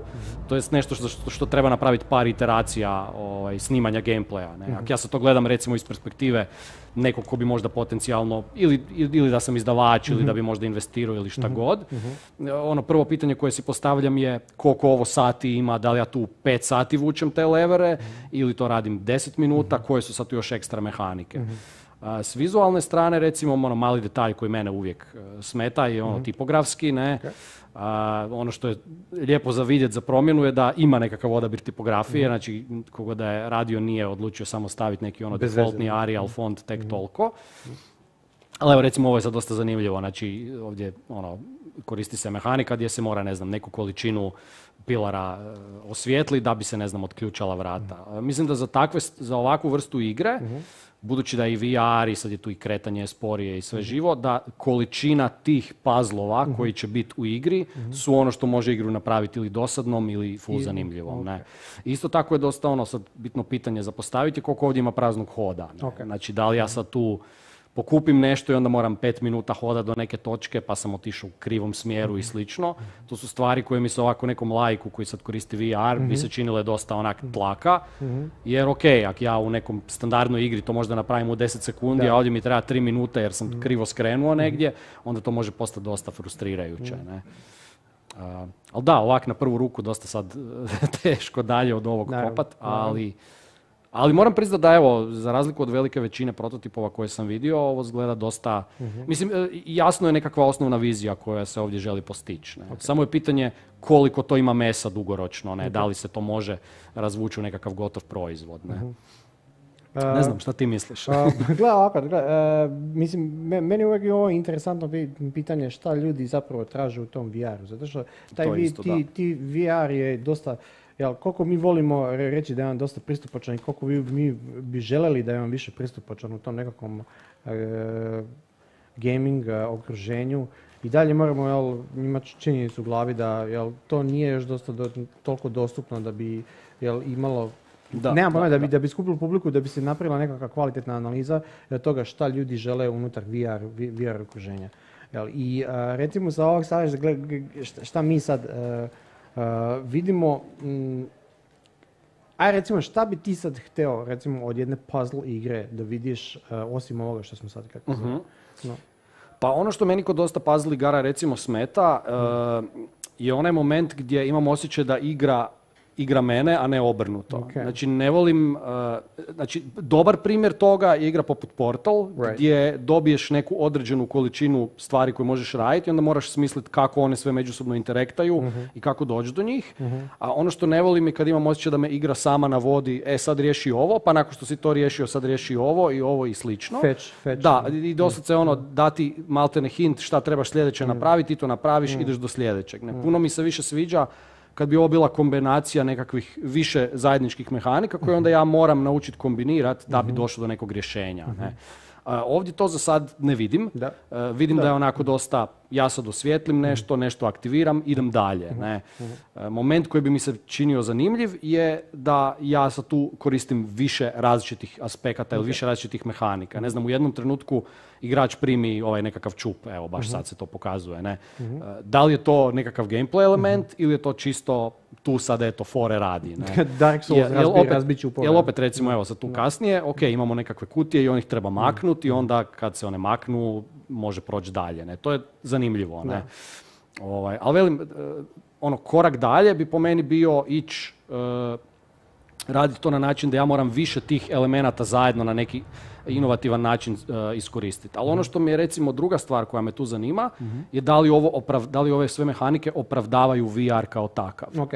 To je, sad vel- e, to je sad pitanje na koje ne mogu dati ono 100% točan odgovor Da. jer nisam probao igru pa ne mogu re- Ali ono što mi se sviđa je što imam osjećaj da e, igra stvara neku dosta unikatnu atmosferu samo s tom činjenicom da je sve toliko mračno i da sad ti moraš naći gdje se stvari nalaze pa onda tu malo Malo ajmo reći je više, ne znam, hrvatska riječ za immersive. Ne? Da, immersive, E, to. sveobuhvatno, Da, nemam e. Jer tipa da sad ove sve iste mehanike prebaciš u nekakav klasičan FPS ili Da. top down ili šta god. I opet ima onda- logike. Da, da, da, e, tak da, ovaj, ali, ali opet se postavlja pitanje, ono, ako ih prebaciš u, u te mehanike, vjerojatno bi završio pet puta prije Mhm. i onda sad koji je tu trade-off, šta dobivamo sa prelaskom u VR, što možda ne bi dobili sa, Mhm. sa nekakvim klasičnim pristupom. ne. Jasno.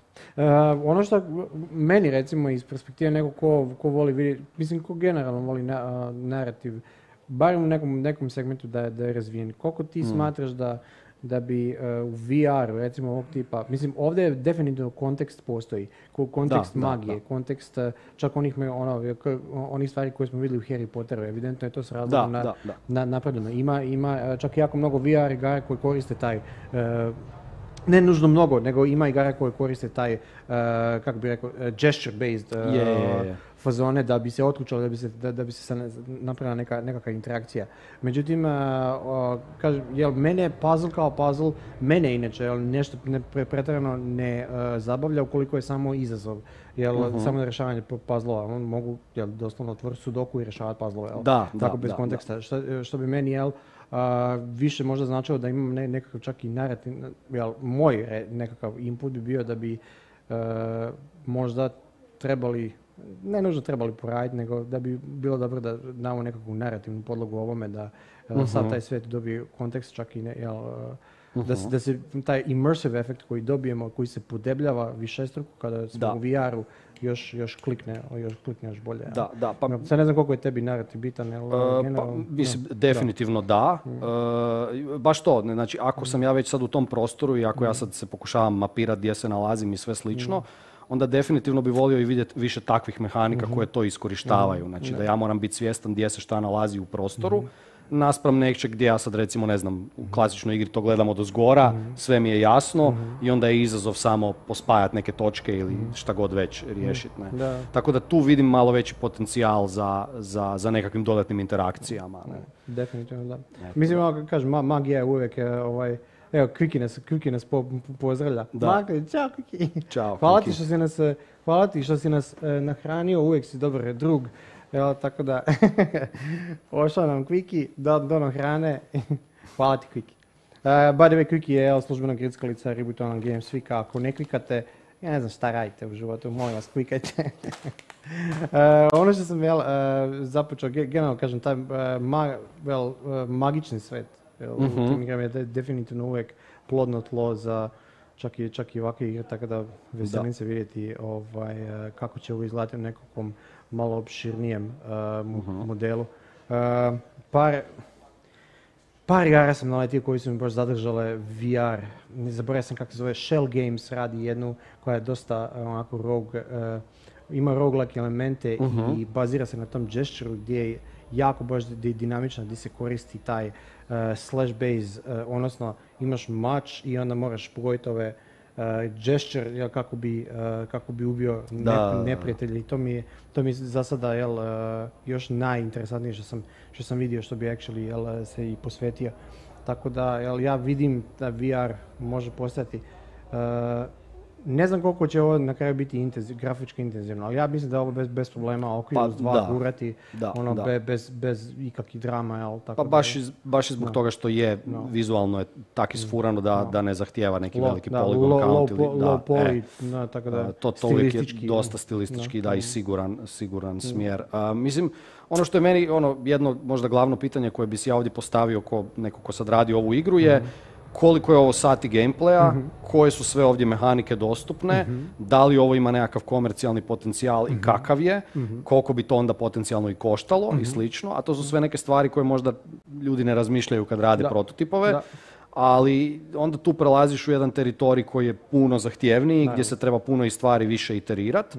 Meni se osobno čini da jedan od dobrih smjerova za ovakvu vrstu igre bi trebalo biti da je ono kompletno open world i da onda jednostavno, da nije ono bazirano na levelu, nego da ajmo maksimalno gurati taj immersion, ajmo Mhm. probati napraviti da ja stvarno mapiram cijeli taj prostor u glavi i probam otkriti gdje se šta nalazi i uz kombinacije više različitih mehanika dolazim do rješenja. Znači da nije ono da me vučeš Je. za, sa špagom za ono od jednog do drugog da. nego da to stvarno ima neku malo dublju još interakciju. Ne? To je sad ovo, velim, iz ovog Kao je kratkog videa nije, nije te baš lako za izvuć, ali, ali to bi bio neki smjer koji bi predložio. Nešto što svakako uzimamo u obzir što smo napomenuli odmah i u startu, jer ovo je jel, na, sud na temelju dve minute gameplaya što, što smo vidjeli. Da, Nešto da. malo više o projektu ćemo definitivno saznati u jednom od indie showcase-ova, ja mislim čak kažem sutra. Uh, u četiri sata će tim koji razvija ovo, pa ćemo zapravo saznati pozadinsku priču uh, šta je, šta je Mira Steli i na koji način će se ova progresija jel, obavljati. Nešto što bi ja možda skrenio, skrenio pažnju jest, mislim ja ne znam koliko je to tehnički sad i rešeno od strane svih uh, VR platformi, jer uvijek meni taj um, motion sickness igra, igra jako veliku ulogu, Da. pomeranje kamere, znaš, i zato što to je još isto, kažem, jel, u pomolima je, međutim, pošto je sad Ocul- Oculus, to eh, Quest 2 je ovaj, jako dobro kotirao na tržištu, ajmo to tako nazvati, sad Mm. jel, m- malo je zastupljeniji. Ne znam jel koliko je sad to ve- veliki problem, ali definitivno ne- nešto o čemu bi eh, sa tehničke strane bi trebalo razmisliti koliko je taj head movement i koliko je to Da, zapravo. da. Da. Tu, tu nemam pametnih savjeta jer velim ne bavim se razvojem VR-a, tako da ne mogu sad ono biti Mm. pametniji. Kažem, sa tehničke Ali strane ne znam kak, kak, kako ni riješiti takve stvari, ali de- Da. definitivno ja, kad smo bili čak i, uh, ja mislim da je bio develop red, pa smo imali jako mnogo ovih VR eksperata, Mhm. jel, pa su baš rekli jel, da ono, čim vide nekakav uh, kritični, kri- kritični camera movement, znaš, nekako Da. teleportiranje gdje ti je sve vidljivo, ne nužno da samo blinkaju okolo, da je to Mm. odmah ono, da. gri- red, red, uh, red alert za, za, za tako nešto, tako da definitivno bi nešto trebali. Mm. ja. Uh, zrnce mudrosti za kraj, ili smo sve pokrili? Pa mislim da mislim, jesmo, mislim da da. smo baš, baš smo ga Da. razvezali. Onak. E, pa da, mislim, evo, rekao bi čovjeku nek radi dalje na ovom, Da. e, nek proba da napraviti ono, korak dalje možda s puzzlovima, ali dobro, opet velim, ne, Da, da. Daj, daj mi malo još gameplaya da Je, vidim. vidi- kažem, definitivno ćemo vidjeti ovaj, ih i ovdje i... mm. I puno sreće. Evo, ne znam, tržište je e, nemilosrdno i, i ljudi će Borba. vam rastaviti igru u pet minuta ako im se je. nešto ne svidi i toga treba biti svjestan. Laktanje, laktanje za ovaj, kako se zove. Evo, ja sam postao i ružičast, koliko, vidim. Ali dobro, nema frke, jel? ne, nije, nije, nije nikakav problem. A, Vlado, a, hvala ti, tvoj sud je uvijek a, dobrodošao, jel, de- zato što a, zbog i elaboracije same i zbog kritičkog razmišljanja, koje, i zbog na, naročito iskustva koje se prošao, jel, sito i rešetan u ovoj Da, našoj, u ovoj da. našoj ma- maloj industriji, tako da hvala ti što si nam bio gost. E, Hvala tebi. Ne, frke. A mi se, dragi naši gledalci, vidimo sutra sa novim e, avanturama na našem uh, Games Industry kanalu powered by uh, Gamepires, tako da ostanite nam, jel, pratite nas. E, ko nas ne prati na ovaj, e, našim socijalnim mrežama, pardon, društvenim mrežama, mislim, ono, bilo bi sasvim u redu. Znači, like, share, subscribe, jel, ako niste već do sad, molim vas. Uh, vidimo se uh, sutra po istom rasporedu, čekirajte raspored i čao.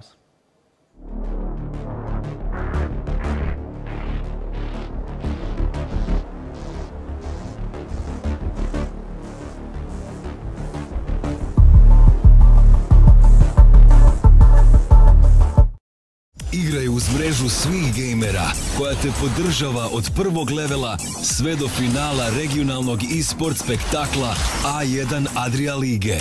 Uz vrhunsku brzinu i kvalitetu interneta za superiorno iskustvo gaminga na svim uređajima. Ti povezuješ A1. It's official. You're a moron. I said left, you go right. And now, because of your idiocy, I have to fix this bloody tire. Boss. Well, what? I told you to watch the goddamn road. Last thing I need is someone to ambush us because of your shortcut. I swear to God, why I partnered up with such a limited person is beyond me. I came from the mud. There's dirt on my hands. Strong like a tree. There's roots where I stand. Oh, I've been running from the law. Hope they won't shoot me down soon.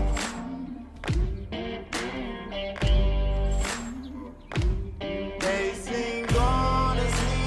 night.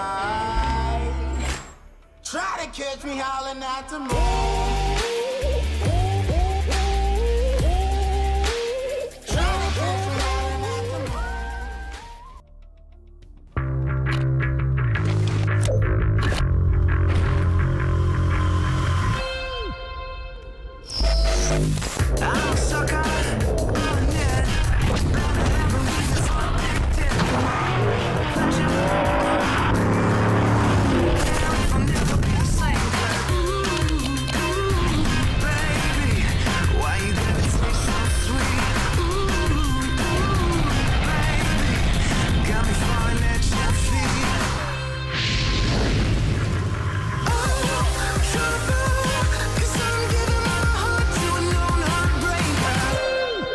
LG OLED Evo.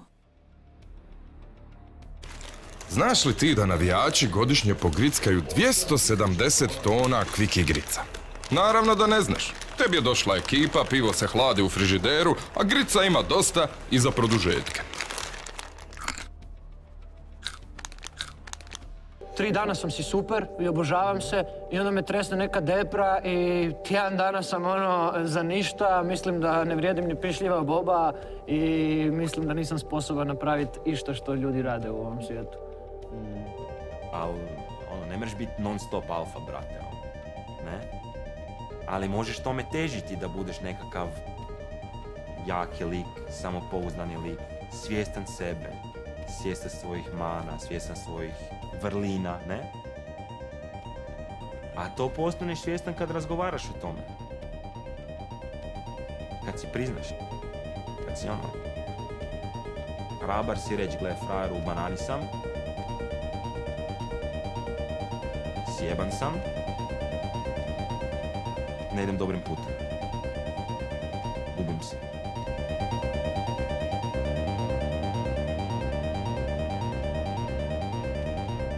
Ti moraš biti bolesno jak da si to priznaš. Bolesno jak.